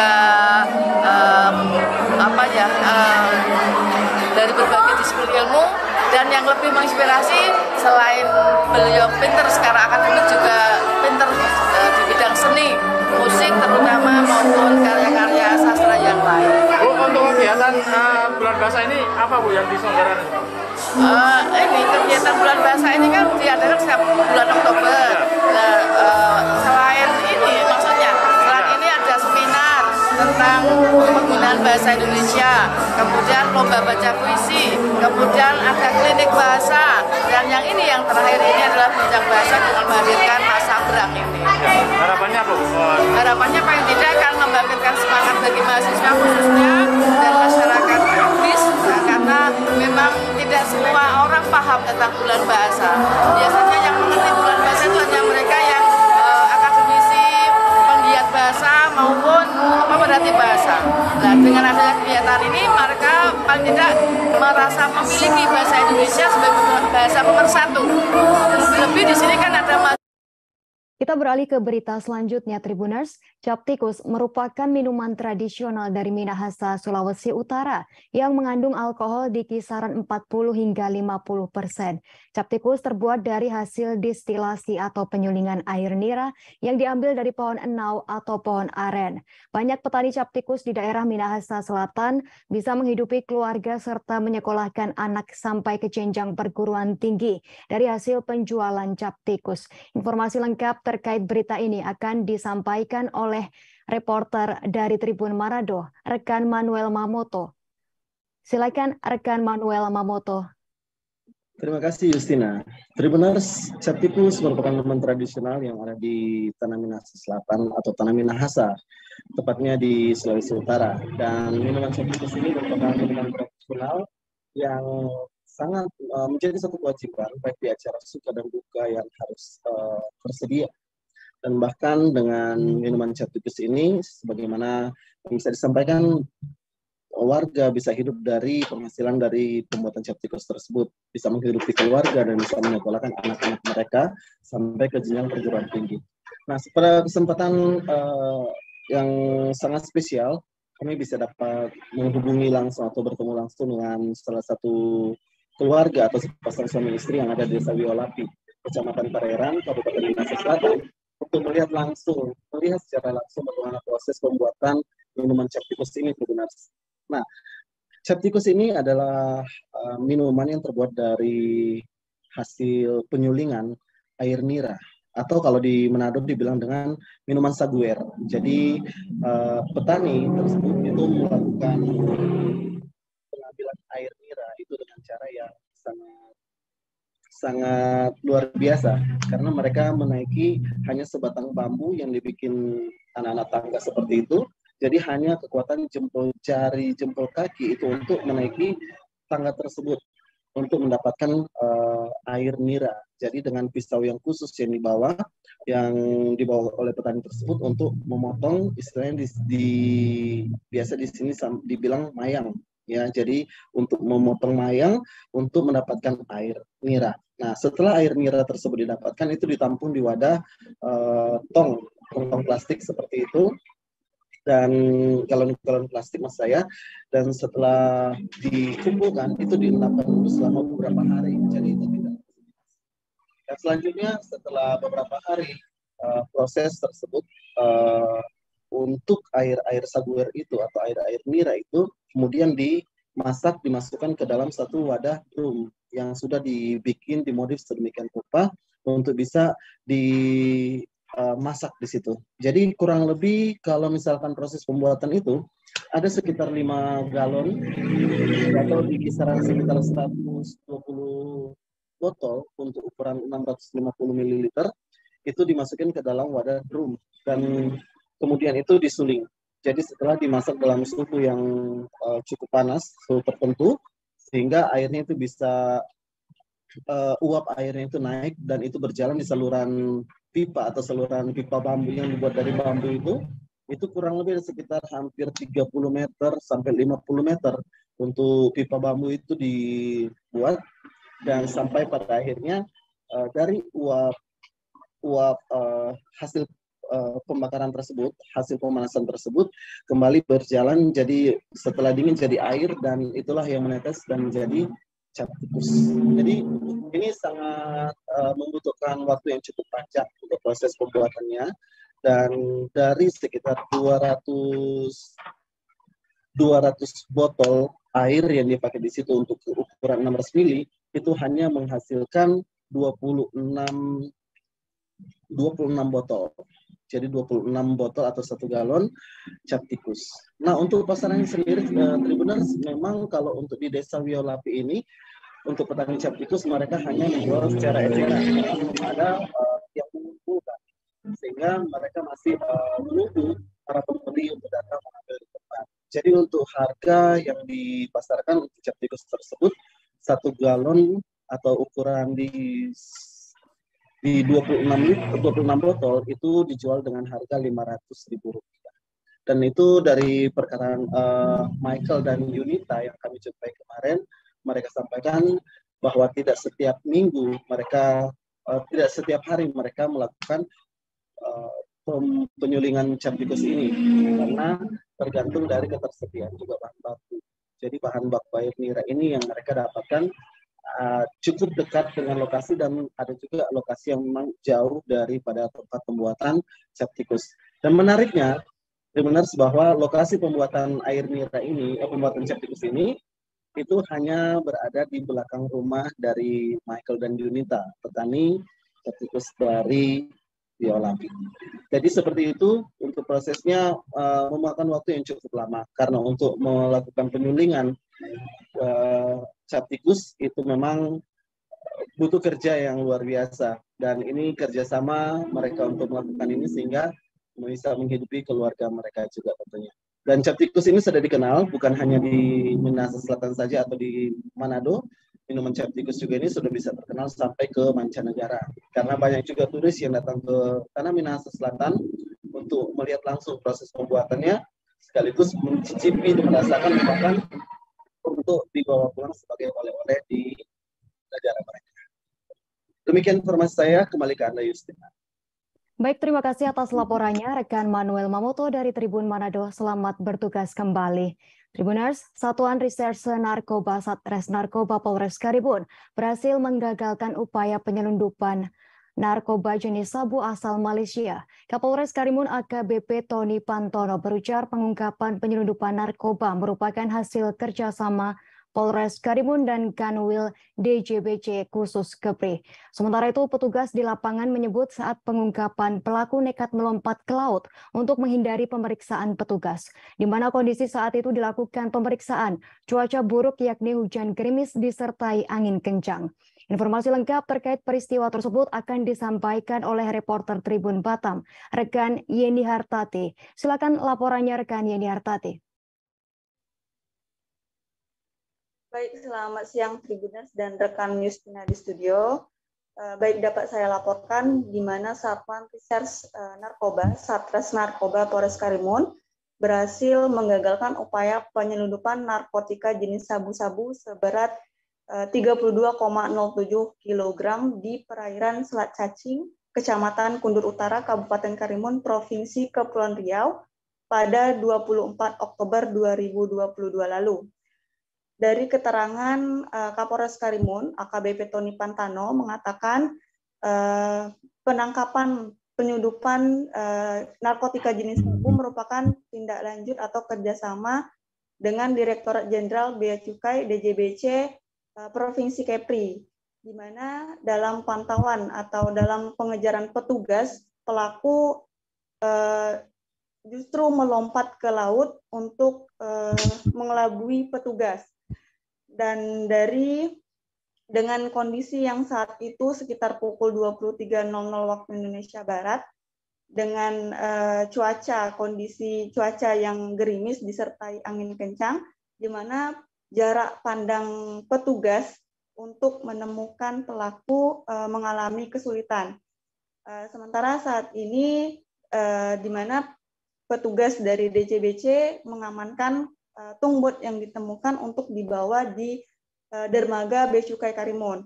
Nah, hasilnya di mana uh, 30 bungkus uh, narkotika yang dikemas uh, rapi um, dalam kemasan teh Cina dengan berat total 32,07 kg tersebut di dalam fiber tungbot tersebut. Dan, dan uh, hal ini juga berkaitan atas penemuan sosok mayat uh, laki-laki tanpa identitas yang ditemukan di perairan uh, Kampung Asam, Kecamatan Kundur Utara, Kabupaten Karimun, Provinsi Kepulauan Riau pada 26 Oktober 2022 lalu, di mana sosok mayat laki-laki uh, tersebut uh, dari keterangan Kasat uh, Narkoba Polres Karimun AKP Tony AKP Elwin Kristanto di mana ada 90% kemiripan pelaku dan uh, ditemukan sosok mayat tanpa identitas itu di mana uh, ciri-cirinya itu ciri-cirinya ciri-cirinya tersebut memiliki uh, badan atau postur tubuh yang gemuk atau berisi. Nah, dan ini uh, pada dari keterangan petugas di lapangan bahwa pelaku yang sempat kabur atau melompat ke laut tersebut mengenakan jas hujan. Sementara sesosok mayat yang ditemukan di perairan Kampung Asam tersebut mengenakan kaos berwarna putih dan uh, celana pendek berwarna hitam. Dan dari keterangan uh, pihak RSUD Muhammad Sani, di mana waktu kematian dari sesosok mayat laki-laki tanpa identitas itu uh, telah tiga hari. Uh, sekian yang dapat saya laporkan, saya kembalikan ke rekan Justina di studio. Baik, terima kasih atas laporannya rekan Yeni Hartati dari Tribun Batam. Selamat bertugas kembali. Berikut kami tampilkan tayangan wawancara dari Kapolres Karimun AKBP Tony Pantado. Penangkapan itu kami melakukan bersama dengan Bia Cukai, Kanwil Karimun. Sewaktu melakukan penangkapan pelaku dari eh, kapal tersebut yang ada di kapal tersebut menceburkan diri dalam laut sehingga kita tidak bisa menemukan pelakunya sampai saat ini dan masih proses penyidikan. Dan untuk sementara kami mengamankan barang bukti 30 kilo, 30 bungkus sabu dengan berat 32,07 kg yang kita amankan untuk proses penyidikan lebih lanjut. Ya. Dan kalau ya, apa ini kan memang di Karimun ini kan lawan ini, jadi untuk kita ke depan bagaimana? Ke depan kita tetap melakukan kerjasama dengan instansi terkait, seperti KWB juga untuk melakukan patroli bersama Badan Pengawas Pemilu Kabupaten Malinau atau Bawaslu Malinau melantik anggota Panitia Pengawas Pemilu Kecamatan terpilih. Sebanyak 45 anggota Panwaslu Kecamatan yang telah melulusi rangkaian rekrutmen anggota Panwaslu Kecamatan resmi dilantik hari ini eh, pada Sabtu 29 Oktober 2022. Anggota Panwaslu Kecamatan tersebut di seluruh wilayah 15 kecamatan di Kabupaten Malinau. Laporan lengkapnya akan disampaikan oleh rekan Muhammad Supri dari Tribun Kaltara. Silakan rekan Muhammad Supri.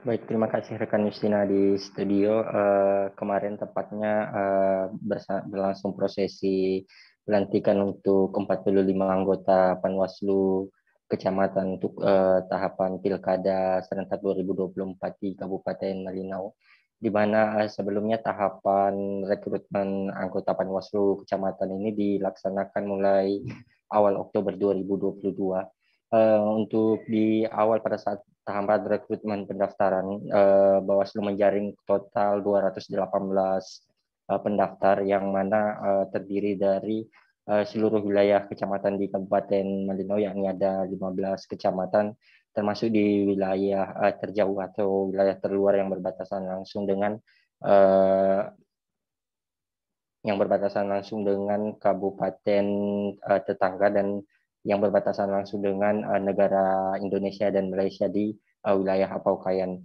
Uh, kemarin telah dilantik sebanyak 45 peserta yang telah dinyatakan lulus melalui sejumlah rangkaian tahapan uh, sebagaimana yang disebutkan di awal bahwa pada saat awal pendaftaran ada 218 orang yang uh, mendaftar. Uh, berdasarkan keterangan yang kami peroleh dari Ketua Bawaslu Malino Doni menyatakan dalam waktu dekat uh, 45 Panwaslu kecamatan ini akan siap menjalankan tugasnya untuk mengawasi tahapan uh, pilkada serentak di mana pada saat ini sedang berlangsung tahapan verifikasi faktual keanggotaan partai politik oleh uh, Komisi Pemilihan Umum Kabupaten Malinau yang telah uh, berlangsung untuk tahapan verifikasi kepengurusan dan saat ini berlangsung tahapan verifikasi keanggotaan yang menjangkau seluruh wilayah di 15 kecamatan dan 109 desa di wilayah Kabupaten Malinau. uh, kemarin juga berlangsung pembekalan untuk 45 anggota Panwaslu kecamatan di uh, seluruh wilayah dikumpulkan di wilayah ibu kota Kabupaten Malino untuk uh, mengikuti pembekalan terkait dengan tupoksi tugas dan uh, tanggung jawab dari Panwaslu Kecamatan dalam tahapan pilkada yang sementara berjalan. Di antara uh, pembekalan lain yang dibekali oleh uh, Bawaslu Malino kepada Panwaslu Kecamatan di antaranya 11 tahapan Pilkada Serentak 2022, kemudian masalah kode etik dan uh, beberapa tantangan yang uh, kemungkinan akan dihadapi oleh Panwaslu Kecamatan pada saat uh, bertugas. Dalam waktu dekat, uh, Panwaslu Kecamatan, 45 Panwaslu Kecamatan akan uh, segera men efektif menjalankan tugasnya di antaranya mengawal tahapan verifikasi keanggotaan partai politik yang sementara dilaksanakan oleh KPU Malino di seluruh wilayah.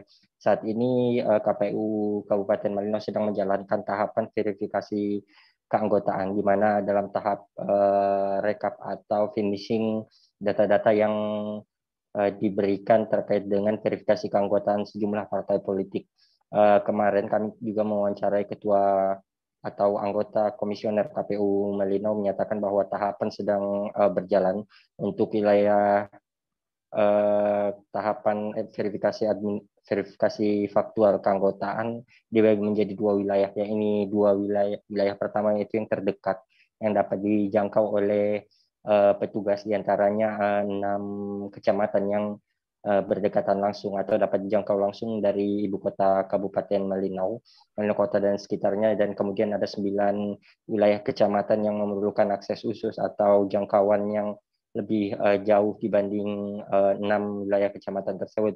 Dan tahapan saat ini sementara menjalan, uh, petugas sedang me petugas sedang merangkum semua data-data tersebut dan Eh, nantinya akan diserahkan kepada uh, partai politik yang uh, sementara ini diverifikasi terkait dengan data-data keanggotaan yang kemungkinan tidak dapat ditemui oh, keanggotaan yang dimaksud. Nah, dalam tahapan ini uh, 45 Panwaslu kecamatan ini nantinya akan uh, mengawal proses yang sementara ini berjalan.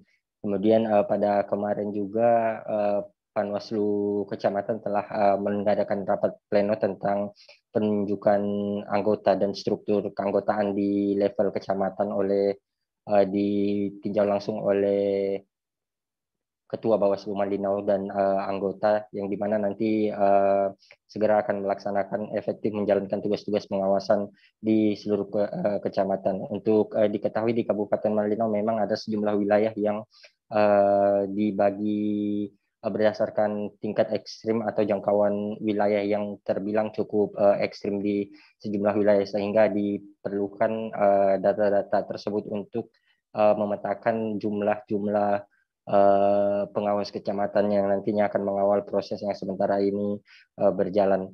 Uh, pelantikan dan uh, pembekalan Panwaslu kecamatan telah dilangsungkan sejak kemarin uh, dan uh, tahapannya akan uh, dijadwal selesai hari ini dan uh, semua uh, pembekalan yang telah dilaksanakan nantinya akan di ditugaskan uh, kepada Panwaslu Kecamatan untuk uh, segera efektif mengawal tugas-tugas uh, pengawasan oleh Bawaslu Malinau uh, di tingkat kecamatan yakni di 15 kecamatan dan 109 desa di wilayah Kabupaten Malinau.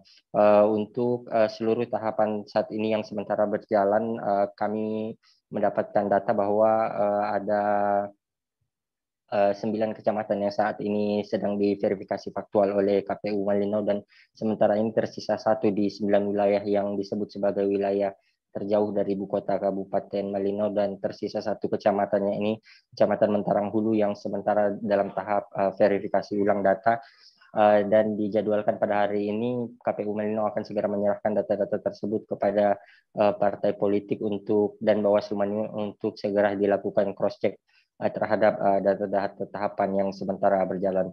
Demikian rekan Justina. Baik, terima kasih atas laporannya rekan Muhammad Supri dari Tribun Kaltara.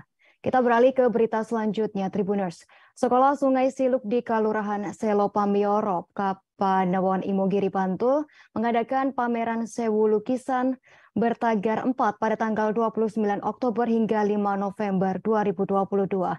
Tak hanya memamerkan karya anak-anak, dalam pameran sewu lukisan Tagar 4 juga diramaikan kegiatan melukis bersama, serta dipentaskan berbagai tarian anak-anak dari kelas tari yang diselenggarakan secara rutin di Sekolah Sungai Siluk.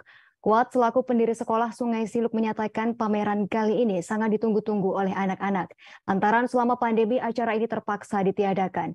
Kuat berharap pameran ini bisa membangkitkan semangat anak-anak dan warga sekitar untuk terus berkarya dan membangkitkan perekonomian UMKM sekitar wilayah Siluk dan Selopamioro pada umumnya yang menambahkan kegiatan ini bertujuan untuk memperkenalkan seni dan budaya kepada anak-anak sejak dini.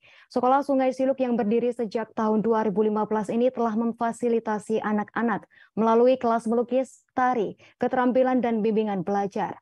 Pameran Sewu Lukisan kali ini lebih istimewa dengan kehadiran Joko Peki Maestro Seni Rupa di Indonesia. Joko Peki pun turut membawa dua karya lukisannya untuk dipamerkan bersama 700 karya gambar anak hasil dari proses belajar selama satu tahun terakhir dengan media kertas dan kanvas. Adapun sekolah Sungai Siluk merupakan salah satu mitra penerima manfaat dari program PLN Peduli sejak tahun 2018. Manajer PLN UP3 Yogyakarta, Ahmad Samsuri yang turut hadir dalam pemeran Maksud kami pameran tersebut mengapresiasi sekolah Sungai Siluk yang terus berkembang setelah menerima manfaat program PLN Peduli. Ia berharap ke depan PLN dapat terus berkontribusi untuk mengembangkan sekolah Sungai Siluk dan semakin banyak anak-anak yang mencintai seni budaya, sekaligus mencintai lingkungan. Dalam kesempatan itu, sutradara film Hanung Bramantio turut hadir untuk membuka pameran. Ia menyatakan rasa bahagianya karena bisa turut dalam kegiatan ini. Hanung pun mengapresiasi sekolah Sungai Siluk yang memiliki misi yang sama untuk membangun desa. Semula anak-anak sekolah di bawah kolong jembatan Siluk, namun kini anak-anak dapat memiliki tempat yang lebih layak untuk belajar dan berkesenian. Ia pun berharap akan semakin lebih banyak desa dapat terinspirasi kegiatan ini dan mampu mengembangkan potensinya masing-masing.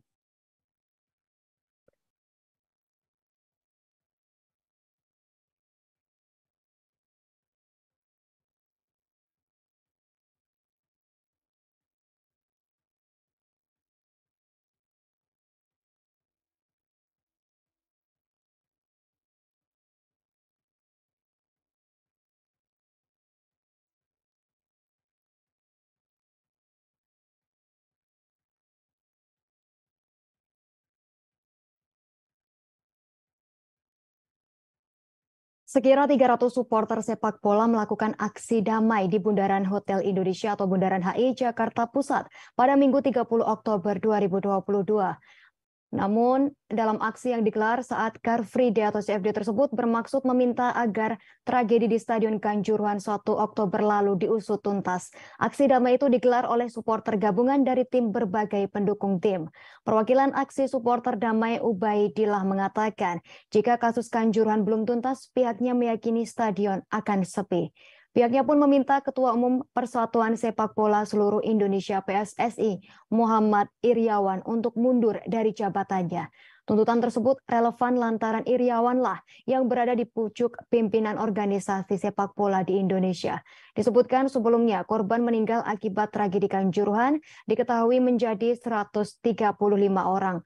Terbaru, Farzah Dwi Kurniawan berusia 20 tahun meninggal dunia di Rumah Sakit Saiful Anwar Kota Malang pada Minggu 23 Oktober malam. Anggota tim gabungan Aremania Anwar mengatakan Farza menjalani perawatan di Rumah Sakit Malang usai tragedi yang terjadi di Stadion Kanjuruhan pada Sabtu 1 Oktober 2022. Sebelumnya, Komisioner Komnas HAM Khairul Anam menegaskan penyebab utama jatuhnya banyak korban dalam tragedi Kanjuruhan lantaran tembakan gas air mata yang diarahkan ke tribun. Keterangan itu ia sampaikan sebagai respons terhadap rekonstruksi tragedi Kanjuruhan dilakukan di lapangan Mapolda Jatim pada Rabu 19 Oktober 2022 lalu.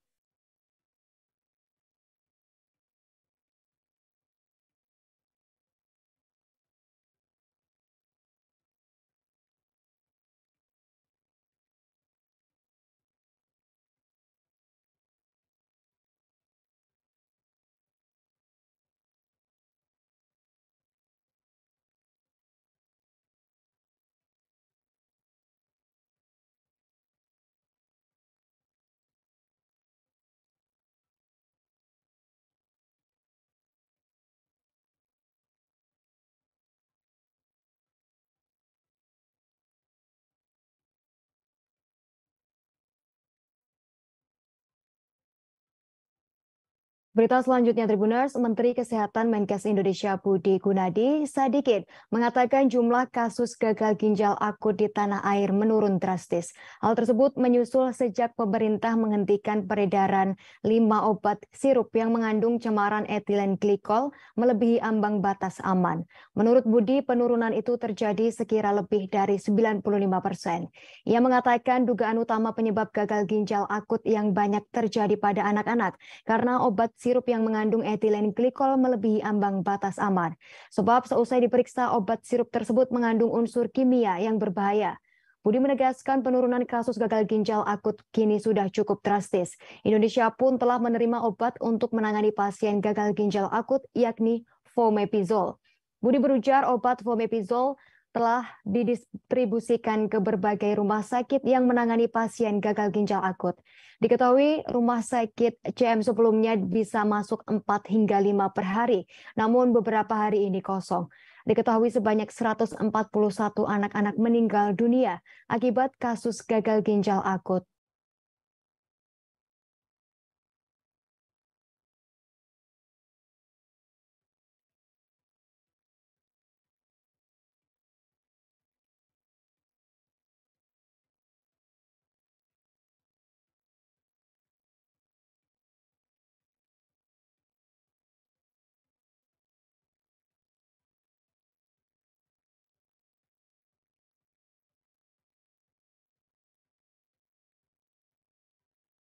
Kita beralih ke berita mancanegara Tribuners. Tragedi pesta Halloween di Itaewon pada Sabtu 29 Oktober kemarin menjadi insiden paling mematikan kedua di Korea Selatan. Korban tewas akibat kerumunan di pesta Halloween tersebut dikhawatirkan terus bertambah.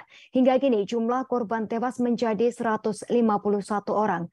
Terkait hal tersebut, Duta Besar Republik Indonesia untuk Seoul Gandhi Sulistianto mengatakan pihaknya masih berkoordinasi terkait kemungkinan adanya warga negara Indonesia yang menjadi korban. Gandhi menjelaskan sejauh ini ada dua orang warga negara asing yang menjadi korban, namun dipastikan dua orang tersebut bukanlah WNI. Diketahui insiden ini terjadi pada Sabtu 29 Oktober 2022 sekira pukul 10 malam waktu setempat. Presiden Yoon Suk telah mengadakan emergency meeting dan memerintahkan emergency response kepada seluruh jajarannya untuk mengevakuasi para korban. Hal tersebut dilakukan guna mencegah terjadinya tambahan korban dan menjaga situasi di lokasi kejadian. Diketahui dari jumlah korban tewas, 19 di antaranya merupakan warga negara asing atau WNA. Video dan foto menunjukkan peristiwa yang terjadi di distrik klub malam populer di Seoul.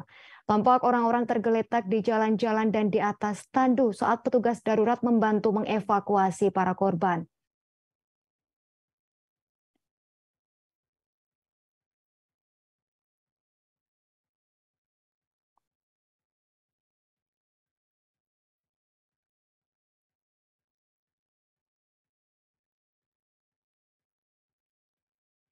Pemerintah Indonesia terus melakukan perkembangan informasi terkait insiden yang menewaskan ratusan orang akibat tragedi pesta Halloween di Itaewon, Korea Selatan.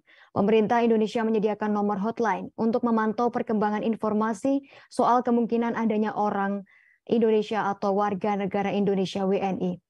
Direktur Perlindungan WNI Kementerian Luar Negeri Juda Nugraha mengatakan hasil koordinasi perwakilan Republik Indonesia di Korea Selatan hingga pagi pukul 8 lebih 40 menit waktu Indonesia Barat tak ada korban jiwa dari warga negara Indonesia akibat peristiwa naas tersebut. Juda mengatakan KBRI Seoul terus berkoordinasi dengan otoritas setempat termasuk rumah sakit terkait kemungkinan adanya WNI yang menjadi korban. Adapun hotline KBRI Seoul yang dapat dihubungi yakni plus 82 10 5394 2546. Sebelumnya, Duta Besar Republik Indonesia untuk Korea Selatan Gandhi Sulistiano menginformasikan telah terjadi peristiwa menyedihkan pada perayaan Halloween di Itaewon. Dalam tragedi yang memakan korban jiwa dan luka-luka pada hari Sabtu 29 Oktober 2022 sekira pukul 10 malam waktu setempat. Berdasarkan pemberitaan di berbagai media nasional Korea Selatan, hingga saat ini terdapat korban jiwa sekira 151 orang dan 76 orang mengalami luka-luka. Jumlah tersebut dikhawatirkan akan terus bertambah. Menanggapi hal ini, Presiden Yoon Suk Yeol telah mengadakan emergency meeting dan memerintahkan emergency response kepada seluruh jajarannya untuk mengevakuasi para korban. Hal tersebut guna mencegah terjadinya tambahan korban dan menjaga situasi di lokasi kejadian.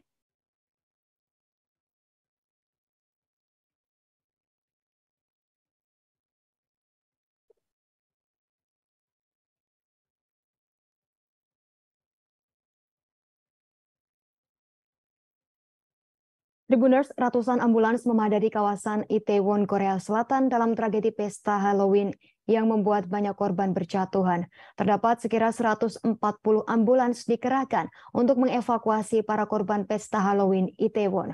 Selain itu, lebih dari 800 personel layanan darurat juga dikerahkan untuk merawat korban yang terluka. Diketahui 100 ribu orang maksud kami mendatangi kawasan Itaewon, Seoul, Korea Selatan. Kedatangan mereka ke Itaewon adalah untuk merayakan pesta Halloween. Menurut saksi mata yakni Moon Juyong, saat perayaan Pesta Halloween, kawasan tersebut 10 kali lebih ramai dari biasanya. Hal tersebut mengakibatkan ratusan orang terjebak dalam gang sempit dan tak bisa bergerak. Tragedi pesta Halloween Itaewon tersebut menewaskan sekira 151 korban.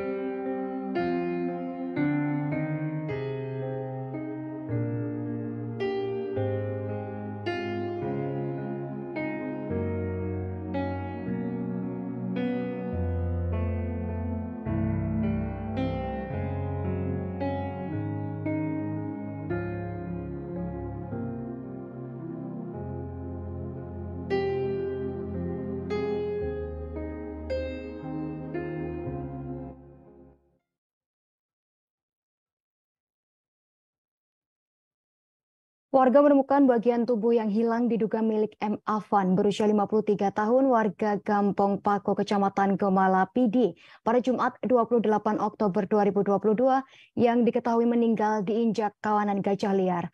Bagian tubuh M. Afan yang hilang tersebut ditemukan warga di kawasan Gle Alubate yang merupakan lokasi ditemukannya jasad M. Afan. Kondisi tubuh M. Afan sangat mengenaskan dengan bagian tubuh telah terpisah diduga diinjak binatang gajah besar tersebut. Ia menceritakan iwal amukan gajah yang menghilangkan nyawa M. Afan berawal pada Jumat 28 Oktober 2022. Warga merencanakan hendak menghalau kawanan gajah liar yang masuk ke kebun warga. Namun M. Afan bersama anak perempuannya berusia 12 tahun pergi lebih awal ke kebunnya di kawasan Gle Alupate. Anaknya menunggu di gubuk kebun M. Afan pergi menghalau kawanan gajah dan menghalau kawanan gajah tersebut dengan jarak hampir 1 km. Sekira pukul 8 pagi, warga bersama-sama menghalau gajah. Saat pelaksanaan sholat Jumat, warga melihat tak nampak M. Afan. Akhirnya warga melakukan pengecekan pada sore hari ke keluarganya bahwa M. Afan belum pulang dari kebun. Warga pun mencari M. Afan namun saat ditemukan kondisi tubuh M. Afan cukup mengenaskan, diduga diinjak kawanan gajah. Warga mengevakuasi jasad M. Afan dengan membawa ke Rumah Sakit Umum Daerah TGK Cik DT Rosikli. Pada malam hari jasad korban dibawa pulang ke rumah duka di Kampung Pako.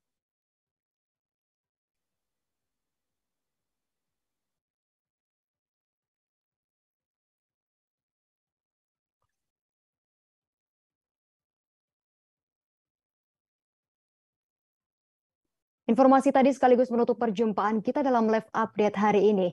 Setelah ini masih ada program live update travel yang akan dipandu host Mei Sada Sirait. Tribuners, akhirnya saya Justina Kartika beserta kru yang bertugas pamit undur diri. Terima kasih, selamat berakhir pekan dan sampai jumpa.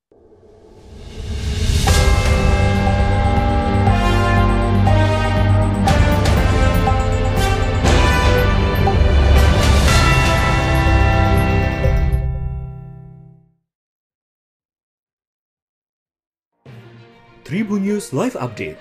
Tanggal 21. Selamat siang Tribuners, selamat sore Tribuners, selamat petang Tribuners Anda sedang menyaksikan live up.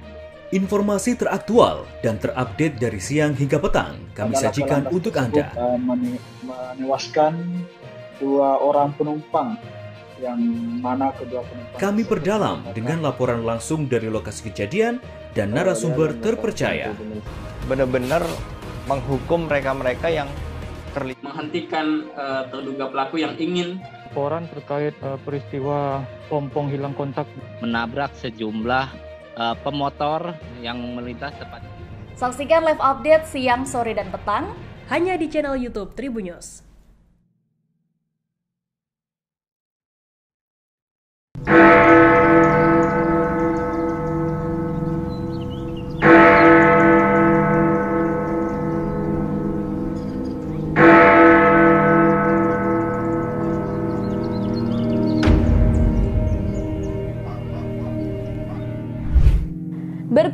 Jam Gadang di kota Bukit Tinggi, Provinsi Sumatera Barat menjadi impian banyak orang.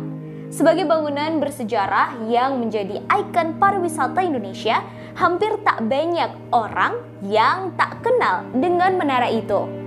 Terkadang berpose di depan jam gadang menjadi sebuah keharusan bila berkunjung ke Sumatera Barat, terutama kota Bukit Tinggi. Tak hanya bagi pelancong dari luar Sumber, namun juga bagi warga Sumber sendiri yang tak pernah bosan berfoto dan menikmati jam gadang. Bangunan jam gadang terdiri dari empat sisi seperti persegi panjang yang berdiri dengan lantai dasar mirip tapak bangunan beranjung. Sepintas dari luar bangunan jam gadang setelah tapak bangunan hanya terlihat empat tingkat. Namun aslinya dari dalam terdapat enam tingkat. Hal itu karena pandangan mengikuti tiang bangunan yang berjumlah empat buah setelah tapak dan jendela kaca yang ada pada keempat sisinya. Sebelum menaiki menara ini, terdapat dua tangga yang berada di samping kiri pintu masuk menara. Pintu masuk menghadap ke arah barat, Setiap tingkat bangunan dihubungkan dengan tangga melingkar yang kian ke atas, kian kecil karena mengikuti pola bangunan yang mengerucut ke atas.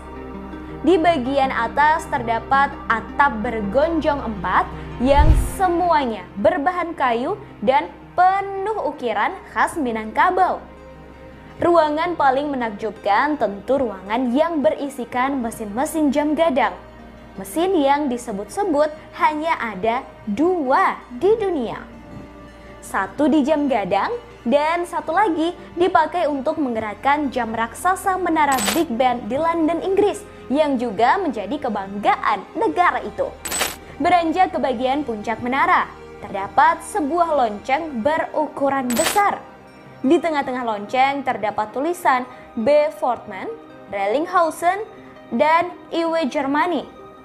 Diketahui Fortman adalah nama belakang Bernhard Fortman, si pembuat jam, dan Recklinghausen, nama kota di Jerman, tempat mesin jam ini diproduksi pada 1892. Lonceng ini selalu berbunyi setiap waktu menunjukkan menit ke 00 misal pukul 8 waktu Indonesia Barat dan sebagainya.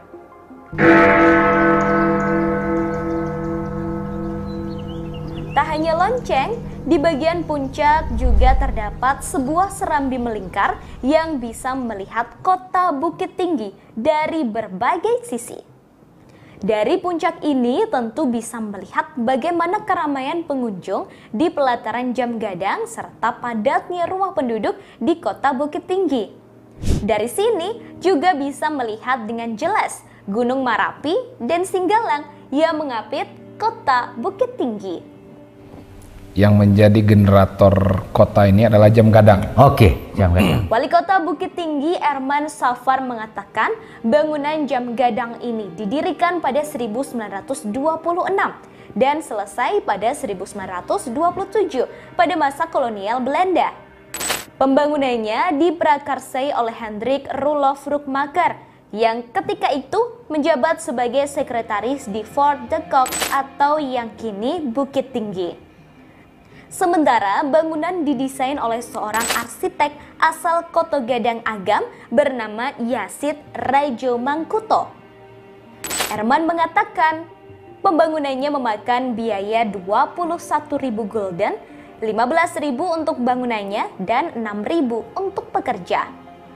Orang nomor satu di Bukit Tinggi itu menyebut menara jam gadang ini dibangun tanpa menggunakan besi sebagai penyangga sama halnya dengan menara masjid tua di Minangkabau.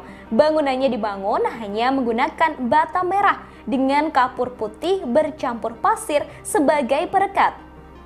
Diketahui mesin jam gadangnya didatangkan dari Jerman oleh Ratu Belanda Wilhelmina sebagai hadiah karena berhasil merebut Fort de Gogh ketika itu. Setelah dibangun, jam gadang ini pernah mengalami perubahan bentuk saat pendudukan Jepang dengan bangunan khas negeri Sakura. Pasca kemerdekaan, bangunannya juga mengalami perubahan ke bentuk yang sekarang ini. Hingga berdiri kokoh saat ini bangunan jam gadang sudah melewati berbagai perbaikan dan renovasi. Berdasarkan catatan yang ada pada gempa darat 2007, bangunan jam gadang pernah mengalami kerusakan cukup parah. Bandul di dalam mesin raksasa patah yang membuat jam terhenti. Dampak gempa juga membuat bangunan miring dua derajat dan retak kecil di beberapa bagian. Otoritas setempat melakukan perbaikan serius untuk menanganinya hingga pulih.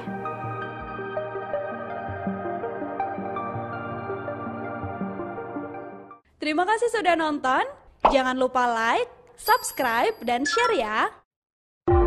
Tribun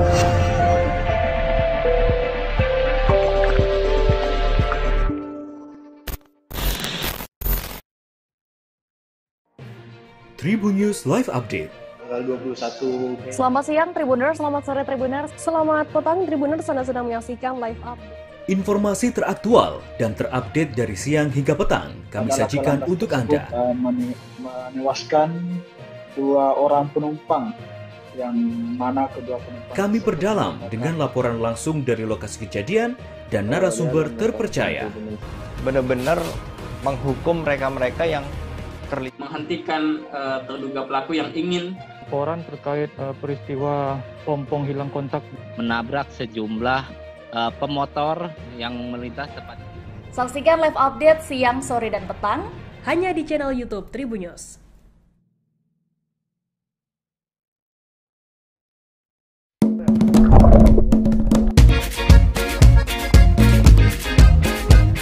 Datang di Akuarium Raja Ampat, Pulau Sawandarek. Begitu teriakan dokumentator wisata kami, Putu, saat speedboat tiba di Pulau Sawandarek, Raja Ampat, Papua Barat, Minggu 3 Juli 2022. Tanpa turun ke daratan, kami langsung bersiap dari dalam kapal untuk melakukan snorkeling. Bahkan seorang wisatawan bernama Edward sepertinya sudah tak tahan ingin melihat indahnya dalam laut. Dia pun langsung melompat. Sang pemandu menyiapkan peralatan snorkeling seperti jaket, masker, dan kacamata snorkeling. Sungguh indah melihat dalam laut pesisir Pulau Sawandarek. Yap, benar, seperti melihat akuarium. Air yang jernih membuat mata kita bahkan tanpa kacamata snorkeling bisa melihat jelas keindahan dalam Laut Reja Ampat. Warna-warni ikan dengan beragam jenis, batu karang bermacam bentuk dan unik, dan berbagai biota laut lain yang sangat memanjakan mata. Tak hanya snorkeling, sejumlah wisatawan juga melakukan diving hingga ke dasar laut. Pulau Sawandarek merupakan satu dari sejumlah tempat terbaik untuk snorkeling dan diving di Raja Ampat. Keindahan Raja Ampat yang berlokasi di ujung barat Papua ini dikenal hingga berbagai pelosok dunia. Untuk bisa mencapai pulau ini, Anda harus menggunakan transportasi laut yang ditawarkan oleh sejumlah travel perjalanan wisata Raja Ampat di kota Sorong. Jadi, bagi Anda yang ingin berwisata, cukup di Indonesia aja.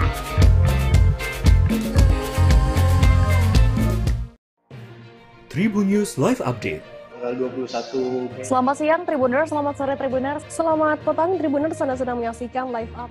Informasi teraktual dan terupdate dari siang hingga petang kami sajikan untuk Anda. Menewaskan dua orang penumpang yang mana kedua penumpang. Kami perdalam dengan laporan langsung dari lokasi kejadian dan narasumber terpercaya. Benar-benar menghukum mereka-mereka yang terlibat menghentikan uh, terduga pelaku yang ingin laporan terkait uh, peristiwa pompong hilang kontak menabrak sejumlah uh, pemotor yang melintas tepat. Saksikan live update siang, sore, dan petang hanya di channel YouTube Tribunnews.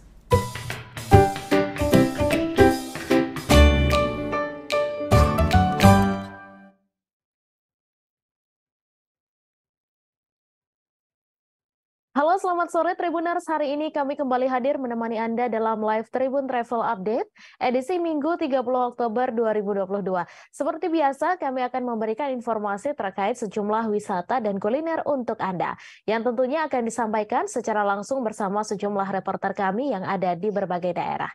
Bersama saya Meisada Sirait, inilah live Tribun Travel Update selengkapnya. Liburan ke Jawa Timur jangan melewatkan kesempatan untuk berkunjung ke Kabupaten Gresik. Tak hanya dikenal sebagai kota industri, di Gresik juga ada tempat wisata yang menarik untuk Anda kunjungi. Destinasi wisata itu adalah wisata Pasir Putih Pantai Dalegan yang berada di Rejodadi, Kecamatan Panceng, Kabupaten Gresik, Jawa Timur. Wisata Pasir Putih Pantai Dalegan ini terkenal sebagai tempat wisata yang ramah untuk liburan keluarga. Pasirnya yang putih dan ombak yang tenang terbilang aman untuk berenang atau aktivitas anak-anak. Informasi selengkapnya terkait pantai ini akan disampaikan langsung oleh wartawan Tribun Travel. Ada Zain yang akan menyampaikan informasi selengkapnya. Silakan rekan Zain. Selamat sore Tribuners dan terima kasih Mei yang ada di studio. Uh, Tribun Travel beberapa waktu lalu berkesempatan untuk main ke kota Gresik atau jalan-jalan dan di sana ada salah satu uh, tempat wisata atau destinasi yang cukup ikonik dan menjadi andalan di Kabupaten Gresik sendiri yaitu ada wisata pasir putih Pantai Dalegan. Wisata pasir putih Pantai Dalegan ini termasuk salah satu destinasi yang banyak dikunjungi baik oleh warga lokal maupun luar kota karena memang terkenal dengan garis pantainya yang cukup luas dan juga landai. Jadi sehingga uh, akan sangat leluasa jika teman-teman mau berlibur bersama keluarga, saudara atau teman-teman tak, tak hanya luas, pantai uh, wisata pasir putih Pantai Dalegan juga uh, aman untuk uh, berlibur keluarga karena memang uh, terbilang ramah untuk anak-anak. Dikatakan demikian karena di sana uh, banyak fasilitas yang uh, bisa menunjang untuk aktif, uh, berbagai aktivitas liburan.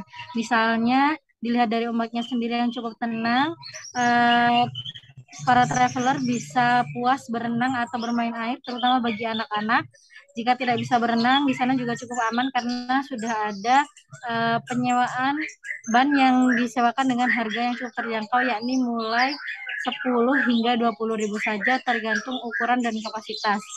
Nah, kemudian selain itu di sana juga bisa uh, kita bisa melakukan berbagai aktivitas selain berenang, uh, keluarga juga bisa piknik membawa makanan dari rumah atau juga bisa dengan menyewa tikar yang ada di wisata Pasir Putih Pantai Delegan. Harganya juga terjangkau yakni sekitar 15.000 saja. Nah, kemudian ada juga eh, jika teman-teman ingin beradu adrenalin di sana juga ada speedboat dan juga banana boat. Kemudian ada juga Uh, jika ingin bermain ke tengah, ke tengah laut, eh, teman-teman uh, juga bisa naik perahu dari nelayan.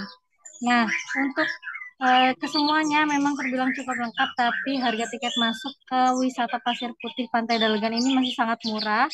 Per orangnya hanya dikenakan biaya sekitar sepuluh ribu rupiah, sepuluh ribu rupiah saja. Nah, namun itu tidak termasuk dengan harga tiket masuk, eh harga parkir kendaraan. Nah, untuk kendaraan bagi motor itu ditarif sekitar 5.000, kemudian untuk mobil 10.000, kemudian untuk kendaraan besar seperti bus harga tiket parkirnya sekitar Rp25.000. Nah, eh, kemudian jika merasa lapar atau haus teman-teman juga bisa berburu aneka kuliner khas Gresik yang ada di sekitar wisata Pasir Putih karena di sana banyak sekali uh, penjajah makanan dan minuman. Seperti di antaranya ada esiwalan yang memang uh, minuman khas pesisir Jawa Timur. Bisa juga membeli oleh-oleh berupa ikan asap yang merupakan komoditi dari uh, nelayan pesisir di Pantai Gresik atau bisa juga mencoba nasi kerawul yang merupakan kuliner uh, kuliner khas Kabupaten Gresik juga. Mungkin segitu dulu uh, live dari Tribun Travel. Terima kasih kembali ke studio. Terima kasih Herkan Zain atas informasi Anda. Selamat bertugas kembali. Kita beralih ke informasi selanjutnya di Kalimantan Timur, Tribuners. Astara Hotel Balikpapan menggelar malam Halloween dengan mengadaptasi budaya Indonesia. Mengambil tema KKN di Desa Penyanyi, Astara Hotel mengadaptasi film yang sedang viral dan banyak diperbincangkan yang digelar pada Sabtu 29 Oktober. Suasana angker disuguhkan dengan tembang-tembang sinden yang diperdengarkan di seluruh area, ditambah dengan beberapa properti seperti keranda mayat dan beberapa replika pocong yang digantung. Untuk informasi selengkapnya akan disampaikan langsung oleh wartawan Tribun Kaltim Ardiana Kinan yang kini sudah terhubung bersama kami. Silahkan rekan Kinan.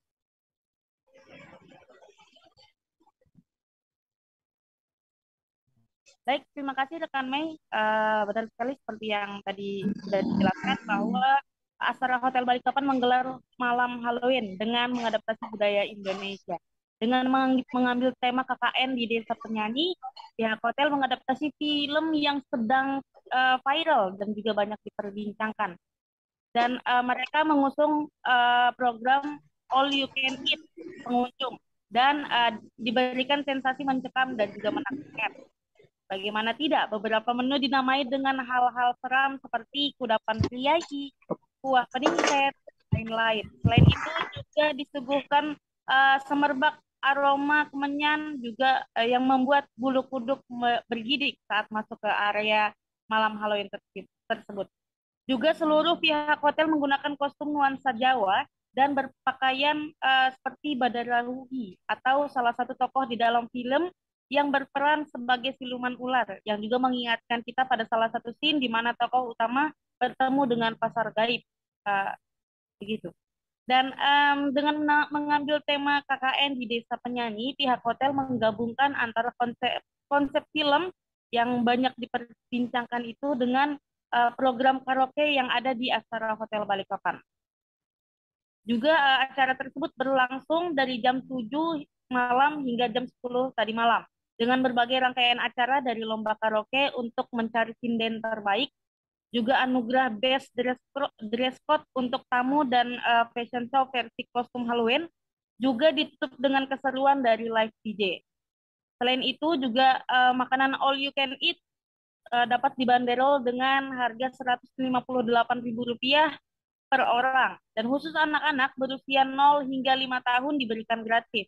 Sementara itu untuk anak yang berumur 6 sampai 12 tahun diberikan diskon 50% per orangnya. Dan tak hanya itu, Tribuners uh, bagi tamu yang reservasi sebanyak lima orang digratiskan satu orang. Mungkin itu saja yang dapat saya sampaikan. Kurang lebihnya mohon maaf kembali ke studio Mei. Terima kasih Kinan atas informasi Anda. Selamat bertugas kembali. Kita beralih ke informasi selanjutnya Tribuners. Gubernur Provinsi Maluku Utara Abdul Ghani Kasuba pada Minggu 30 Oktober meninjau langsung lokasi Sail Tidore. Peninjauan oleh gubernur ini melihat langsung kesiapan kawasan pantai Tugulufa yang dijadikan sebagai venue utama perhelatan Sail Tidore 2022. Selain venue utama, Abdul Ghani Kasuba juga meninjau lokasi pameran nasional yang saat ini dalam pengertian pengerjaan.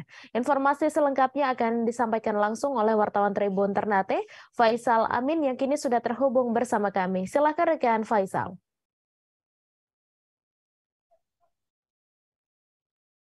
Ya, Mei dari Tidore Maluku Utara. Eh, pada bulan November tahun tahun 2022 nanti di Kota Tidore Kepulauan sendiri akan dilaksanakan salah satu uh, event Sail Tidore yang berlangsung pada yang dilangsungkan pada tanggal 24 November hingga 29 November mendatang. Nah, untuk kesiapan pelaksanaan saya sendiri saat ini telah eh, didirikan beberapa kesiapan-kesiapan di antaranya adalah eh, lokasi Sayul Tidore di Pantai Tugulufa yang dijadikan sebagai venue utama pelaksanaan Sayul Tidore. Untuk eh, melihat kesiapan-kesiapan Kota Tidore Kepulauan dalam hal ini adalah eh, panitia pelaksanaan sel sendiri eh, Gubernur Maluku Utara Ki Haji Gandika Suba pada minggu pagi menjelang siang tadi eh, mengunjungi langsung atau meninjau langsung persiapan-persiapan pelaksanaan sel Tidore. Di antara tempat yang ditinjau oleh Gubernur Maluku Utara ini sendiri yaitu eh, lokasi Sayul Tugulufa yang di mana Sayul Tugulufa ini eh, Pantai Tugulufa ini dijadikan sebagai venue utama Sail Tidore. Nah, selain Pantai Tugulufa, ada juga tempat lain seperti eh, kesiapan lokasi pameran nasional dan juga eh, beberapa tempat yang dikunjungi oleh Gubernur Gani Kusuba. Dan Gubernur juga menyatakan kalau saat ini Kota Tidore Kepulauan sudah eh, memiliki perubahan yang cukup cukup signifikan, signifikan karena eh, adanya Sail Tidore ini. Harapannya juga bahwa pelaksanaan Sail Tidore nanti akan dihadiri oleh Presiden Republik Indonesia Bapak Insinyur Joko Widodo. Nah, selain itu eh, diinformasikan juga bahwa Sail Tidore saat ini selain eh, lokasi Pantai Tugulufa, lokasi-lokasi lainnya seperti benteng-benteng dan juga lokasi wisata lainnya juga itu menarik dikunjungi pada saat Sail Tidore. Demikian Mei yang dapat kami laporkan dari Tidore Maluku Utara. Kembali ke studio. Terima kasih rekan Faisal Amin atas laporan Anda dan Tribuners wartawan kami juga telah menghimpun wawancara dengan Gubernur Provinsi Maluku Utara berikut tayangannya untuk Anda. Memang ingin sekali ke sini. Oh betul betul ya ya ya, ya. sama sini.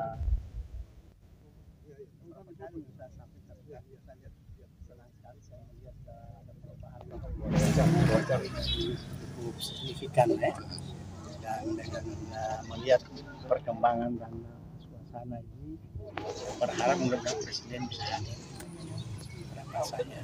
Beberapa hal yang masih kurang-kurang itu insya Allah mudah-mudahan kita akan bersama wali kota, ya, pemerintah di sini dan provinsi mudah-mudahan saling membantu. Lagi ini juga campur tangan pemerintah pusat. Saya sudah sampaikan ke presiden waktu apa namanya launching logo itu termasuk panglima TNI itu dia janji insya Allah mudah-mudahan beliau akan hadirkan kapal-kapal perang-perang antara yang punya Australia. Orang ada semacam pelatihan kan antara Indonesia dan Australia Kongres Masyarakat Adat Nusantara memasuki hari terakhir pada Minggu 30 Oktober hari ini. Pada hari ini terdapat Festival Kuliner Nusantara yang disajikan oleh peserta kongres dari daerah masing-masing. Acara tersebut diselenggarakan di Stadion Barnabas Yowe. Pengunjung dan peserta kongres yang hadir dalam acara ini dapat mencicipi masakan dari Nusantara secara gratis. Informasi selengkapnya terkait hari terakhir Kaman ke-6 ini akan disampaikan langsung oleh wartawan Tribun Video, Rosi, yang akan menyampaikan informasi selengkapnya. Silakan, Rosi. Baik, terima kasih rekan Mei. Ya, sini sekarang saya sedang berada di Stadion Barnabas Yowe atau SBY. Hari ini adalah puncak dari kegiatan Kongres Masyarakat Adat atau KMAN ke-6 yang merupakan aliansi dari masyarakat adat Nusantara. Hari ini terdapat banyak sekali stand yang menjajakan kuliner-kuliner masyarakat dari Nusantara. Dan untuk mencicipi di stand-stand tersebut, kita tidak dipungut biaya, serta terpantau untuk menunggu penutupan acara kongres tersebut, masyarakat beserta anggota peserta kongres melakukan flash mob untuk menunggu penutupan oleh Bupati yang dijadwalkan sekira pukul 15 waktu Indonesia bagian timur. Terima kasih rekan Mei.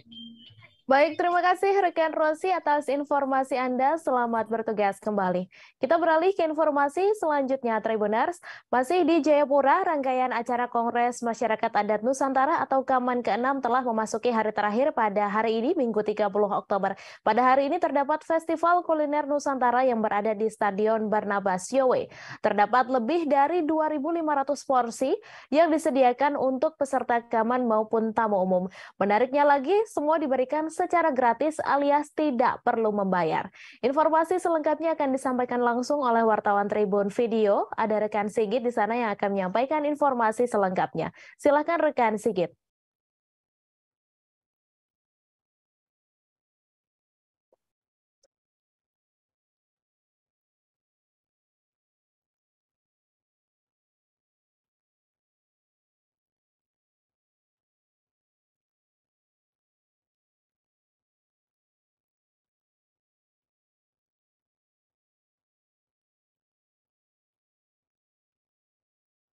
Mohon maaf Tribuners, wartawan kami belum dapat bergabung. Kita beralih ke informasi selanjutnya.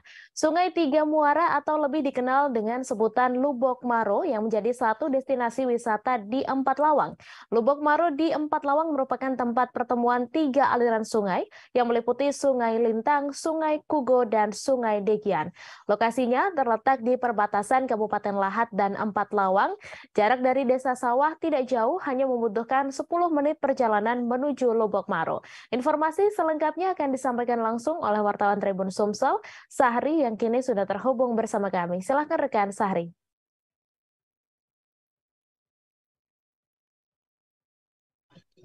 Uh, baik, uh, pemirsa Tribun News dan juga rekan Mei, uh, Lubuk Maro ataupun Lubuk Tiga Muara uh, yang ada di perbatasan antara Kabupaten Lahat dan Kabupaten Patlawang ini uh, cukup unik ini saat dikunjungi karena memang uh, di lokasi ini tersendiri bertemu tiga buah sungai yang memang pada dasarnya ada satu sungai yang memiliki warna yang sangat mencolok yakni sungai Degian ataupun sungai Durian yang di mana memang jika kita lihat secara langsung sungai tersebut memiliki warna yang putih kebiruan hampir seperti air laut karena memang dikatakan sungai ini dialiri oleh air yang mengandung sulfur belerang jadi tidak aneh jika memang kadang uh, di sungai ini terlihat warna biru, terkadang warna kehijauan saat dia bertemu di lokasi Lubuk Maro ini. Nah, jadi pada pertemuan tiga sung aliran sungai yang ada di lokasi ini nampak warna yang agak tidak biasa pemirsa, terutama saat Sungai Degian, Sungai Lintang dan sungai-sungai Uho bertemu. Nah, walaupun bisa dibilang tidak terlalu ramai, di sini belum terlalu banyak dikunjungi orang, akan tetapi warga sekitar biasanya ada saja yang berkunjung untuk kemudian melihat uh, keunikan aliran sungai ini. Dikatakan juga oleh warga berdasarkan wawancara saya di sana, kalau ingin melihat lebih maksimal berbagai macam warna yang ditimbulkan oleh pertemuan tiga aliran sungai ini, baiknya datang ke sini dalam keadaan musim panas ataupun musim kemarau. Karena kalau pada saat musim penghujan, maka airnya otomatis lebih dominan warna coklat. Walaupun untuk sungai yang durian itu sendiri cenderung berwarna putih kebiruan. Nah, untuk lokasi sendiri ini ada di Desa Sawah, Kecamatan Muara Pinang, Kabupaten Pakalawang. Letaknya tidak terlalu jauh dari kota wisata di Sumatera Selatan, yakni Kota Pagar Alam. Terima kasih, kami kembalikan ke rekan Mei ke studio. Terima kasih rekan Sahri atas informasi Anda. Selamat bertugas kembali. Kita beralih ke informasi selanjutnya Tribunars. Berkolaborasi dengan Manado Magic Associate dan Gcraft Sulawesi Utara serta sponsorship lainnya, Lipo Plaza Manado secara resmi membuka event The Impossible Blind Riding. Andriani TM, Public Relation Lipo Plaza Manado menjelaskan pertunjukan ini merupakan public attraction pertama di kota Manado. Karena itu kegiatan ini tentunya sangat menarik. Andriani mengajak seluruh masyarakat Kota Manado untuk hadir dan mengikuti kegiatan ini karena selain menghibur juga banyak hadiah menarik yang telah menanti. Informasi selengkapnya akan disampaikan langsung oleh wartawan Tribun Manado, Ferdi Guhuhuku, yang kini sudah terhubung bersama kami. Silahkan rekan Ferdi. Uh, Oke, okay, selamat sore Tribuners dari Kota Manado. Saya laporkan dan juga rekan Mei dari studio bahwa di Kota Manado diadakan satu event yang bernama The Impossible uh, Reading di mana uh, kegiatan atau event ini dilaksanakan di Lipo Plaza Manado Sulawesi Utara. Dan ini merupakan uh, event yang uh, pertama yang dilakukan berkolaborasi dengan uh, Magic atau uh, dikatakan oleh Ibu Andriani sendiri selaku yang bertanggung jawab dengan event ini bahwa ini adalah event yang pertama. Dan ini event cukup menarik karena di mana sebentar ya eh, kegiatan ini sudah berlangsung sebagai informasi ya kegiatan ini sudah berlangsung dari mulai hari uh, Jumat uh, hari Sabtu kemarin dan hari ini hari Minggu sebagai penutup yang merupakan kegiatan puncak di mana atraksi sendiri ada seorang magician yang akan mengendarai sepeda motor dengan menutup matanya dan ia akan berputar di sekitar uh, Lipo Plaza Manado dan juga berlanjut ke jalan besar. Selain kegiatan ekstraksi motor dengan mata tertutup, ada juga beberapa kegiatan seperti uh, DJ closing, terus juga cosplay, performa, dan juga fun games dan beberapa kegiatan lainnya yang sebentar akan berlangsung. Nah, ketika dalam pembukaan, Andriani mengatakan bahwa kegiatan ini memang yang dilaksanakan oleh Lipo Plaza Manado adalah event yang uh, pertama di kota Manado dan juga melibatkan masyarakat. Nah, kegiatan ini tentunya sangat menarik untuk uh, dilewatkan karena mengingat selain uh, menggandeng magician di Kota Manado, Andre ini juga menggandeng beberapa sponsor, ya antara lain adalah ada Hotel Arya Duta dan beberapa sponsor uh, ternama lainnya di Kota Manado. Dan event ini juga uh, dibiayai langsung oleh Lipo Plaza Manado dan disediai banyak hadiah menarik tentunya uh, sayang untuk dilewatkan. Dan pendaftarannya juga ini sen sendiri ini gratis tidak dipungut biaya jadi Andriani mengajak masyarakat semua untuk datang dan saksikan hari ini penutupan kegiatannya dan yang sudah mengikuti kegiatan dari hari Jumat bahkan sampai kemarin di hari Sabtu hari ini juga akan menerima hadiah yang menang tentunya dari juara satu sampai juara tiga. Mungkin itu uh, penyampaian saya rekan Mei dikembalikan ke studio. Terima kasih rekan Ferdi atas laporan Anda. Selamat bertugas kembali. Rangkaian acara Kongres Masyarakat Adat Nusantara atau KAMAN ke-6 telah memasuki hari terakhir pada Minggu 30 Oktober hari ini. Pada hari ini terdapat Festival Kuliner Nusantara yang berada di Stadion Barnabas Yowe. Terdapat lebih dari 2.500 porsi yang disediakan untuk peserta KAMAN maupun tamu umum. Menariknya lagi, semua diberikan secara gratis alias tidak perlu membayar. Informasi selengkapnya akan disampaikan langsung oleh wartawan Tribun Video, Sigit, yang kini sudah terhubung bersama kami. Silahkan rekan Sigit. Baik, selamat sore waktu Papua, rekan Mei dan juga Tribuners. Benar, di hari ini adalah hari terakhir acara Kongres Masyarakat Adat Nusantara yang ke-6 di Papua, yang mana di Stadion Barnabas Yowe Sentani Jayapura saat ini sedang berlangsung acara penutupan saat ini di belakang saya sedang ada uh, pertunjukan-pertunjukan musik dan juga tarian-tarian adat untuk dalam rangka menutup acara KMAN yang ke-6 ini. Tadi siang ada Festival Kuliner Nusantara yang mana terdapat stand-stand dari Aliansi Masyarakat Adat Nusantara atau AMAN dari seluruh Nusantara yang menyajikan makanan-makanan gratis untuk para pengunjung. Jadi tidak hanya peserta KMAN, semua pengunjung yang mau datang boleh mencicipi makanan tersebut secara gratis. Panitia menyediakan kurang lebih uh, sekitar 2.500 porsi untuk seluruh pengunjung yang datang ke acara KMAN.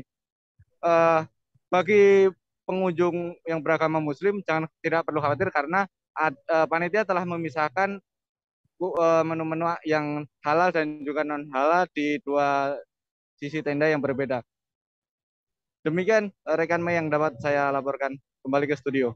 Terima kasih rekan Sigit atas laporan Anda. Selamat bertugas kembali. Kita beralih ke informasi selanjutnya, Tribuners. Korea Selatan akhirnya mengadakan kembali pesta Halloween setelah tiga tahun dihentikan akibat pandemi COVID-19. Itaewon menjadi satu di antara tempat populer Korea Selatan yang belum lama ini digunakan sebagai lokasi merayakan Halloween tahun ini. Pesta Halloween di Itaewon, Korea Selatan digelar pada Sabtu 29 Oktober malam. Namun sayangnya dalam pesta Halloween tersebut tidak berjalan lancar dan berujung petaka. Lebih dari 100 orang dikabarkan meninggal dunia dalam pesta Halloween di Itaewon Korea Selatan. Ada setidaknya 149 orang meninggal dunia setelah kerumunan besar memadati kawasan tersebut. Ketika malam semakin larut, kerumunan semakin tak terkendali dan merenggut nyawa beberapa orang di sana. Kebanyakan korban itu diduga remaja berusia 20-an yang turut merayakan pesta Halloween. Baru-baru ini, seorang warga negara Indonesia mengabarkan bahwa dirinya selamat dalam tragedi tersebut. Ulfa Al-Hanif selamat dalam tragedi pesta Halloween di Itaewon, Korea Selatan pada Sabtu malam kemarin. Sekedar informasi, tragedi pesta Halloween di Itaewon menewaskan 149 orang dan puluhan lainnya luka-luka. Di media sosial TikToknya, Ulfa membagikan video saat ia berjuang keluar dari kerumunan orang di Itaewon. Badannya terhimpit-himpit dan Ulfa meringis meminta tolong. Di video yang diunggah Ulfa terlihat ratusan ribu orang saling berhimpitan. Satu persatu, pengunjung pesta Halloween di Itaewon pun berjatuhan. Mereka terkapar di pinggir jalan, sejumlah petugas kesehatan juga tampak berusaha memberikan pertolongan CPR. Sementara itu, sejumlah ambulans terlihat berbaris di jalan dan siap mengangkut para korban. Setelah berjuang selama berjam-jam, Ulfa dan rekannya, sesama warga Indonesia, akhirnya bisa keluar dari Itaewon. Ulfa lalu menceritakan semula kedatangannya ke Itaewon adalah untuk melihat lokasi syuting drama Korea Itaewon Class. Mengutip Sky News, pemadam kebakaran setempat mendeteksi penyebab banyaknya jatuh korban jiwa pada sebuah acara hiburan itu diduga karena kondisi yang menyesakan. Ribuan orang berkumpul di jalan sempit dekat Hotel Hamilton. Walaupun untuk penyebab pasti secara resmi belum dikeluarkan dan masih dalam penyelidikan otoritas setempat.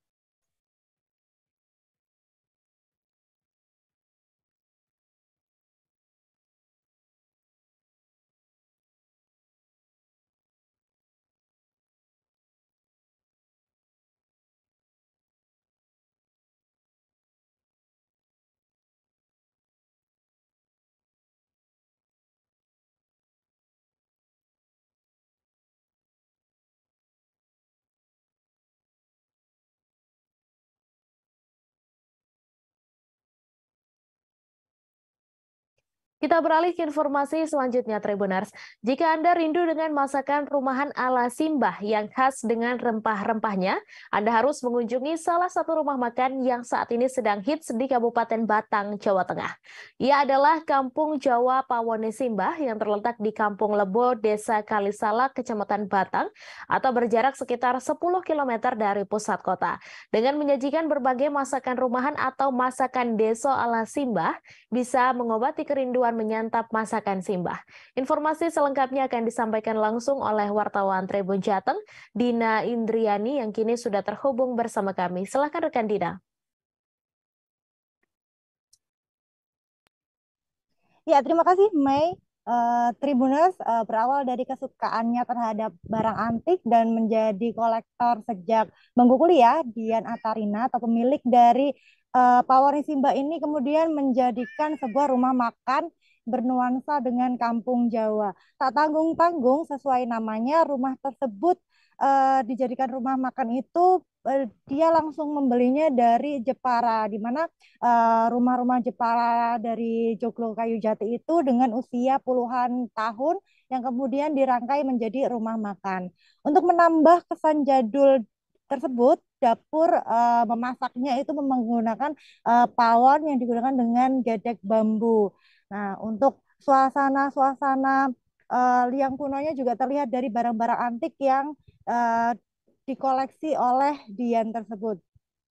Nah, untuk uh, menambah uh, dengan kesan uh, kekuonannya uh, dari pawon Simbah sendiri, pengunjung bisa langsung menikmati di pawon tersebut dengan mengambil beberapa menu yang disajikan, uh, seperti sayur lodeh, mangut lele, kemudian sayur asem, tahu bacem, dan juga aneka gorengan lainnya. Untuk harganya pun cukup bervariasi, yaitu mulai dari aneka gorengan, mulai dari Rp1.000 hingga Rp2.000, dan juga lauk sayur-sayurannya serta ayam berbumbu sekitar 5.000 sampai 20.000 rupiah. Nah, rumah makan ini buka setiap hari mulai pukul uh, eh, 8 pagi sampai jam 8 malam. Nah, hingga saat ini meskipun sudah dibuka pada tahun 2019, nyatanya hingga saat ini rumah makan Pawane Simbah cukup ramai dan masih tetap hits dan jujukan uh, para pengunjung wisata di Kabupaten Batang. Sekian, Mai. Terima kasih rekan Dina atas informasi Anda dan Tribuners wartawan kami juga telah menghimpun wawancara dengan pemilik Pawoni Simbah berikut tayangannya untuk Anda. Awalnya itu memang saya tuh suka barang-barang antik seperti ini. Saya memang sudah koleksi dari uh, kuliah dulu. Lalu kuliah itu saya sudah koleksi sedikit-sedikit. Dan ini karena kemarin itu dari ibu saya itu dari mertua juga itu uh, ada barang-barang yang barang-barangnya itu banyak yang antik. Karena mereka tahu itu saya tuh suka barang-barang seperti ini dikasihkan ke saya.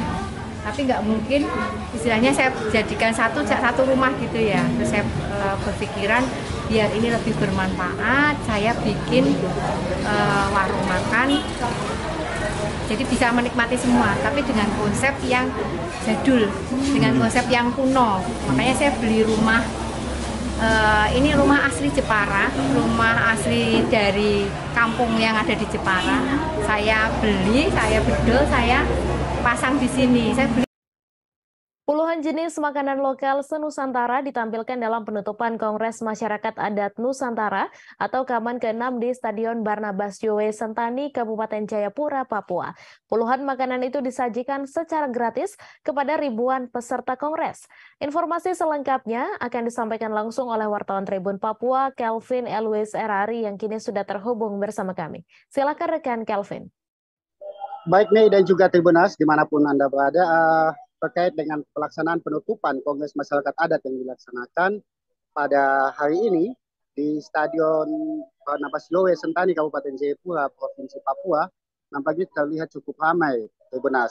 Nah, untuk uh, memeriahkan uh, penutupan event apa Kaman ini atau Kongres Masyarakat Adat ini uh, di mana seluruh masyarakat Nusantara se-Indonesia uh, menggelar uh, festival uh, kuliner Nusantara di mana uh, ini uh, makanan khas daerah masing-masing mereka menampilkan dalam kuliner festival kuliner tersebut dan festival kuliner tersebut ini digelar digelar di uh, Stadion Barnabas Yowe Sentani.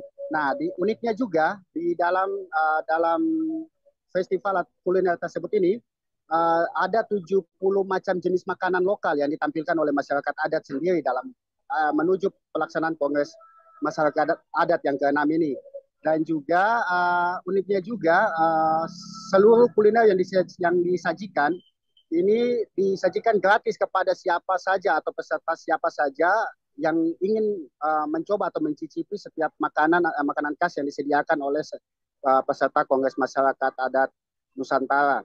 Nah, Tribunas berbagai macam uh, kuliner yang disediakan ini uh, nampaknya juga memancing ribuan uh, ratusan orang untuk datang mencoba uh, setiap kuliner uh, yang disajikan. Dan pelaksanaan uh, festival kuliner Nusantara ini dilaksanakan uh, menuju uh, hingga saat ini masih ter terus uh, berlangsung untuk menuju pelaksanaan penutupan uh, pelaksanaan uh, Kongres Masyarakat Adat Nusantara yang akan dilaksanakan nanti pada saat pukul uh, 6 sore waktu Indonesia Timur di Stadion Barnabas Yowe Sentani Kabupaten Jayapura Jayapura, Provinsi Papua. Demikian Mei dan juga Tribunas. Terima kasih rekan Kelvin atas laporan Anda. Selamat bertugas kembali. Kita beralih ke informasi selanjutnya Tribuners. Halloween merupakan salah satu perayaan yang paling terkenal di dunia. Namun ternyata tak semua negara di dunia merayakan Halloween. Sejumlah negara tercatat tidak merayakan Halloween namun menjalankan sejumlah tradisi pada waktu yang bersamaan. Lantas negara mana saja yang tidak merayakan Halloween? Melansir Newsweek pada Sabtu 29 Oktober berikut sejumlah negara yang tidak merayakan Halloween. Yang pertama adalah Cina. Halloween ternyata tidak dirayakan atau diakui secara luas di daratan Cina. Sebagai gantinya, Cina merayakan Hungry Ghost Festival atau Festival Zongyuan pada hari ke-15 bulan ke-7 kalender lunar, biasanya sekitar tanggal 15 Agustus. Perayaan ini adalah hari untuk menyembah leluhur yang sudah meninggal, yang biasanya masyarakat membakar uang kertas untuk menghormati mereka yang telah tiada. Penduduk Cina percaya bahwa pada hari festival Zongyuan, leluhur benar-benar mengunjungi mereka. Negara kedua adalah Brazil. Penduduk Brazil juga tak merayakan Halloween, namun Dia das Bruxas atau Hari Penyihir. Sama seperti Halloween, Hari Penyihir juga jatuh pada tanggal 31 Oktober setiap tahunnya. Perayaan tersebut bertujuan untuk memberi penghormatan kepada Saci Perer, seorang tokoh mitologi dalam cerita rakyat Brazil. Agenda ini muncul sebagai alternatif untuk merayakan Halloween dengan tujuan membuat orang Brazil sadar akan keragaman budaya yang kaya dari cerita rakyat kuno kuno mereka sendiri. Negara ketiga adalah Rusia. Halloween di Rusia adalah topik yang diperdebatkan. Generasi muda mendukung perayaan Halloween, sementara generasi yang lebih tua termasuk pemerintah Rusia dan gereja Ortodoks masih meremehkan perayaan. Halloween sangat tidak disukai oleh beberapa orang di Rusia. Bahkan pada 2019, anggota parlemen Vitali Milonov mengaitkan perayaan itu sebagai kegiatan organisasi okultisme yang berbahaya dan mengatakan bahwa Halloween melanggar hukum Rusia. Negara keempat adalah Australia. Terlepas dari sejarah panjang budaya dan hubungan antara Inggris dan Australia, serta Amerika, Halloween hampir tidak diakui di Australia. Tidak ada penjelasan langsung, tetapi sebagian besar diyakini bahwa festival secara tradisional merayakan akhir musim panas dan awal musim dingin, sementara musim Australia terbalik. Alasan lain termasuk penolakan era Victoria terhadap Halloween dan penghinaan Australia terhadap dominasi budaya Amerika. Yang kelima adalah Mongolia. Mongolia melihat peningkatan jumlah orang yang merayakan Halloween dalam beberapa tahun terakhir berkat sejumlah pengaruh budaya asing. Namun pada 2018, pemerintah Mongolia melarang perayaan Halloween di sekolah-sekolah. Larangan itu diulangi pada tahun 2019 ketika Kementerian Pendidikan, Kebudayaan, Ilmu Pengetahuan, dan Olahraga mengklaim bahwa laju modernisasi yang cepat di negara itu telah menimbulkan kekhawatiran bahwa budaya nomaden dan Buddhis tertinggal. Yang keenam adalah Costa Rica. Costa Rica juga termasuk negara yang tidak memperingati Halloween. Namun sebaliknya, setiap tahun pada tanggal 31 Oktober, Costa Rica merayakan Hari Penyamaran Nasional. Dianggap sebagai hari libur nasional di Costa Rica, orang-orang membuat ulang topeng asli yang dikenakan oleh suku Boruca sebelum penaklukan Spanyol pada tahun 1561. Topeng-topeng tersebut berupa kepala papier mache berukuran besar dan dicat dengan warna-warna cerah. Saat ini tradisi telah berkembang dan banyak topeng yang menggambarkan pemain sepak bola, selebriti, dan politisi terkenal. Selain yang disebutkan tadi, masih banyak negara yang ternyata tidak merayakan Halloween, seperti halnya negara-negara di Asia.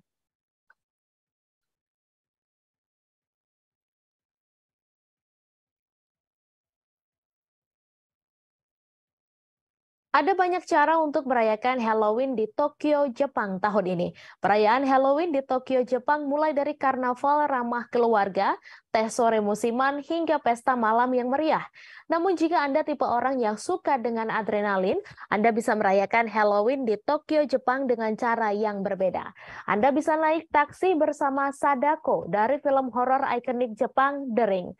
Dilansir dari Time Out, Sadako akan menghantui 50 taksi di Tokyo dari 24 Oktober hingga 6 November untuk membawa pelanggan dalam perjalanan yang jauh lebih menakutkan dari biasanya.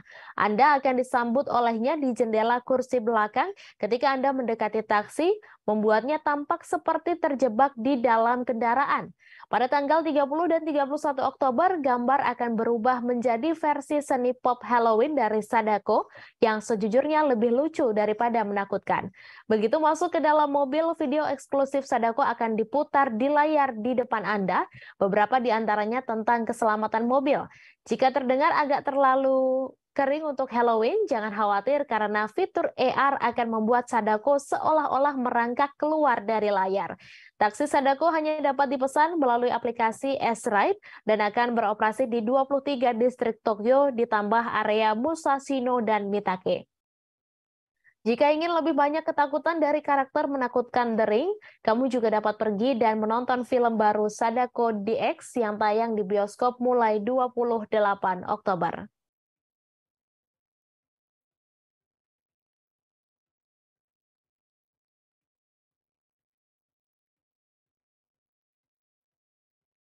Kaisang Pangarep belum lama ini mengunggah foto prewedding bersama sang kekasih Erina Gudono.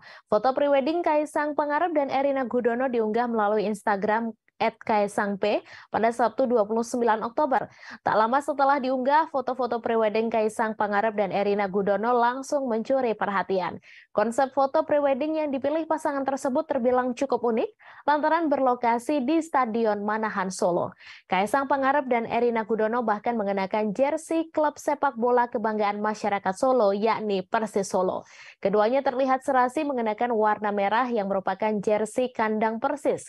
Dalam foto yang diunggah terlihat Kaisang Pangarep dan Erina mengenakan nomor punggung yang diduga menjadi tanggal pernikahan mereka.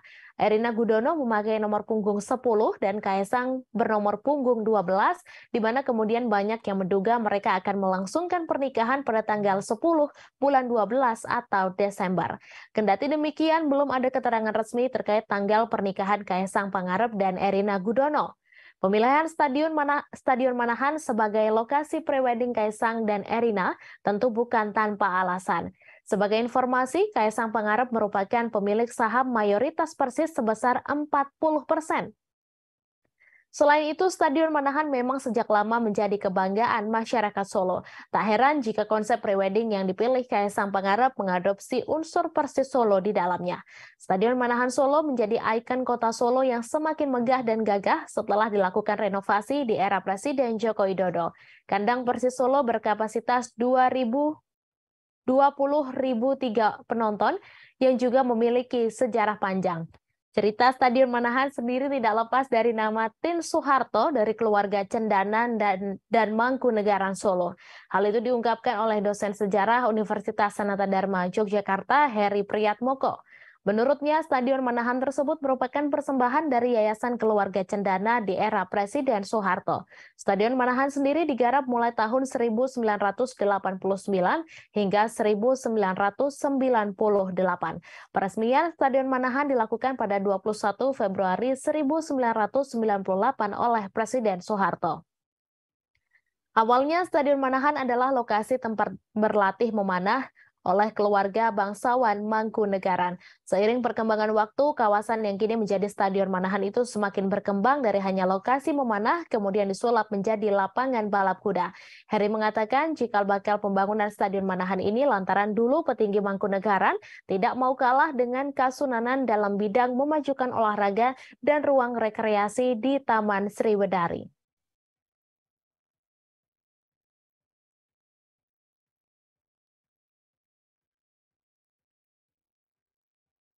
Traveler yang hendak melakukan perjalanan udara via Bandara Internasional Soekarno-Hatta hari ini ada sedikit perubahan layanan yang harus diketahui. Pengelola Bandara Internasional Soekarno-Hatta Tangerang, Banten melakukan perpindahan counter check-in maskapai di Terminal 3. Perpindahan counter check-in di Terminal 3 Bandara Internasional Soekarno-Hatta akan diberlakukan mulai hari ini Minggu 30 Oktober. Pengelola Bandara Internasional Soekarno-Hatta melakukan perpindahan counter check-in di Terminal 3 ini dalam rangka melakukan persiapan operasional winter season 2022. Langkah tersebut dilakukan sebagai salah satu bentuk yang tepat guna menyiapkan operasional winter season 2022. Bukan hanya itu saja, pihak pengelola Bandara Internasional Soekarno-Hatta juga punya alasan lain untuk memindahkan counter check-in Terminal 3 tersebut. Pertimbangan lain perpindahan itu dilakukan setelah melihat adanya kenaikan volume penumpang sampai beberapa waktu belakangan, sehingga pengelola bandara berupaya melakukan perpindahan untuk pemerataan jumlah penumpang dan pengelolaan bagasi. Eksekutif General Manager Bandara Soekarno-Hatta Dwi Ananda menjelaskan perpindahan yang dilakukan ini merupakan langkah tepat untuk mempersiapkan operasional winter season Terminal 3. Sebagai contoh, maskapai Air Asia untuk penerbangan internasional yang sebelumnya melakukan pelayanan check-in di Island A saat ini akan melayani di Island D. Para penumpang diimbau untuk datang lebih awal guna menyesuaikan dengan perubahan ini. Layanan kontrol check-in tersedia mulai dari 3 jam sebelum jadwal keberangkatan. Adapun sebagai alternatif, para calon penumpang bisa melakukan check-in mandiri dan mencetak langsung boarding pasnya di mesin check-in yang tersedia. Sebagai informasi, baru-baru ini insiden menegangkan terjadi di Bandara Internasional Soekarno-Hatta, Tangerang, Banten. Area ruang tunggu penumpang pesawat Batik Air di bandara ini mendadak dipenuhi asap yang tebal. Kejadian itu berlangsung tepatnya di bagian lounge business class Batik Air di Terminal 2E Bandara Internasional Soekarno-Hatta.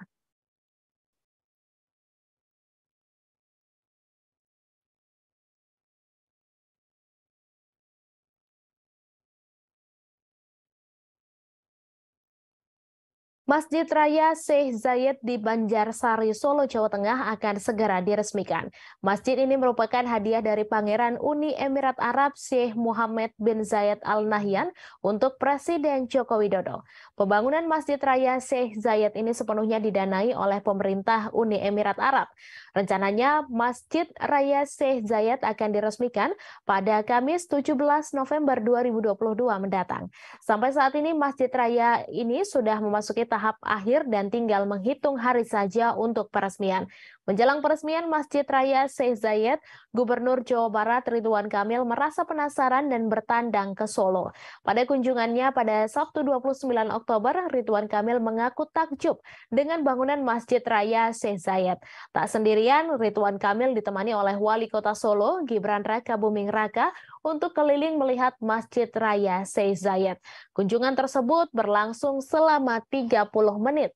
Gibran dan Ridwan berjalan-jalan melihat arsitektur dan progres pembangunan Masjid Raya Syekh Zayed.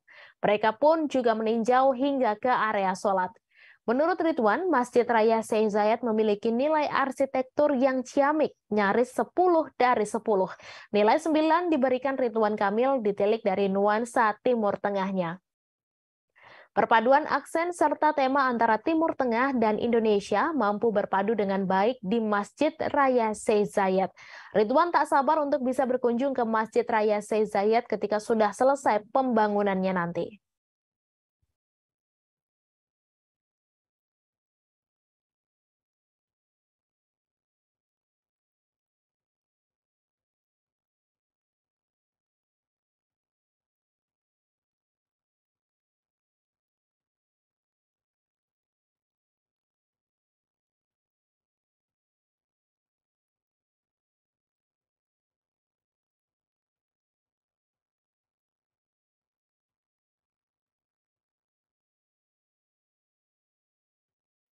Kongres Masyarakat Adat Nusantara atau KAMAN ke-6 di Papua sudah menginjak hari terakhir pada hari ini Minggu 30 Oktober. Di hari terakhir ini digelar acara Dapur Nusantara yang diikuti oleh para peserta KAMAN ke-6 dan bertempat di Stadion Barnabas Yowe. Dapur Nusantara merupakan festival kuliner yang diikuti oleh seluruh masyarakat adat di seluruh Nusantara. Masing-masing masyarakat adat menampilkan makanan khas daerah mereka seperti papeda bagi dari bagi yang berasal dari Papua, Coto Makassar hingga Soto Lamongan. Bupati Jayapura Matius Awoitau meresmikan langsung festival kuliner tersebut. Makanan khas Sulawesi Selatan menjadi makanan yang paling diburu di lokasi. Dari pantauan langsung wartawan di lokasi, terlihat antrean yang panjang untuk mencicipi coto Makassar dan es pisang hijau dari masyarakat adat Sulawesi Selatan. Menurut agenda yang dijadwalkan, selesai festival kuliner akan digelar pentas budaya Nusantara yang diikuti pula oleh para peserta kongres dari berbagai masyarakat adat di seluruh Nusantara. Makanan dari berbagai daerah lain juga ramai diserbu pengunjung yang penasaran penasaran dengan masakan dari berbagai Nusantara.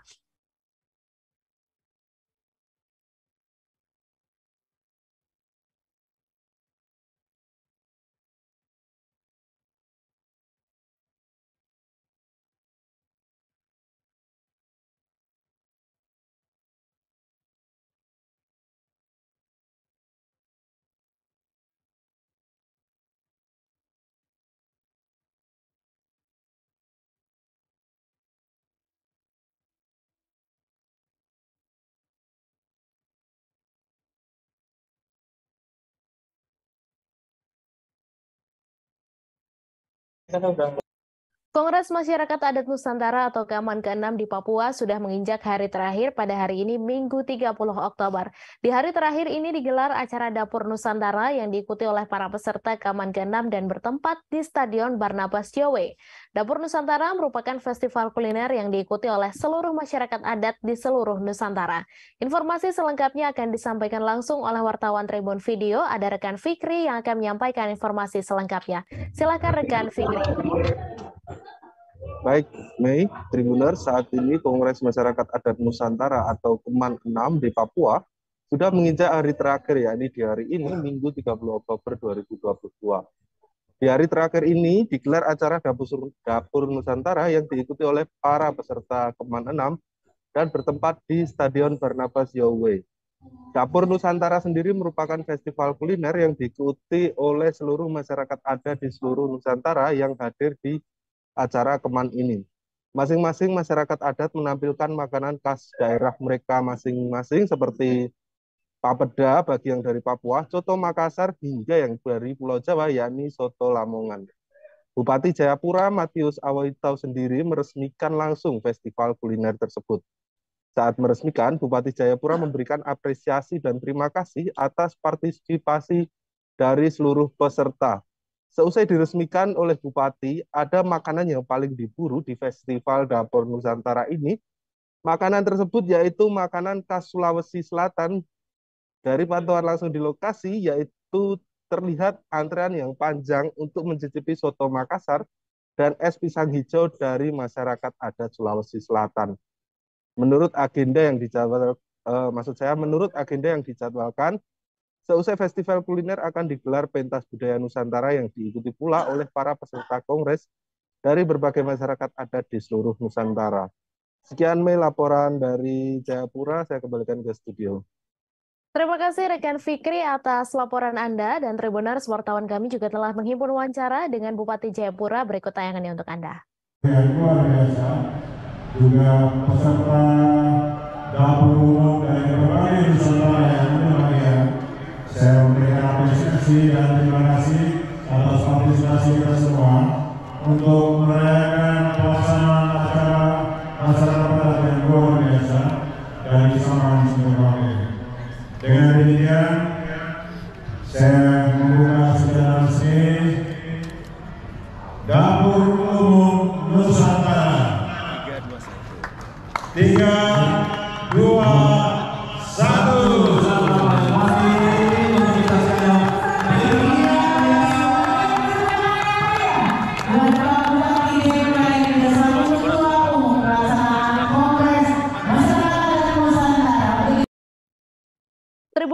informasi tersebut sekaligus mengakhiri perjumpaan kita pada live Tribun Travel Update kali ini. Terima kasih atas kebersamaan Anda. Saya Mesa Dasirait beserta kru yang bertugas pamit undur diri. Terima kasih dan selamat berakhir pekan.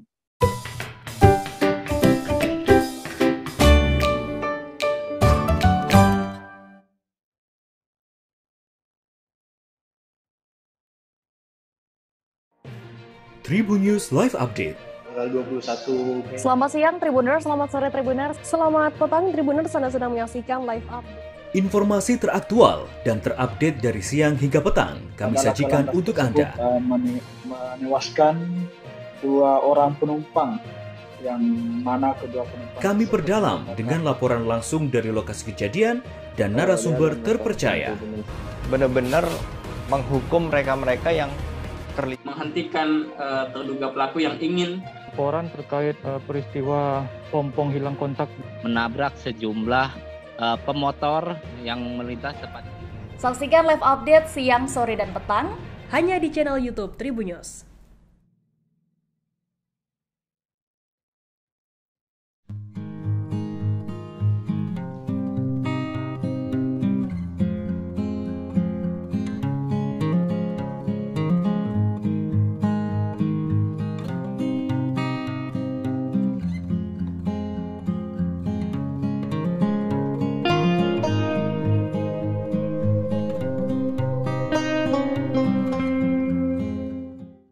Kota Padang memiliki destinasi wisata yang menarik untuk dijelajahi.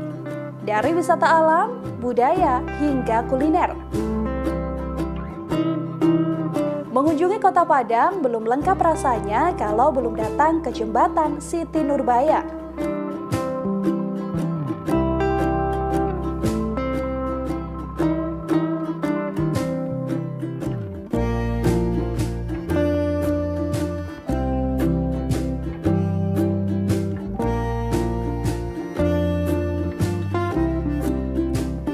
Jembatan Siti Nurbaya terletak di kawasan Padang Selatan, Kota Padang, Sumatera Barat. Menghubungkan antara Gunung Padang dan kawasan Kota Tua. Jembatan Siti Nurbaya, salah satu ikon wisata Kota Padang.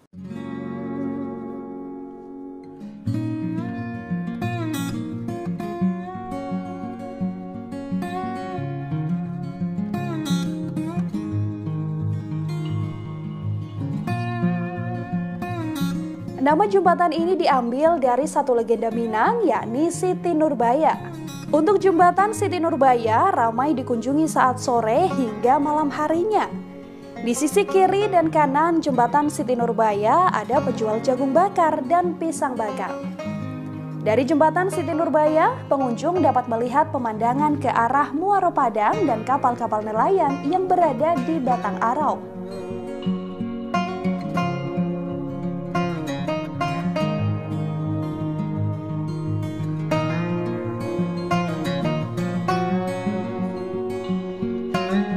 Bagi yang ingin mengunjungi jembatan Siti Nurbaya, dapat memesan transportasi online karena untuk transportasi umum seperti angkot tidak tersedia rute ke sini.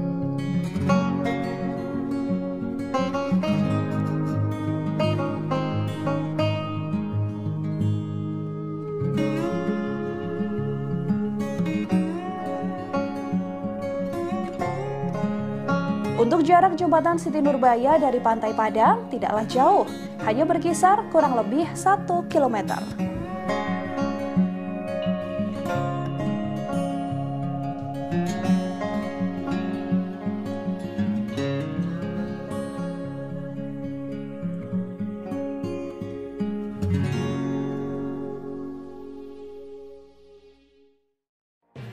Tribun News Live Update Tanggal 21 Selamat siang Tribuners, selamat sore Tribuners, selamat petang Tribuners, Anda sedang menyaksikan live update.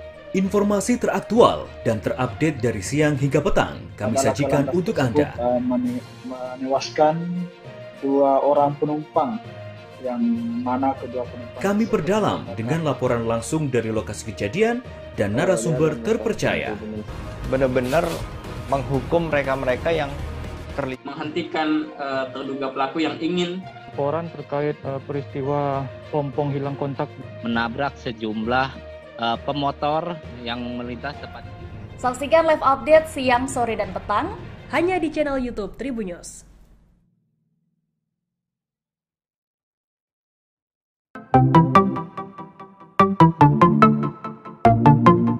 Halo Tribuners, waktu sudah menunjukkan pukul 8 waktu Indonesia Timur.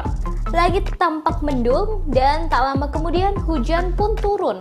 Satu persatu dari kami menaiki speedboat dari Pelabuhan Usaha Mina, Sorong, Papua Barat. Yap, pagi itu Minggu 3 Juli 2022 kami akan berkeliling seharian di Raja Ampat, pulau yang berada di ujung barat Papua. Perjalanan kali ini akan dipandu oleh pemandu wisata kami bernama Randy.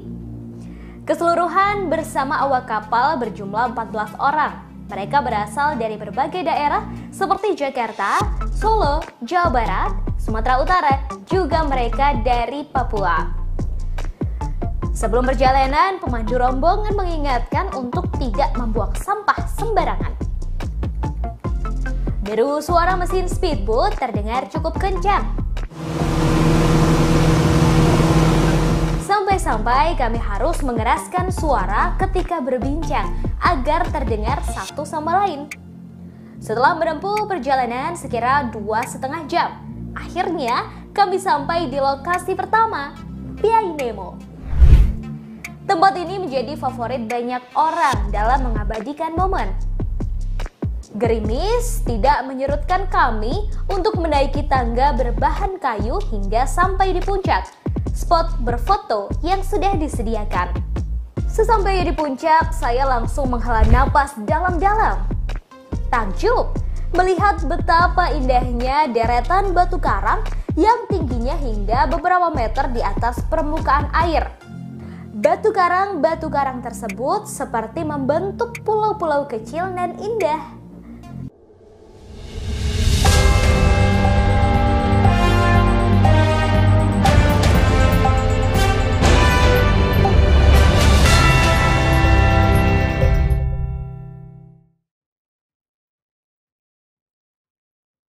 Halo selamat sore Tribuners, Anda sedang menyaksikan live update mancanegara edisi hari ini Minggu 30 Oktober 2022. Hari ini kami akan menyajikan berbagai informasi teraktual dan terkini mengenai peristiwa yang terjadi di mancanegara. Bersama saya Mariananda, inilah live update selengkapnya. Pesta Halloween di Itaewon, Seoul, Korea Selatan mengakibatkan banyak korban meninggal dunia. Peristiwa itu terjadi pada Sabtu 29 Oktober 2022 malam sekira pukul 22 waktu setempat. Pesta Halloween Itaewon berubah mencekam setelah kerumunan besar memadati gang di kawasan tersebut. Padahal pesta Halloween ini menjadi perayaan Halloween besar pertama di Korea Selatan sejak berakhirnya aturan pembatasan COVID-19. Hingga kini dikabarkan jumlah korban yang meninggal terus meningkat. Terbaru ada 151 orang yang meninggal dunia. Di antara yang tewas 19 warga negara asing atau WNA, sementara 82 lainnya mengalami luka-luka. Korban yang meninggal didominasi remaja hingga dewasa muda berusia 20-an tahun. Data tersebut telah disampaikan oleh Kepala Pemadam Kebakaran Yongsan Choi Song-bum. Kini beredar foto-foto yang memperlihatkan sejumlah jenazah tergeletak di trotoar. Ratusan jenazah ini ditutupi dengan kain berwarna kuning, sementara petugas layanan darurat yang mengenakan rompi orange terus mengangkut jasad korban tewas dengan tandu ke dalam ambulans. Di sisi lain, pemerintah Indonesia ikut merespon terkait kejadian pesta Halloween di Itaewon. Sejauh ini tidak ada korban jiwa dari warga negara Indonesia atau WNI akibat peristiwa naas tersebut. Hal ini disampaikan oleh Direktur Perlindungan WNI Kementerian Luar Negeri Juda Nugraha. Juda menyebut ada nomor hotline untuk membantu memantau perkembangan informasi soal kemungkinan adanya korban WNI dalam insiden pesta Halloween Itaewon. Ia mengatakan KBRI Seoul terus berkoordinasi dengan otoritas setempat, termasuk rumah sakit terkait kemungkinan adanya WNI yang menjadi korban. Tragedi pesta Halloween di Itaewon merupakan satu insiden massal terburuk di Korea Selatan. Sebelumnya kapal feri yang tenggelam pada 2014 menewaskan 304 orang, terutama siswa sekolah menengah.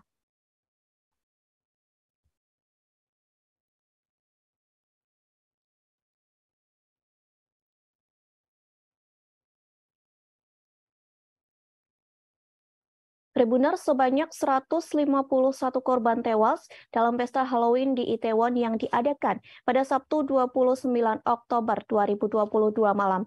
Pemerintah setempat mengatakan ada banyak yang terluka dalam kondisi yang serius sehingga mereka harus menerima perawatan darurat. Penyebab ratusan orang tewas dalam pesta ini diduga karena terinjak-injak dan banyak yang jatuh. Para korban diduga mengalami kesulitan bernapas. Hal tersebut disampaikan oleh Kepala Departemen Pemadam Kebakaran Yongsan-gu Choi Seng-bum. Pihaknya juga mengatakan korban yang meninggal rata-rata terjadi di gang kawasan Itaewon, Seoul, Korea Selatan. Korban yang didominasi remaja itu berdesak-desakan di gang yang membuat mereka terinjak-injak. Sementara kantor berita Yonhap turut melaporkan dugaan ratusan korban meninggal dunia. Kantor berita tersebut melaporkan korban diduga mengalami serangan jantung atau henti jantung. Kondisi ini membuat korban kesulitan bernapas hingga mereka tewas. Di sisi lain, orang-orang yang datang dalam pesta tersebut tidak menggunakan masker. Bahkan pemerintah tidak memperlakukan pembatasan untuk kerumunan. Namun memang ada peringatan dari pengeras suara. Peringatan tersebut terkait himbauan orang-orang yang mengikuti pesta Halloween di Itaewon harus berhati-hati. Selesai tragedi itu pun sejumlah orang masih terjebak di gang-gang kecil daerah Itaewon. Mereka terjebak dengan menggunakan topeng dan kostum Halloween.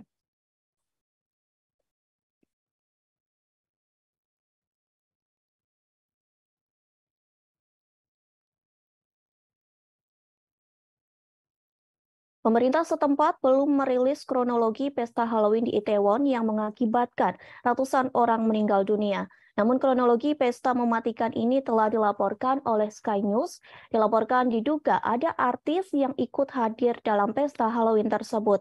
Kedatangan artis ini diduga membuat warga beramai-ramai datang ke daerah tersebut sehingga terjadilah kerumunan hingga di ganggang sempit di wilayah Itaewon. Sementara wartawan BBC yakni Hosuri melaporkan banyak staf medis hingga ambulans yang memadati lokasi tersebut. Mereka datang dengan mengangkut jenazah satu persatu, lantas jenazah itu dijajarkan dan ditutupi kain berwarna biru. Hosuli mengatakan ada ribuan orang yang berkerumun di Itaewon, Seoul, Korea Selatan. Di tempat lain, petugas tanggap darurat mencoba menarik keluar orang dari apa yang tampak seperti tumpukan mayat setelah kerumunan massa. Wartawan lokal lainnya mengatakan bahwa siaran darurat telah dikirim ke setiap ponsel di distrik Yongsan. Siaran darurat itu mendesak warga agar kembali ke rumah sesegera mungkin. Pasalnya terjadi kecelakaan darurat di dekat Hotel Hamilton di Itaewon. Sementara dari rekaman media sosial menunjukkan banyak korban tergeletak di trotoar, para petugas pun menolong dan menyelamatkan korban dengan membantu CPR. Bahkan warga sipil pun turut membantu melakukan CPR tersebut lebih dari 800 personil layanan darurat dikerahkan ke jalanan untuk merawat yang terluka, termasuk semua personil yang tersedia di Seoul. Sebagian besar jenazah telah dikirim ke rumah sakit, namun sisanya dibawa ke pusat kebugaran terdekat agar dapat diidentifikasi.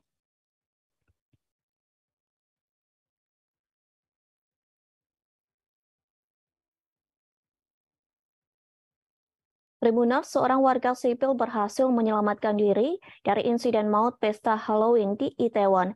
Ia merupakan pria berusia 30 tahun yang bernama John Gaol. Saat insiden terjadi, ia mengaku sedang minum di sebuah bar yang terletak di kawasan Itaewon. Namun tiba-tiba temannya memberikan informasi ada insiden di daerah tersebut. Disebutkan insiden itu sangat mengerikan. Mendengar informasi tersebut, John masih tak mengerti dengan apa yang sedang terjadi sehingga ia langsung keluar bar untuk melihat situasi. Tadi sangka di luar bar tersebut berjejer korban di trotoar. Para tenaga medis hingga warga pun turut melakukan CPR. Tak hanya itu, John melihat kerumunan yang memadati jalan. Bahkan ganggang berkelok di Itaewon pun sudah dipadati banyak orang. Sontak ia merasa tidak aman di dalam daerah tersebut, namun dirinya pun terjebak dalam kerumunan.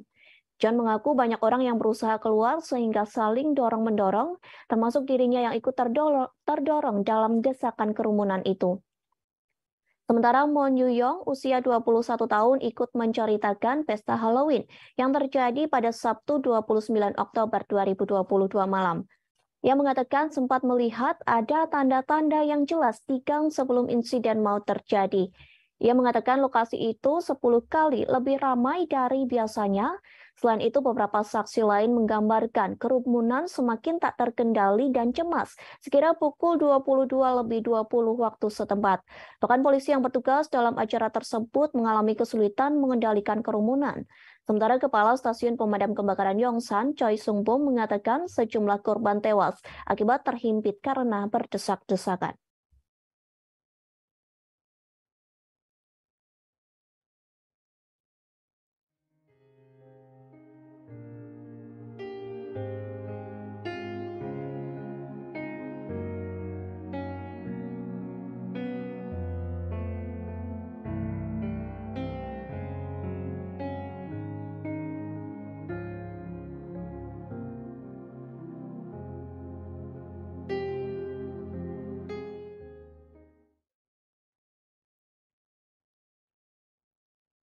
Pemerintah Korea Selatan langsung mengambil tindakan saat pesta Halloween terjadi pada Sabtu 29 Oktober. Presiden Korea Selatan Yoon Suk Yeol langsung memberi perintah bagi bawahannya. Yoon Suk Yeol memerintahkan pihak yang berwenang untuk segera mengidentifikasi para korban tragedi pesta Halloween. Hal ini dilakukan lantaran banyak keluarga yang masih mengkhawatirkan nasib korban. Kemudian Yun segera mengaktifkan markas manajemen darurat. Markas ini berlaku mulai Minggu 30 Oktober 2022. Perdana Menteri negara yang ditunjuk sebagai penanggung jawab markas manajemen darurat.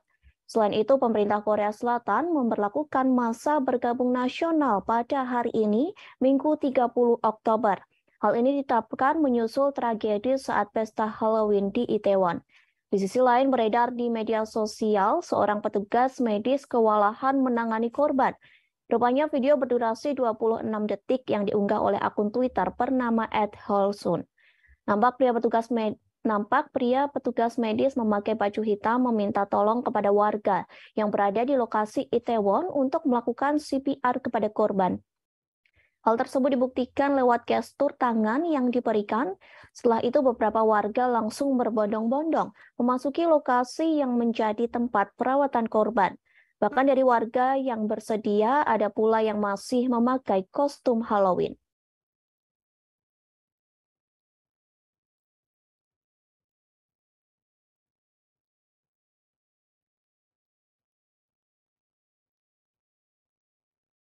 Tribuners, para pemimpin dunia langsung merespon seusai mendengar tragedi pesta Halloween di Itaewon.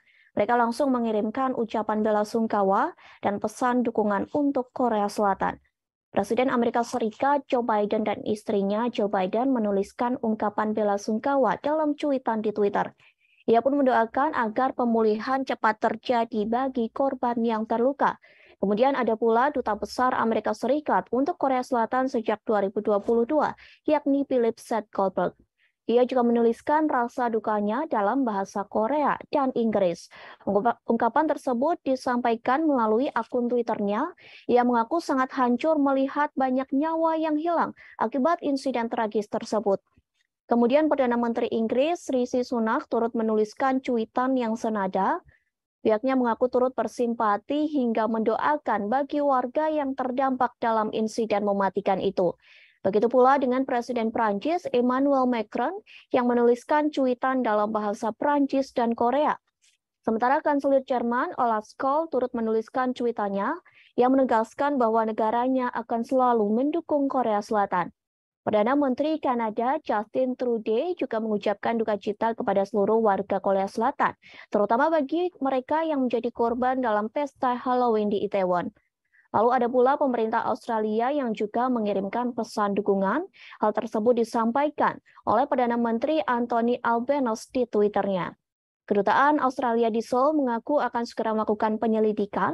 Penyelidikan, penyelidikan tersebut dilakukan untuk mengetahui apakah ada warga Australia yang menjadi korban dalam tragedi ini.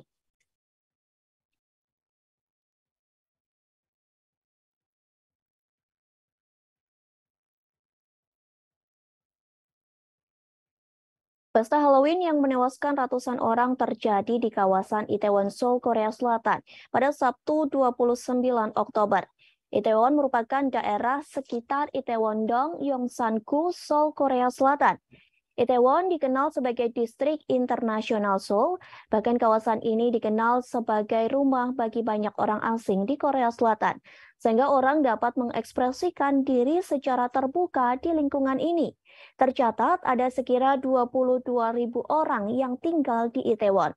Mayoritas penduduk yang tinggal di distrik ini ialah penduduk Seoul, turis, ekspatriat dan personil militer Amerika Serikat. Namun memang Itaewon dikenal menjadi satu tempat paling populer di Seoul.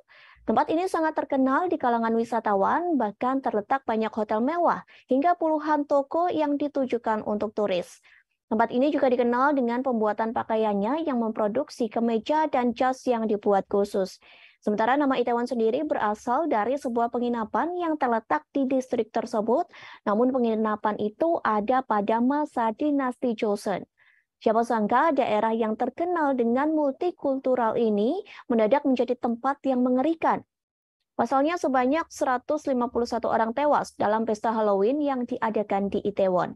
Diduga ratusan korban tewas lantaran mengalami sesak napas hingga gangguan jantung. Meski begitu, pemerintah setempat belum memberikan keterangan secara resmi terkait penyebab korban meninggal dunia.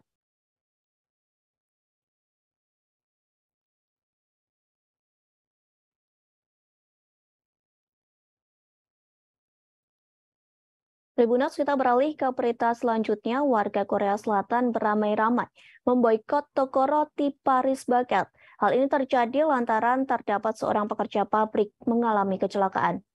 Pekerja tersebut terkena kecelakaan di mesin pencampur saus.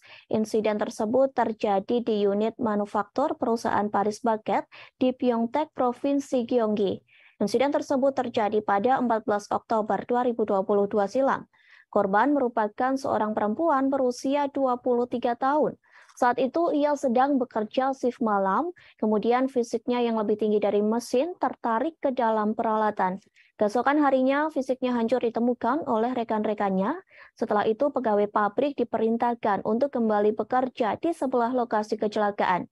Sementara perusahaan memberikan tanggapan atas insiden tersebut, perusahaan Paris Bucket yakni SPC Group pun menyelesaikan kasus ini secara kekeluargaan. Sehingga warga tersulut amarahnya, pasalnya perwakilan dari Paris Bucket mencoba merundingkan penyelesaian dengan keluarga karyawan yang meninggal pada malam pemakamannya. Menurut ibu korban, pihak perusahaan telah menawarkan penyelesaian dengan imbalan. Namun ibu korban menolak imbalan tersebut. Tidak sampai di situ, perusahaan Paris Bucket semakin mendapat kecaman setelah mengirimkan roti untuk teman-teman di pemakaman. Mengetahui insiden tersebut, Presiden Korea Selatan Yoon Suk Yeol memerintahkan penyelidikan atas rincian kematian karyawan tersebut. Ketua SPC Group Hu Hyung In meminta maaf secara terbuka pada 17 Oktober silam. Perusahaan berjanji akan mengeluarkan 70 juta dolar AS atau 1,3 triliun rupiah untuk korban.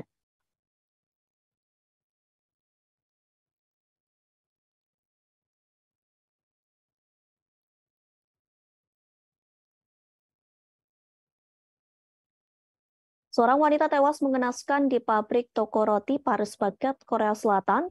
Ia tewas lantaran kecelakaan di mesin mixer yang memproduksi saus.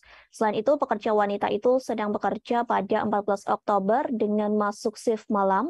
Kemudian wanita itu mengoperasikan mesin pencampur saus di malam hari. Namun tiba-tiba wanita itu tersangkut di mesin mixer. Wanita itu tertarik ke dalam mixer sehingga tubuhnya hancur. Keesokan harinya, jasad wanita itu ditemukan oleh rekan-rekan kerjanya, namun pabrik tersebut tetap melanjutkan produksi seusai kecelakaan pekerjanya.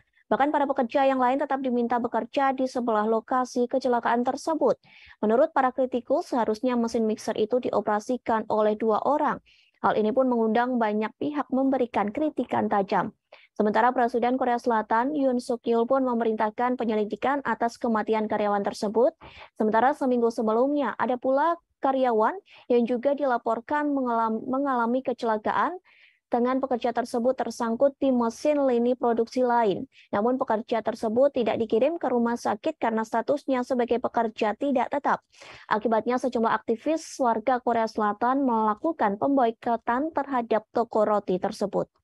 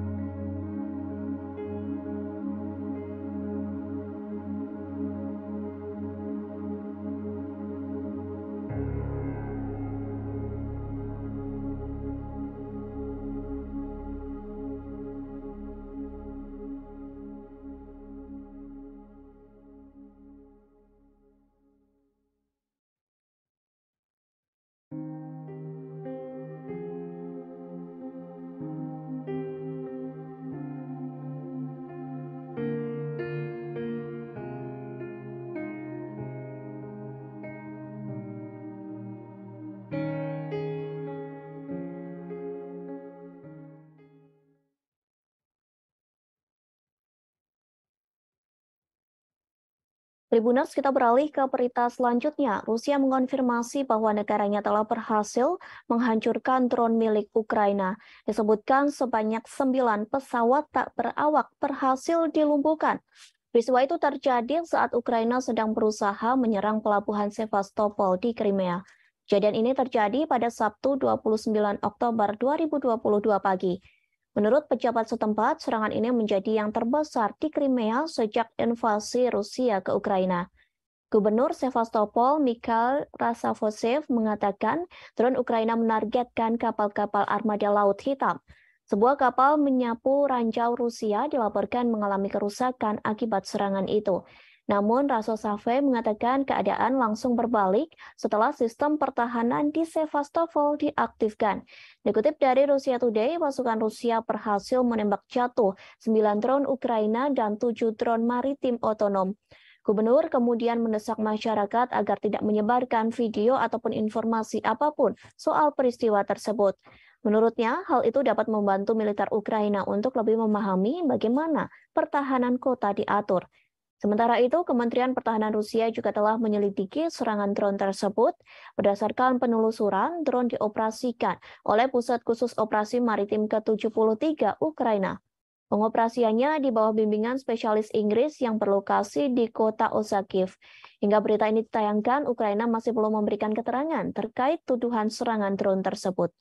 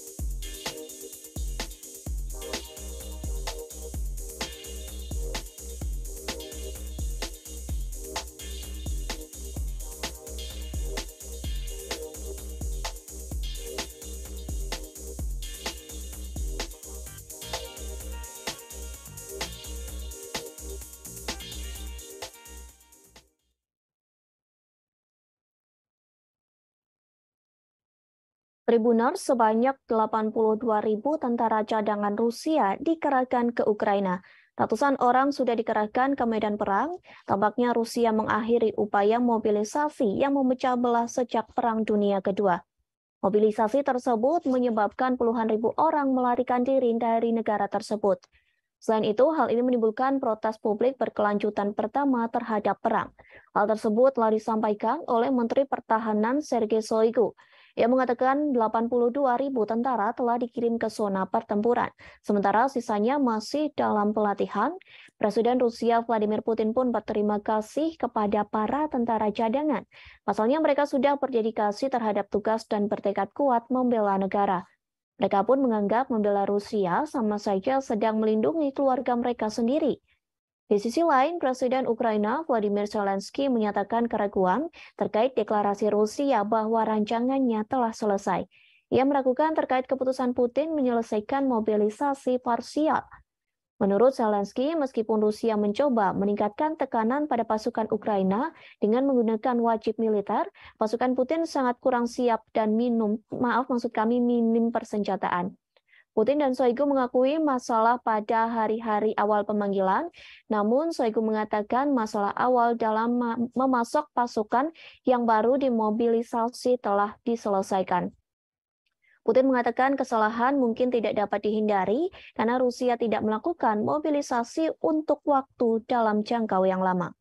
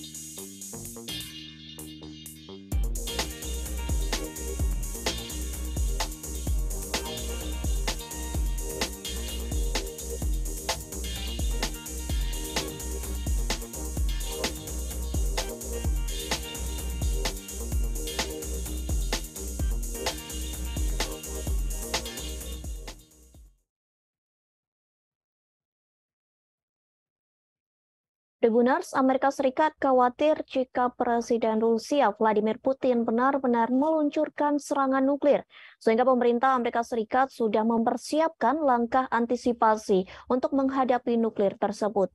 Dikabarkan Presiden Amerika Serikat Joe Biden memiliki pesawat kiamat. Pesawat tersebut akan dinaiki dan diterbangkan saat perang nuklir benar-benar terjadi. Pesawat kiamat ini dikenal sebagai Boeing E-48 Advanced Airborne Command Post atau AACP. Pesawat ini merupakan versi modifikasi dari Boeing 747-200 dalam layanan Angkatan Udara Amerika Serikat. Menurut Angkatan Udara, pesawat itu diciptakan sebagai pusat komando dan kontrol komunikasi jika terjadi darurat keamanan. Pesawat kiamat dilengkapi dengan perlindungan termal dan nuklir serta berbagai peralatan komunikasi. Jika dilihat dari tampilan luar, pesawat ini tidak memiliki jendela kecuali di bagian kokpit. Sejauh ini militer Amerika Serikat telah memiliki empat buah pesawat kiamat, namun tiga di antaranya masih belum ditingkatkan menjadi versi E-4B, Advanced Airborne Command Post atau AACP, sehingga hanya ada satu pesawat kiamat yang siap digunakan kapan saja. Dikutip dari Newsweek, pesawat kiamat ini mampu menampung 112 orang, di dalamnya terdapat berbagai ruangan, seperti ruang komando, konferensi, pengarahan, tim operasi, komunikasi, hingga ruang istirahat. Seorang pakar nuklir di Universitas Stanford Scott, Dale Sagan mengatakan kehadiran pesawat kiamat ini sangat penting bagi Amerika Serikat.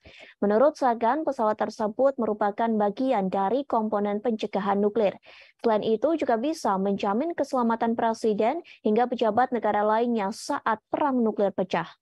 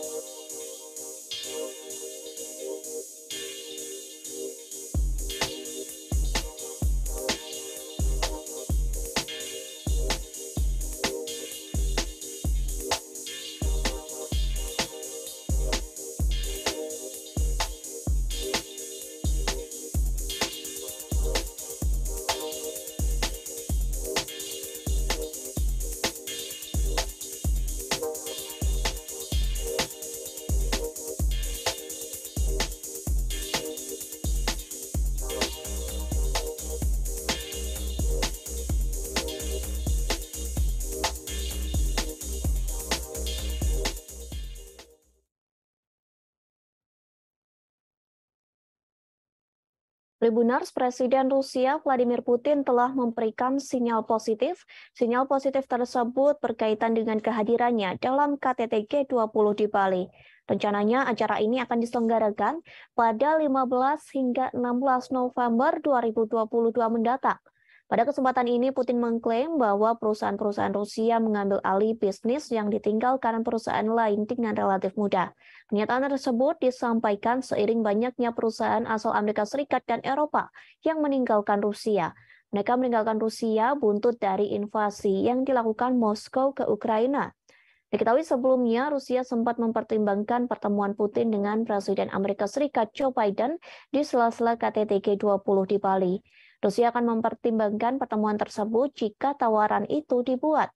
Hal tersebut telah disampaikan oleh Menteri Luar Negeri Rusia Sergei Lavrov. Lavrov pun mengatakan banyak orang yang berpikir sudah ada tanda kesiapan Biden untuk bertemu Putin, sehingga ia menentang orang-orang untuk melihat melihat apakah pertemuan itu akan benar-benar terlaksana atau tidak. Diketahui, Indonesia telah mengundang Putin secara langsung untuk menghadiri KTT G20 di Bali. Bahkan Presiden Indonesia Joko Widodo secara langsung bertolak ke Rusia untuk bertemu Putin. Namun memang banyak pemimpin negara yang mengecam keputusan Indonesia ini.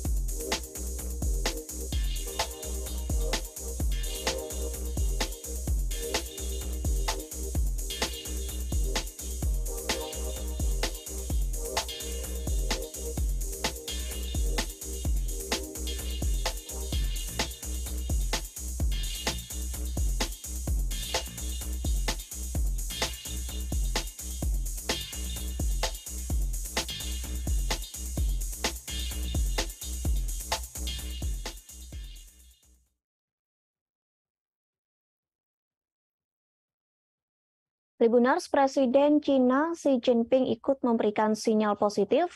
Sinyal positif ini terkait membuka komunikasi dengan Amerika Serikat. Hal ini terjadi menjelang KTT G20 di Bali Indo di Indonesia yang akan diadakan pada November mendatang. Xi Jinping berusaha untuk dekat dengan musuhnya yakni Presiden Amerika Serikat Joe Biden. Xi Jinping mengungkap Cina ingin berjalan bersama Amerika Serikat untuk menjaga perdamaian dan pembangunan dunia. Kata damai dilontarkan Xi Jinping seusai berbulan-bulan muncul ketegangan antara Amerika Serikat dan China. Selain itu, juga keputusan Beijing untuk menolak mengutuk perang Rusia di Ukraina. Xi Jinping menegaskan bahwa China berusaha untuk bekerja dengan Amerika Serikat. Kerjasama ini dilandasi dengan rasa hormat, rasa damai, dan mencari cara untuk periringan di era yang baru. Sementara itu, pemerintahan Biden pada bulan ini mengatakan China adalah satu-satunya pesaing Amerika Serikat. Hal itu berkaitan dengan membentuk kembali tatanan internasional dan meningkatkan kekuatan ekonomi, diplomatik, militer, dan teknologi untuk memajukan tujuan itu. Biden sendiri mengatakan bahwa Amerika Serikat tak mencari konflik dengan China dan menegaskan Presiden Xi Jinping sadar akan hal tersebut. Di sisi lain, Presiden Rusia Vladimir Putin juga telah memberikan sinyal positif. Sinyal positif tersebut berkaitan dengan kehadirannya dalam KTT G20 di Bali di Indonesia pada November 2022 mendatang.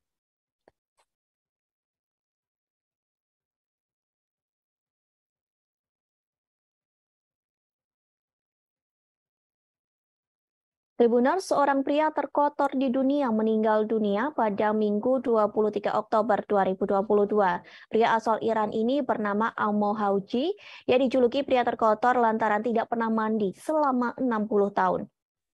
Nama Amo Haji meninggal seusai beberapa bulan dirinya mandi untuk pertama kalinya.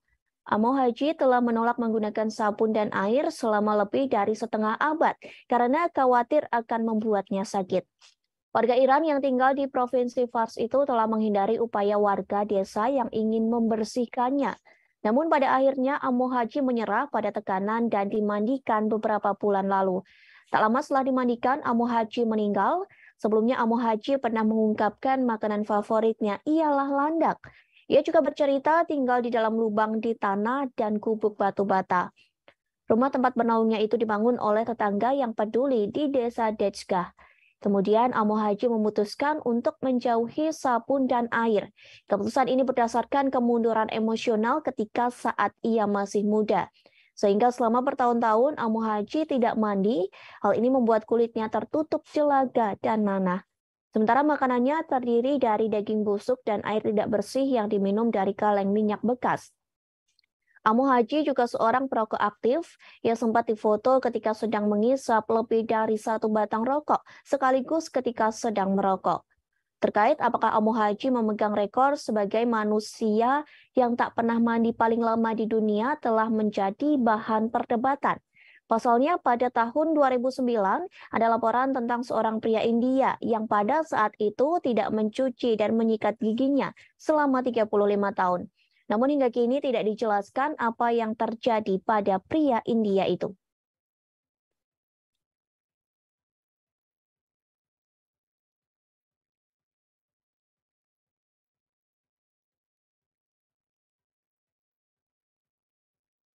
Informasi tadi sekaligus menutup perjumpaan kita dalam live update mancanegara hari ini. Jangan lupa saksikan terus live update di seluruh kanal YouTube dan Facebook Tribun Network. Saya Mariananda beserta kru yang bertugas. Pamit undur diri, terima kasih dan sampai jumpa.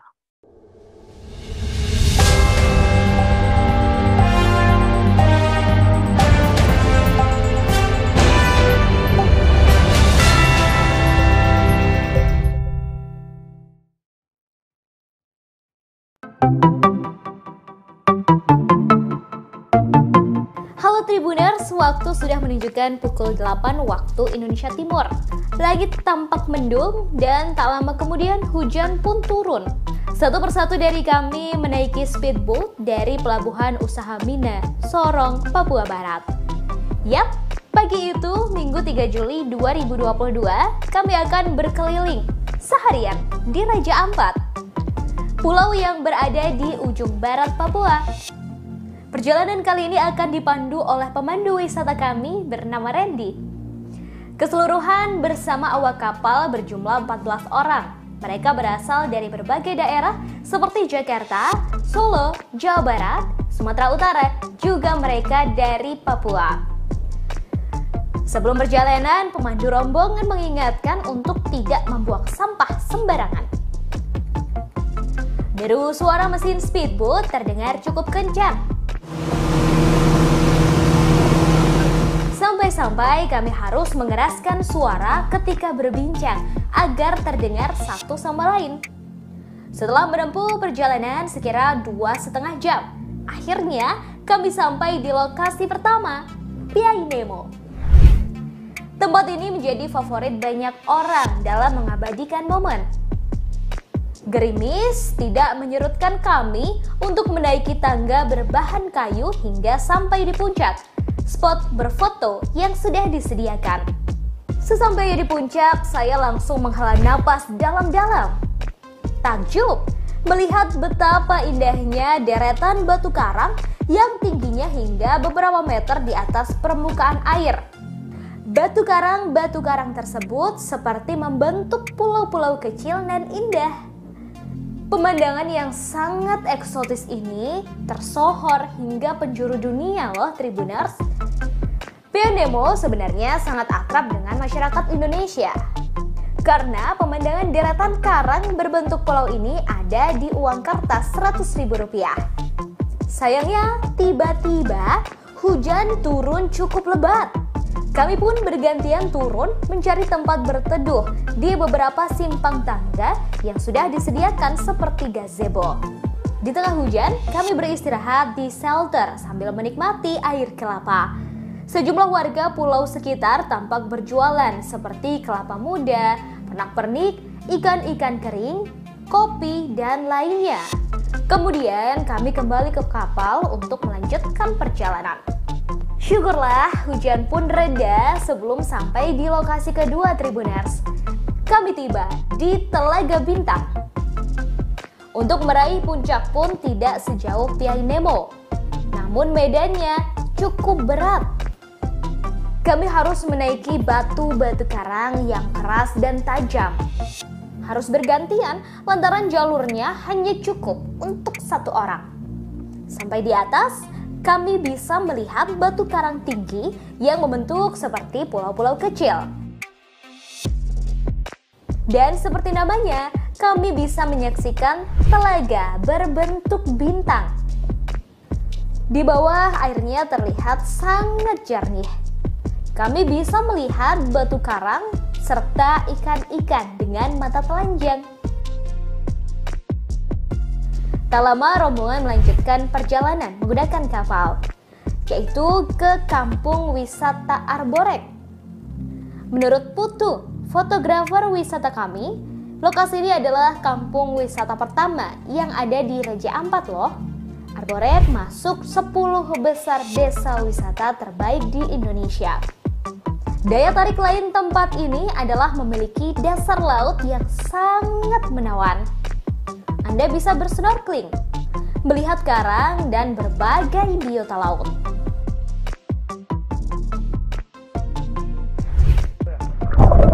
Selamat datang di Akuarium Raja Ampat. Yap, inilah Pulau Sawandarek. Pemandu rombongan mengajak untuk langsung bersnorkeling. Peralatan sudah disiapkan, seperti kacamata hingga masker snorkeling. Para wisatawan langsung melompat dari kapal untuk bersnorkeling. Di bawah terlihat ikan-ikan berparas cantik biota laut, dan berbagai rupa batu karang.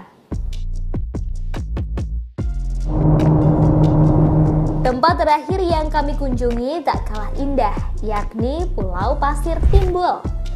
Seperti namanya, pulau ini muncul tiga kali dalam satu hari. Pukul 6 waktu Indonesia Timur, pukul 11 waktu Indonesia Timur, dan 15 waktu Indonesia Timur. Masing-masing sekitar 30 menit tepatnya saat air laut surut. Kapal kami menepi di sekitar pasir putih pulau ini yang berada bukan di pinggir daratan tetapi lebih menjorok seolah muncul pasir di laut. Wisatawan tampak berfoto di pulau ini berlatar pulau roti yang memang bentuknya menyerupai roti. Anak-anak pun terlihat senang bermain pasir putih.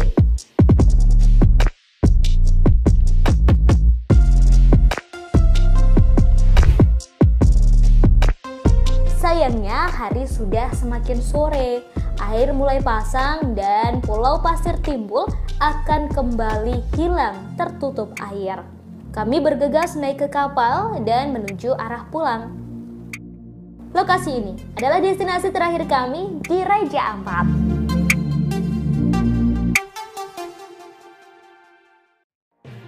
Tribun News Live Update tanggal 21. Selamat siang Tribuners, selamat sore Tribuners, selamat petang Tribuners, Anda sedang menyaksikan live up. Informasi teraktual dan terupdate dari siang hingga petang kami sajikan untuk Anda. Uh, menewaskan dua orang penumpang yang mana kedua penumpang. Kami perdalam dengan laporan langsung dari lokasi kejadian dan narasumber terpercaya. Benar-benar menghukum mereka-mereka yang terlibat menghentikan uh, terduga pelaku yang ingin laporan terkait uh, peristiwa pompong hilang kontak menabrak sejumlah uh, pemotor yang melintas tepat. Saksikan live update siang, sore, dan petang hanya di channel YouTube Tribunnews.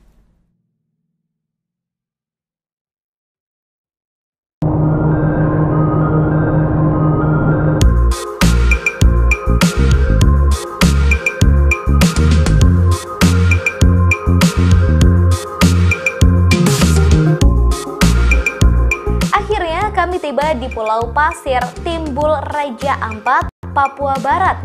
Hamparan pasir tersebut memang benar berada agak ke tengah lautan. Kami semua turun dan berlarian. Bahkan seorang wanita tampak asyik berjoget dan sang suami merekam aksinya menggunakan ponsel.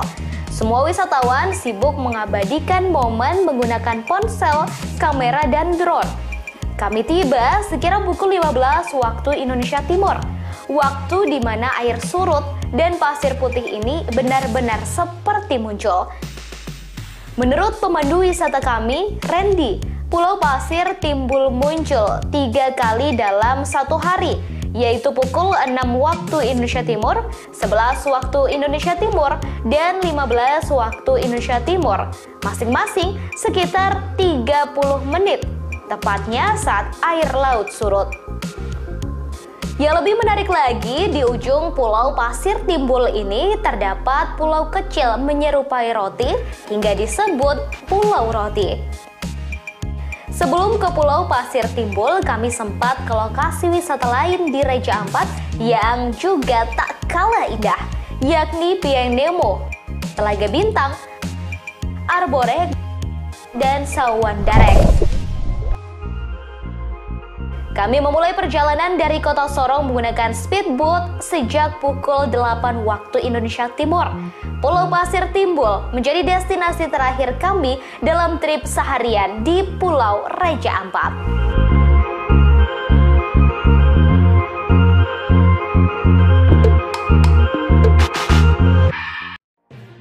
Tribun News Live Update tanggal 21. Selamat siang Tribuners, selamat sore Tribuners, selamat petang Tribuners, Anda sedang menyaksikan live up.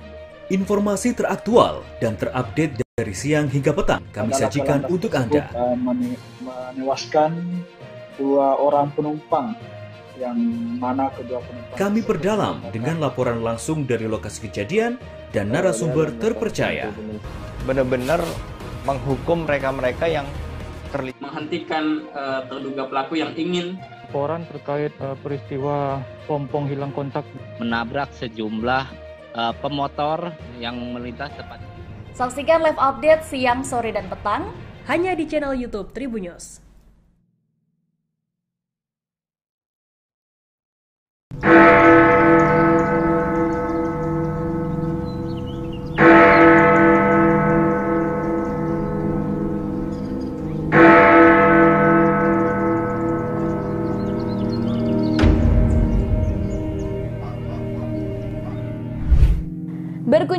Jam Gadang di kota Bukit Tinggi, Provinsi Sumatera Barat menjadi impian banyak orang.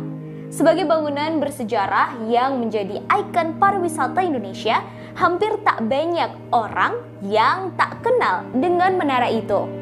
Terkadang berpose di depan jam gadang menjadi sebuah keharusan bila berkunjung ke Sumatera Barat, terutama kota Bukit Tinggi.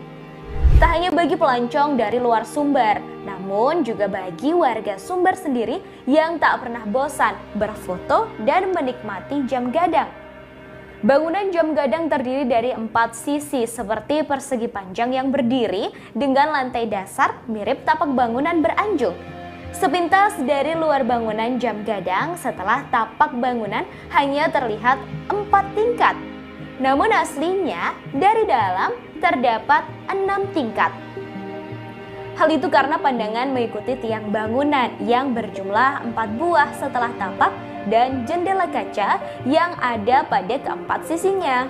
Sebelum menaiki menara ini, terdapat dua tangga yang berada di samping kiri pintu masuk menara. Pintu masuk menghadap ke arah barat.